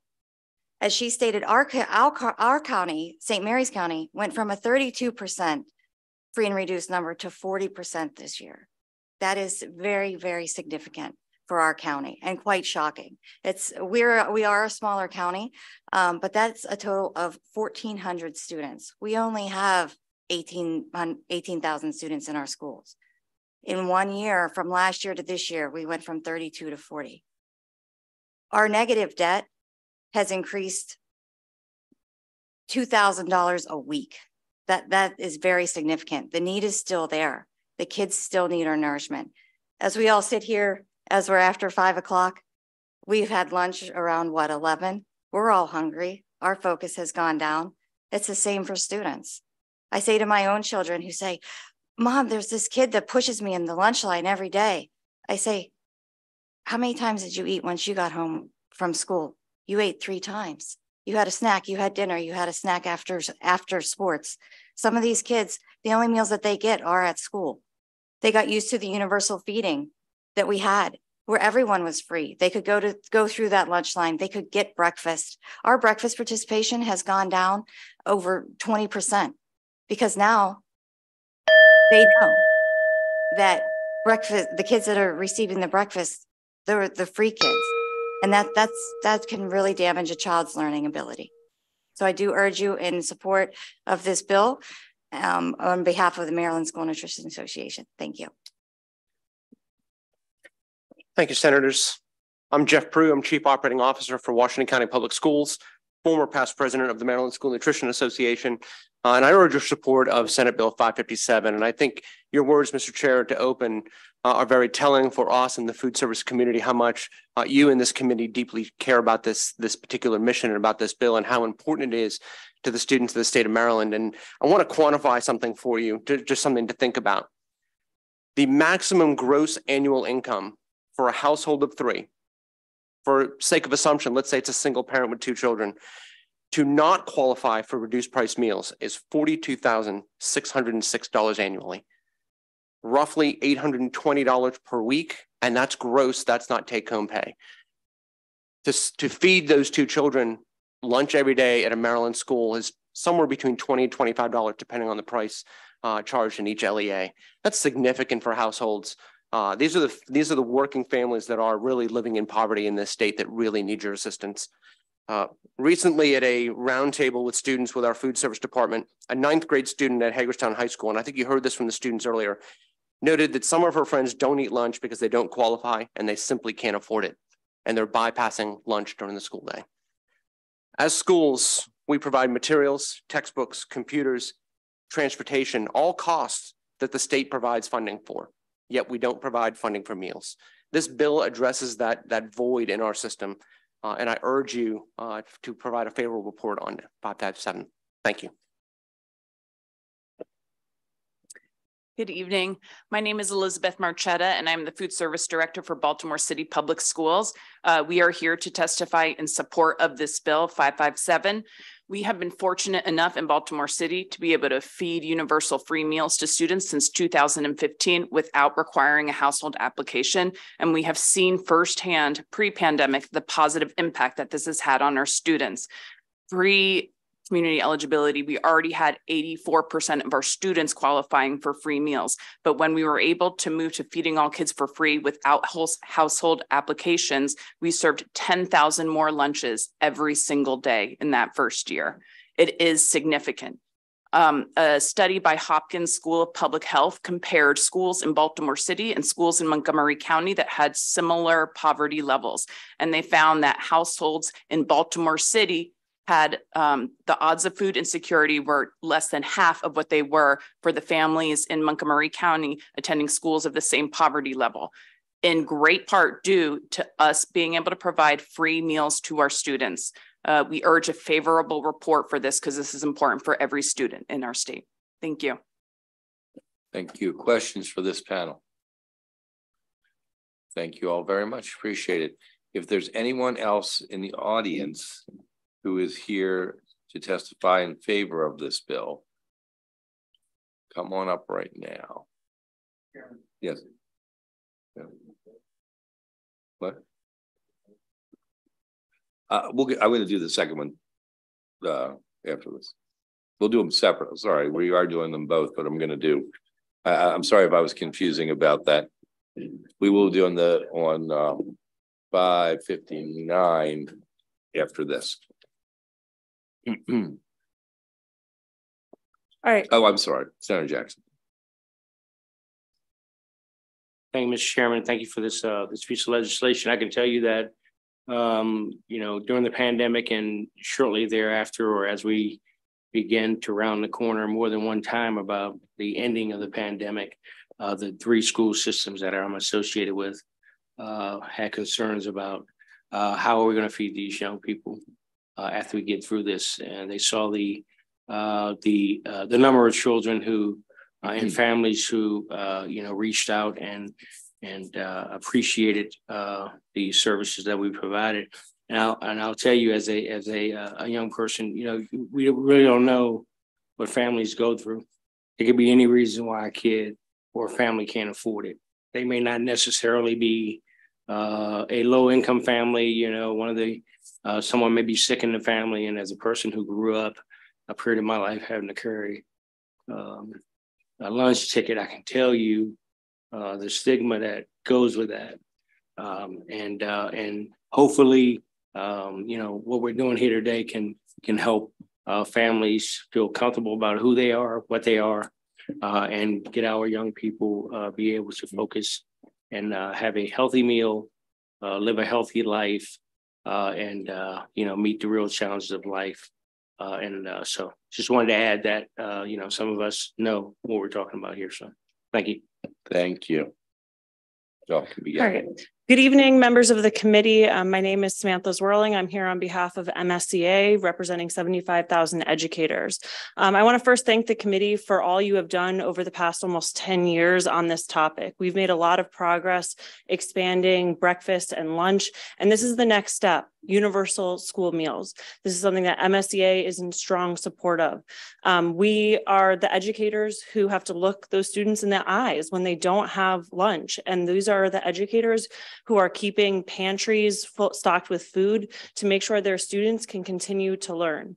This committee knows very well that we just identified 110,000 more students um, who are eligible for free and reduced price meals. And I think all of us see the need is really here. Um, you know, to quote our president, um, hungry kids can't learn. Um, and at the end of the day, we've done a lot um, in the General Assembly to look at how we can get, you know, our math and our reading scores up and working on the blueprint. Um, but at the end of the day, if our students can't concentrate, they are not able um, to learn. And so, you know, we thank the committee for this work. Um, I will also just mention, um, you know, this is a bill that MSEA and MABE are both in partnership in favor of. I testified with John Woolums across the street earlier today. and as he pointed out also, you know, there's nowhere else like with with textbooks or anything like that where we do a means test essentially. We don't do that with busing. We don't do that with um, with our textbooks. And so why are we doing that with meals which are so consequential to how our students can learn? So with that i urge a favorable committee uh, a favorable report on this bill. Thank you. Thank, thank you. And thank you because i know you were there doing some of this 10 years ago. And we appreciate that Great. Uh, thank you, Mr. Chairman and members of the committee. My name is Julia Gross, and I am here on behalf of Maryland Hunger Solutions in support of this bill.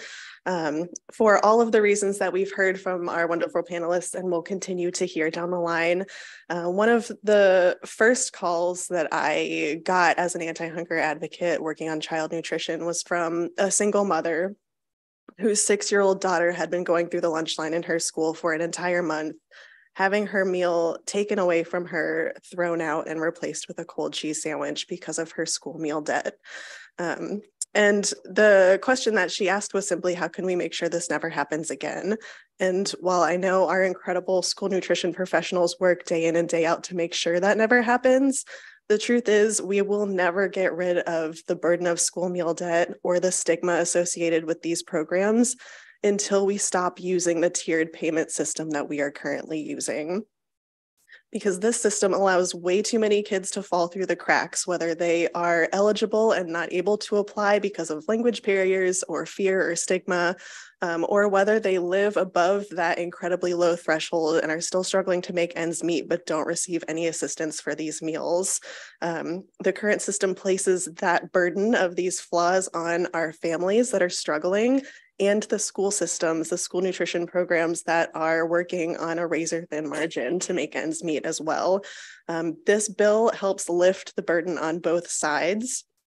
It's an important investment in our students, our education system, as well as these vital nutrition programs that help our families and our communities uh, feed our kids. So I will conclude by saying that hungry kids can't wait. And now is the time to make this bill happen. So I uh, respectfully urge a favorable report on this bill. Thank you.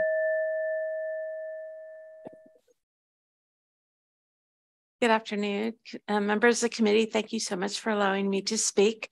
My name is Dr. Susan Gross. I'm an associate scientist in the Johns Hopkins Bloomberg School of Public Health, Department of Population Family Reproductive Health, and I'm also a nutritionist for the Johns Hopkins WIC program. I want to talk to you a little bit about my research.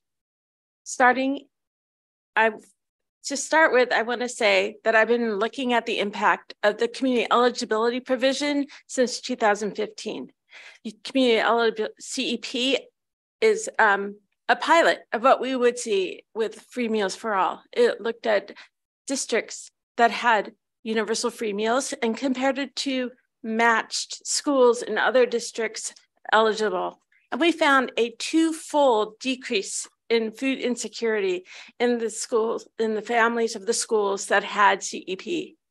This is a big impact. We also saw less aggressive behavior. We saw better school um, attendance and better um, meal participation. In 2000 and 2001, we had a nice natural experiment. We had all kids across the country having free um, meals the kids would could come to school and families would not have to worry about whether they got a meal or um, breakfast or lunch. And our schools in Maryland did great. In fact, they went above and beyond. They were able to distribute, give um, the meals to all the students in Maryland during the school year, and they did a great job of distributing meals during the summer. Then in 2022, this went away. I am just I'm concerned because hungry students cannot learn. But I want to tell you a little bit from my nutritionist background. Hunger causes aggressive behavior because of fight or flight reflex. Hungry kids could be either more afraid or more um, aggressive. I hope for your favorable report. Thank you for your time.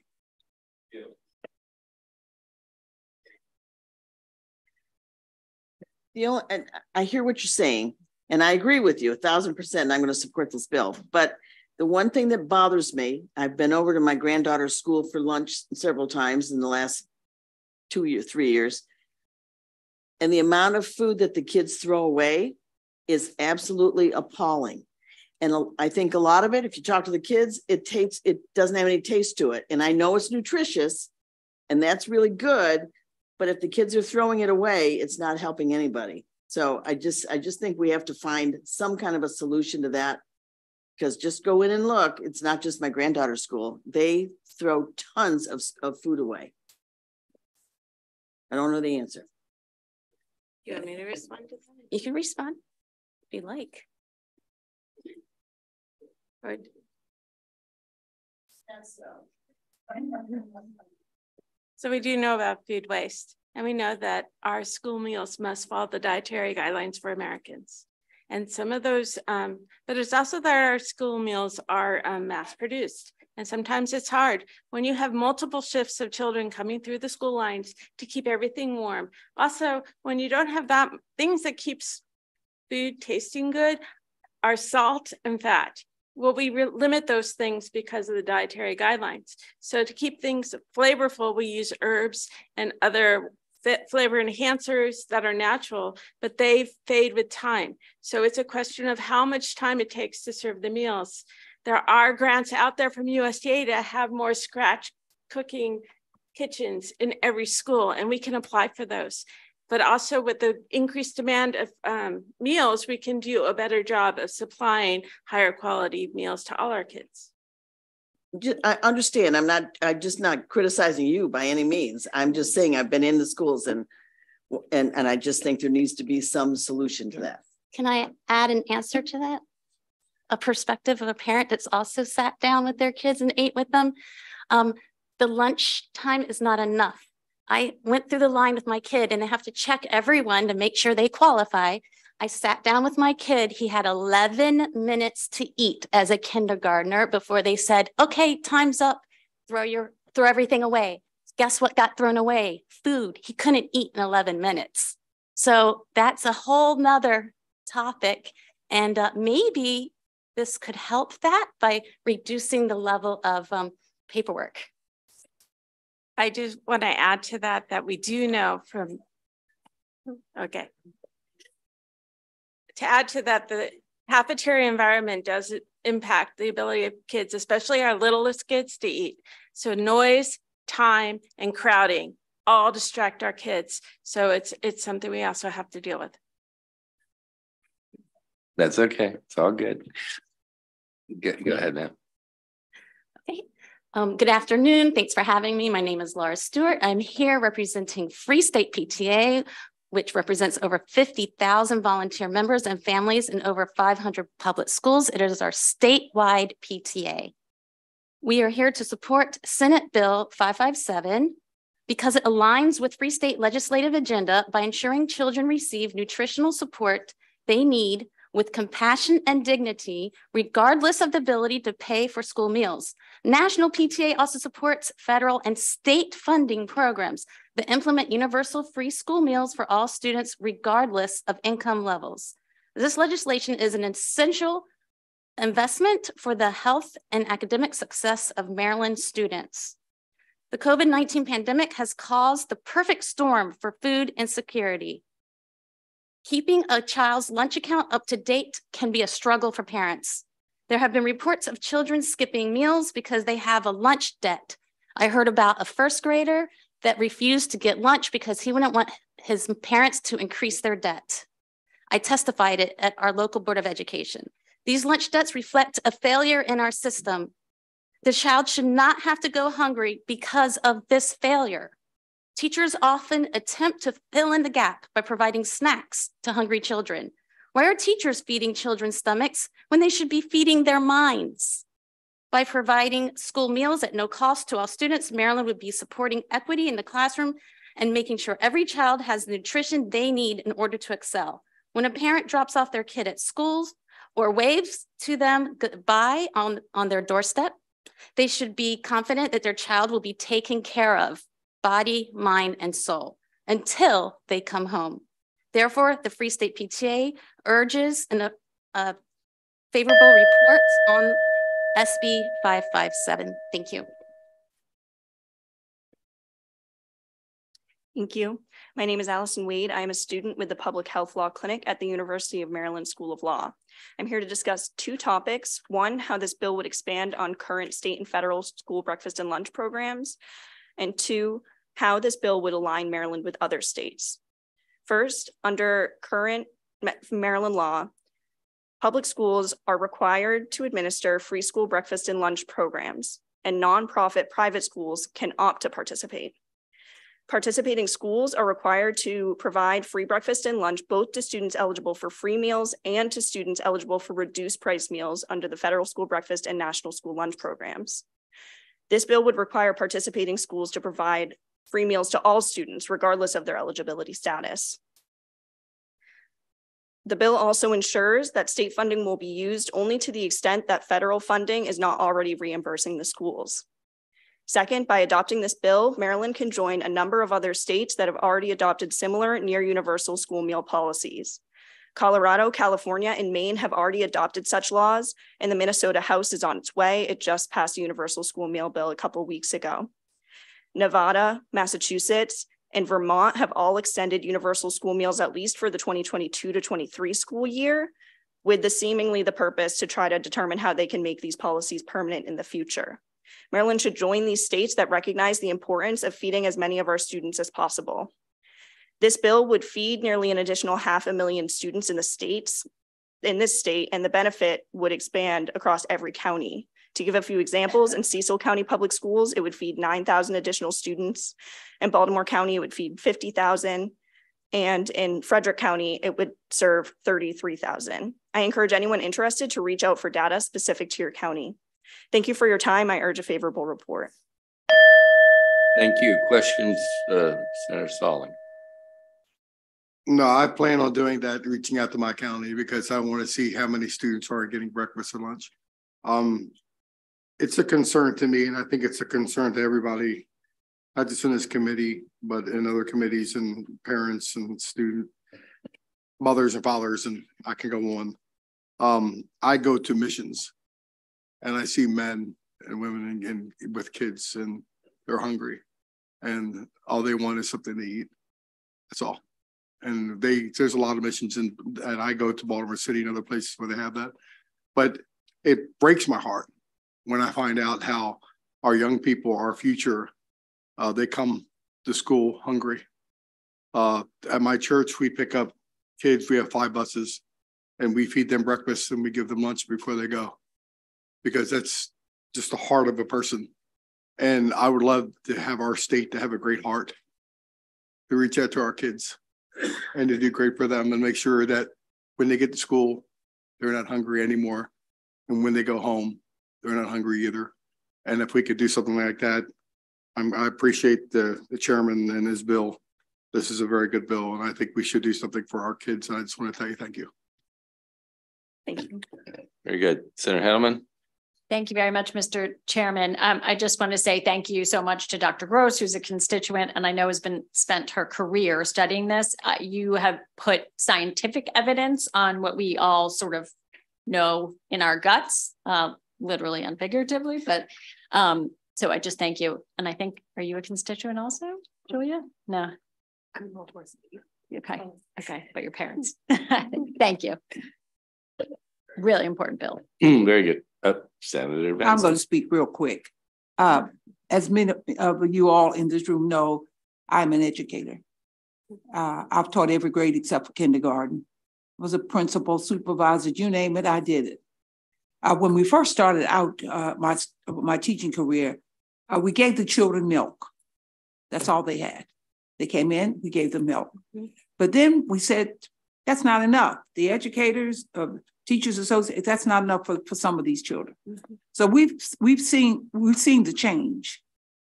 But when I became a principal, I remember, look, I said, call my staff together. What, what, I mean, I'm trying to think of the role of the principal in a lot of these schools. I brought my staff together, brought the cafeteria workers together, everybody together. If the child comes in this building and needs to eat, feed that baby child. Because I know what will happen if we don't feed that baby child. Test scores up in the air. Everything's going well. Some of those baby children, the only place where they could find a decent meal was at the schoolhouse. I just can't understand why we why we don't get it. But I want you to know that I staunchly support this bill because I know what it means for our children. But at the same time, we've got to have more teachers and principals in schools that are sensitive to children who need to be fed. When the children are acting up, there's a reason. It, it, may, it, it may not be food, but it's something. I, I, could talk about this all night long, but I'm not going to do that because I'm new to this committee. I'm trying to get along with everybody when it comes to the education of our children. So I'm going to try to be nice and quiet and sweet and lovely. So thank you all so much for every single thing that you do for children and for our school system. And I, I want to thank the Educators Association for all that they do. You all be abundantly blessed and I hope you have good health and remember, let's keep on feeding our children. All right. Thank you, Senator. Okay. Um, is there, thank you all very much. Uh, is there anyone left in the audience who is favorable to this and would like to come testify? If you are, come on up. And then we'll move to the virtuals on this bill, and then we'll get to the next bill. Um, good evening, Mr. Chairman, committee members. I'm Willie Flowers of the NAACP uh, Maryland State Conference. Um, we come up this from, uh, you know, a, a, civil rights standpoint. As you know, the history of um, the NAACP and public schools. When the schools were segregated, um, one significant part of it, and I didn't know this, I didn't share in that experience, um, and I certainly give honor to everybody who did. But when they uh, schools were segregated, one significant part of the school day was preparing the, the food for you know numerous children. Um, and when the schools were um, desegregated and are you know are integrated, that shifted to another uh, mm-hmm. level because all of the funding didn't follow. So there were challenges with food still. And because of that, um, we honor the life of uh, Eddie Conway to this week because he passed away. He was a member of the Black Panther Party. And the Panthers um, created the breakfast program in urban areas. And because of that, it, it kind of forced public schools to increase equity in the food programs at, at public schools. And we know the history of that from the federal government. I share this to say that um, each time there has been an upheaval, there has been an advantage for folks, particularly free lunch students, who didn't have the ability to pay for their own food. And I see this as the same thing because we've heard these comment commentaries about families who are happy not to have to pay anymore. These are middle class families that are um, taking advantage of this now. And the story about the, the food that's thrown away, the food is thrown away because the food isn't isn't quality. And so with this bill, it'll give an opportunity for middle class families that it traditionally happens to increase the quality of food for everybody. So we stand by that, um, by the bill and, and encourage a favorable report so that equity is across the board, not just in access of the food, but also in the quality of food. So thank you for the opportunity to testify. Thank you, Ms. Flowers. Any questions for this witness? Okay, we're going to move on to the favorable virtual. Ms. Cross. Hello, committee chairman, and thank you so much for everyone and the opportunity to speak on this bill. I am Mayor Kashina Cross from the city of Glenarden, but I bring you greetings from the NAACP, the chairman for the Youth Works and the college programs. It is important that we acknowledge, as it has been said many times before, that a hungry child cannot learn parents each year is required to apply for free and reduced price school meals for their children. They are required to fill out forms and paperwork and waivers for access to free or reduced paid lunches. I just want the committee to know that as a parent, how much it is actually the cost that is required for every child. For breakfast, it is $1.60. It can be $2.75 to $3 a meal for lunch. Consider that we are bringing you greetings from Prince George's uh, County. And in Prince George's, nearly 13% of our children are living in poverty. We have the first call at 13.3% in accordance to the 2020 census. That equates to about 116,500 children who are living in poverty, down from 18% in 2019, but still not down enough. There are nearly 2,380 children who are living without food every single day in this county. It is important that we stand with and support the producers of this bill that we have the right and the responsibility to ensure that every child gets a free meal. Thank you for the opportunity to speak on behalf of the NAACP. Thank, thank you so much. Uh, Ms. Yang Gerber, Garber, that killed that? No, you didn't. Yang Garber. Thank you. I'm Fanya Fania Yangarber, Executive Director of Healthy School Food Maryland. I'm testifying in support of SB 557 on behalf of the over 6,000 parents whom we represent across Maryland and as a parent, nutritionist, and food policy advocate. I immigrated to this country as a child and qualified for free hot meals at school, which, though not quite what I was used to eating at home, made me feel cared for and helped my family get on its feet while we built a new life here. School meal participation benefits students, schools, and the Maryland food system. Because of the care taken to draft this legislation, incorporating lessons learned from legislation passed in California, Colorado, and Maine, and efforts underway in over 20 other states, this bill emphasizes capturing maximum federal dollars and putting that money to good use across the state. Every meal served qualifies for some federal reimbursement, and an upfront investment in gathering accurate data about household income levels will ensure that all the federal meal and education benefits our children are entitled to continue to accrue to the state. Furthermore, there are many untapped opportunities for Maryland farmers and other local food businesses to become more engaged in the school meal program. The pandemic has taught us that a resilient food system is one that is diversified and adaptable, but also primarily local. When COVID disrupted transportation networks, causing shortages across the food supply chain, and supermarkets were struggling to stock milk for the public, local dairies like Frederick's Dairy Maid Dairy in business since 1894 continue to supply milk for school children. Expanding participation in school meals programs translates to expanding business opportunities for Maryland's food producers. School meals at no cost to any student who wants one in the state is a smart, effective investment in Maryland communities. Thank you for hearing my testimony, and I urge you to provide a favorable report on SB 577. Thank you so much. Uh, Ms. Uh, Ganesh?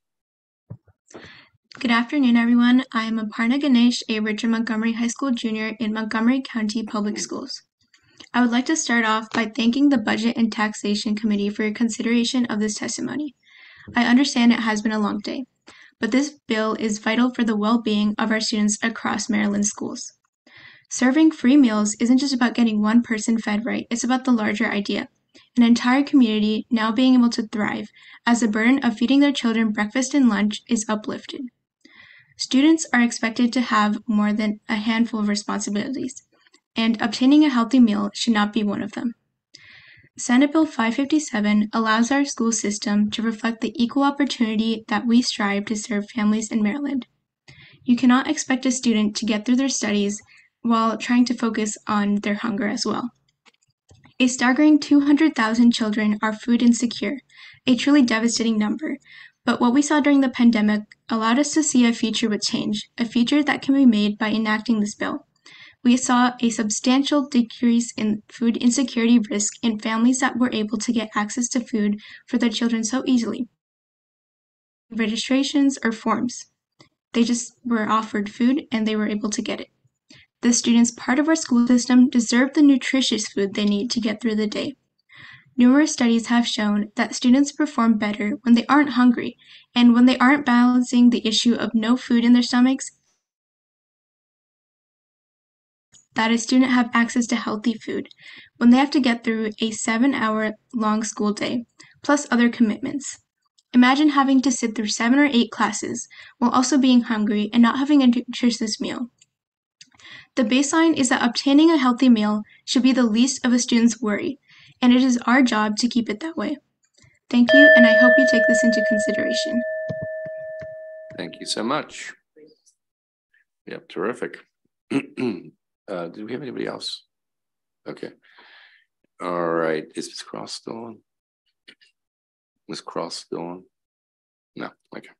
I just want to note I saw that Ms. Cross was also uh, on uh, a favorable on the next bill too. So. Oh, she's gonna wait for the next bill. Okay. Okay. All right. Um, I believe that is it for that bill. I think we got everybody. Is that right? All right. Very good. Uh, thank you all very much for your testimony on that. And now we'll move on to 559 and panel can come on up. Those, anyone who is here in favor of this bill is welcome to come forward. um,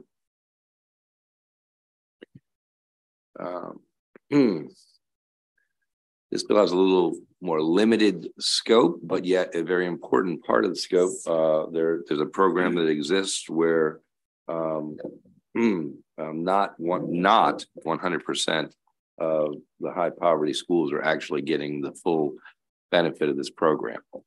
Um, anyone who wants to kick it off, kick it off. I'll start. Good afternoon, Chairman. Um, that my name is Aisha Holmes, and I am the State Director for No Kid Hungry in Maryland. I'm here today to register support for Senate Bill 559, Maryland Meals for Achievement. As proposed, there is an increase needed of $4.5 million to schools that have at least 40% or more students that would qualify for free and reduced price meals. This increase of 4.5 million would add 120 schools at a time when families across the state are struggling with food insecurity. The Maryland Food Bank's Food Insecurity Report in June of 2022 said that roughly 50% of families making less than $35,000 a year are food insecure. When considering all income levels, almost 20% of families are facing food insecurity. This data tells us that children in Maryland are at risk of facing hunger now. Childhood hunger is a solvable problem, and investments like Maryland Meals for Achievement play a critical role in reducing food insecurity for our children. Policies outlined in Senate Bill 559 MMFA, it shows that it's an important tool with a 24 year track record for proving maximization in school breakfast. Nearly 64% of students in MMFA schools participate in breakfast, as compared to 31 in student 31% of students in non-participating schools. We know that breakfast after the bell demonstrates better educational performance, improved health outcomes, and a decrease in disciplinary needs. In closing, we encourage this committee to favorably report out on SB 0559. Thank you.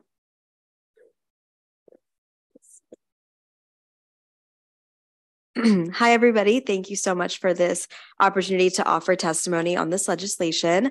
Um, my name is Meghana, and I am also a student, not a high school student, but a college student, actually. Um, I'm a student leader on my campus. I'm heavily involved with the Student Government Association um, at the University of Maryland College Park, and I am here to, on behalf of our entire SGA, request a favorable report on this piece of legislation.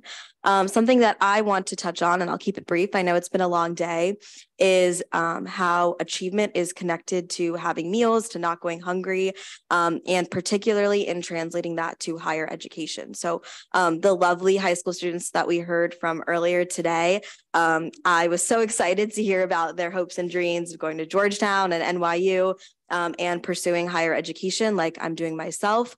Um, and it really made me think about the students that I find myself surrounded by. Um, and I want students to know that they deserve to eat, you know, they deserve to have breakfast. And when they find themselves in a point in their life where they're living on their own, living independently, um, they're maybe in a situation in college where it's even more on them to go get food that they deserve to eat. And so part of that and something that's really important to me is building that habit early and teaching them in their K through 12 education that they deserve to have breakfast, they deserve to have food and not have to go hungry throughout the day when they should be focusing on their education and their activities. So um, I just would like to say from the perspective of college students, we would love to see the next generation of college students um, nurtured and nourished in the way that many of us were. Um, and I would like to see that rate of students who don't have to go hungry be even higher. Thank you so much for the opportunity. Mr. Chair and members of the um, Budget and Taxation Committee, my name is Stephen Mandel. I'm the co-chair of the Critical Issues Forum, which is comprised of three synagogues in Montgomery County. And for almost 10 years now, we've been advocating for measures that address, decrease, and hopefully one day will eliminate food insecurity in Maryland. MMFA is a game changer. Is it a tool that the Maryland schools have used successfully for 25 years to improve learning in many high poverty schools. But unfortunately, there are still too many schools left out because of budget constraints in the program. Fully funding this very cost effective program would make free breakfast available to over 120 more schools. When Maryland established this innovative program in 1998, it hoped that by allowing high poverty schools to serve breakfast to all students in the classroom after the bell, participation in school breakfast would increase. That is exactly what has occurred, leading to improved educational performance, student health, and better behavior. I and members of my group saw firsthand the benefits of MMFA when we attended an event at South Lake Elementary School in Gaithersburg, one of the poorest schools in Montgomery County. We were there to help South Lake celebrate their 20th anniversary of using MMFA at the school. We heard unanimous praise firsthand for the program from teachers and administrators at the school. We saw students agreeably eating a nutritious breakfast in their classroom, often while they participated in an educational activity run by the teacher. But here's what I remember best about that occasion. The principal at the school noted to me that in 1998, before MMFA came, many children came to school late and immediately went to the nurse's office. After MMFA, that changed. Children went into the classroom. We know a substantial number of children do not eat breakfast at home. This would change with MMFA. The morning meal makes a difference. I'd ask this committee for a favorable report on SB 559, and thank you. Thank you very much. See an old friend now. Good afternoon. I'm Dr. Lori Taylor Mitchell, president of the Student Support Network, a nonprofit assisting students in poverty in Baltimore County Public Schools. I'm here to urge your support for Senate Bill 559, funding for Maryland Meals for Achievement or MMFA. Our network staff and volunteers work hard every day to achieve our vision that every student has the materials, nutrition, and peace of mind they need to learn. Unfortunately, many students arrive at school without having had breakfast. Students in schools participating in MMFA are offered universal free breakfast in the classroom, as has been mentioned, but at schools without MFA, students with no access to breakfast where they live, who cannot get to school in time for breakfast in the cafeteria before school starts or whose bus is late, cannot get breakfast after the bell. Owings Mills High School in Baltimore County, a school with a 65% farms rate, is one of the many schools in Baltimore County eligible for MMFA, but does not have it. At that school alone, over 1,200 students could benefit from MMFA. All students need a healthy breakfast to start the day ready to learn. School systems need state leadership and funding as a part of a systemic plan to address student poverty and food insecurity on a statewide scale. Full funding for MMFA would benefit tens of thousands of children in poverty, including the thousands in families earning too much to qualify for food assistance, but not enough to make ends meet. This bill's impact would be even greater if the farm's eligibility threshold was lowered or eliminated altogether. For example, Dulaney High School has a farms rate of 33% and does not qualify for MMFA, but that percentage includes more than 600 students living in severe poverty. These students need MMFA too. As work on this bill progresses, I hope that breakfast will be understood as so critical to academic success that MMFA would be provided in all schools. Full funding for the schools eligible at the 40% farms threshold is a great start, but given the proven success of MMFA, why not offer it to all students? Thank you.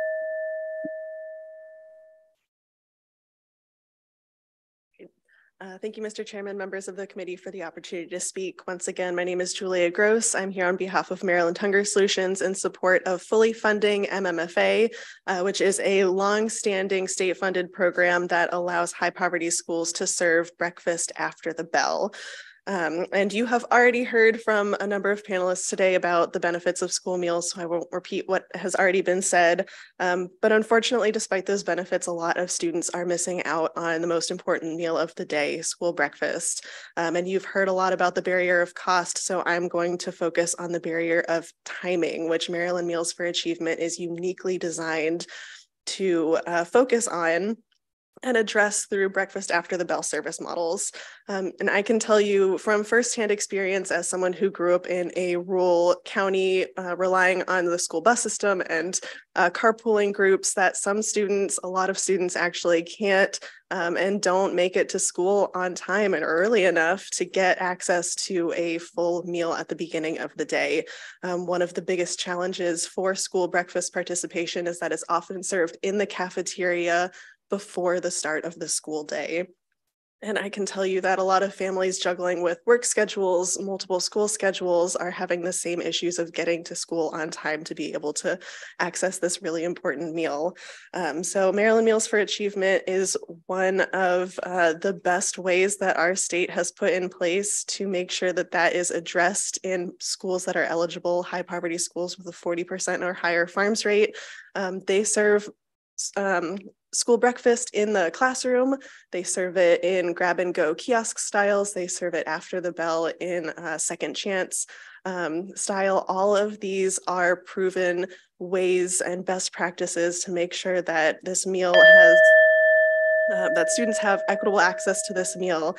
Um, and for these reasons that we are supportive of this longstanding, successful, well-loved and proven program. And we respectfully urge a favorable report. Thank you all very much. Any questions for this panel? Senator Hettleman. Chairman, um, uh, first of all, thank you all for being here. And Lori, especially thank you so much for your efforts to Student Support Network and the impact that you're having on students throughout Baltimore County. I, I want to follow up on your idea about following the child, which is kind of what we have done through the blueprint, um, following having the aid follow poor children as opposed to schools. And just uh, ask you to elaborate on that more um, and how many, what, what assessment would you use um, to identify poor kids and how much, how many more kids would you think would be included? Well, I, I think um, the 40% threshold is, you know, that's where people start, that's where the program started. But I think the, the issue is, is, as has been said many times, is that many families make too much um, to qualify or but not enough to make ends meet. 40% of all Baltimore County families are struggling economically. 73,000, and that doesn't, that the 73,000 that qualify for free and reduced price meals, that's 73,000 kids, but the rest of them are invisible in the statistics. So I think the poverty rate is much higher than what it, free and reduced price meals, you know, indicates.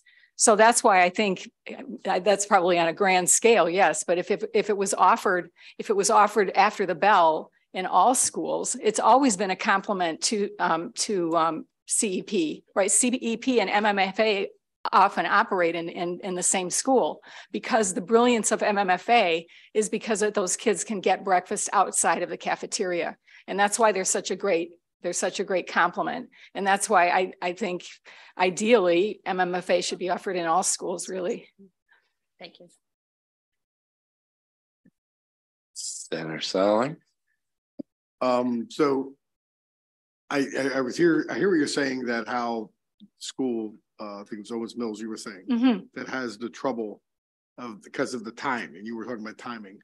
And I and I'm I was trying to get what you were saying, but can you help me out here again? Because I'm trying to find out why, you know, there's still some that are out there that can get it in their class, like you were saying, or get it, but still other schools aren't getting it. Is, are you saying like there's different programs and and that's that's one of the problems because of the timing? Well, um, 306 schools, according to what um, No Kid Hungry put together, 306 schools in in the state don't are not funded with but through our MFA MMFA funding is not available to them.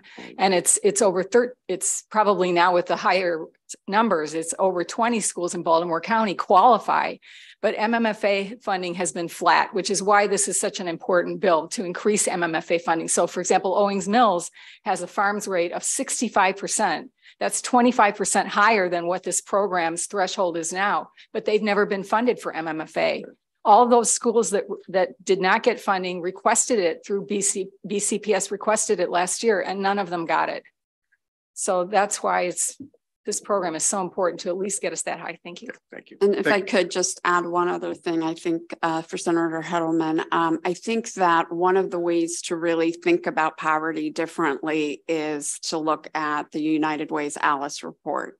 Um, if we start to look at ALICE numbers as a way to help us understand how people are struggling and living, um, I think we really start to lift boats, really lift boats out of. Thank you for indulging me. Very good. thank you all very much. Is there anyone here in person who would like to testify in favor of this bill that's left out there? Okay, who do we have in the virtual world? Ms. Cross is back again. Good to see you so quickly. Thank you, Chairman. It's wonderful to be back again. And what an amazing bill to testify. Let me just say thank you so much for the presenters of this bill that we do need to, in fact, have a Maryland Meals in classroom breakfast program. I am the proud parent of two Prince Georgians, one in the fifth hmm. grade and one in the ninth. And she has reported to me just two seconds ago in hearing this message that there is several of her young friends who come off of the school bus late, which means they don't eat. And if they are at or below the poverty line, the numbers which I have already provided you, then you're looking at children who didn't start the day off well. It is so important that we ensure breakfast, the most important meal of the day, is provided to every child hunger and obesity. Those things are the byproducts of non eating children for breakfast. Across our county, from the NAACP Prince George's, 13.3% of our children or youth are living at the poverty line. That's 116,500 hundred children. We are imploring you to please accept the Maryland Meal Achievement in Classroom Breakfast Program favorably. It's so important for our children. Breakfast is the most important meal. Researchers have shown that breakfast is high in protein and healthy fats that allow our children to study and learn well. It is the most important meal because it also can also prevent certain illnesses from developing in the body as well. So thank you so much, Chairman, to all those presenting. Thank you again for the opportunity to speak in favor. Thank you so much. And thank you for your enthusiasm. Uh, any questions for the witness? Okay, well, believe it or not, I think we did it. Um, five hours, just under five hours. Um, we got through 21 bills. We actually even passed one of them along the way. Um, and uh, uh, thank uh, the committee members, uh, particularly the ones who are hang out, still here. You all get a gold star. And uh, right.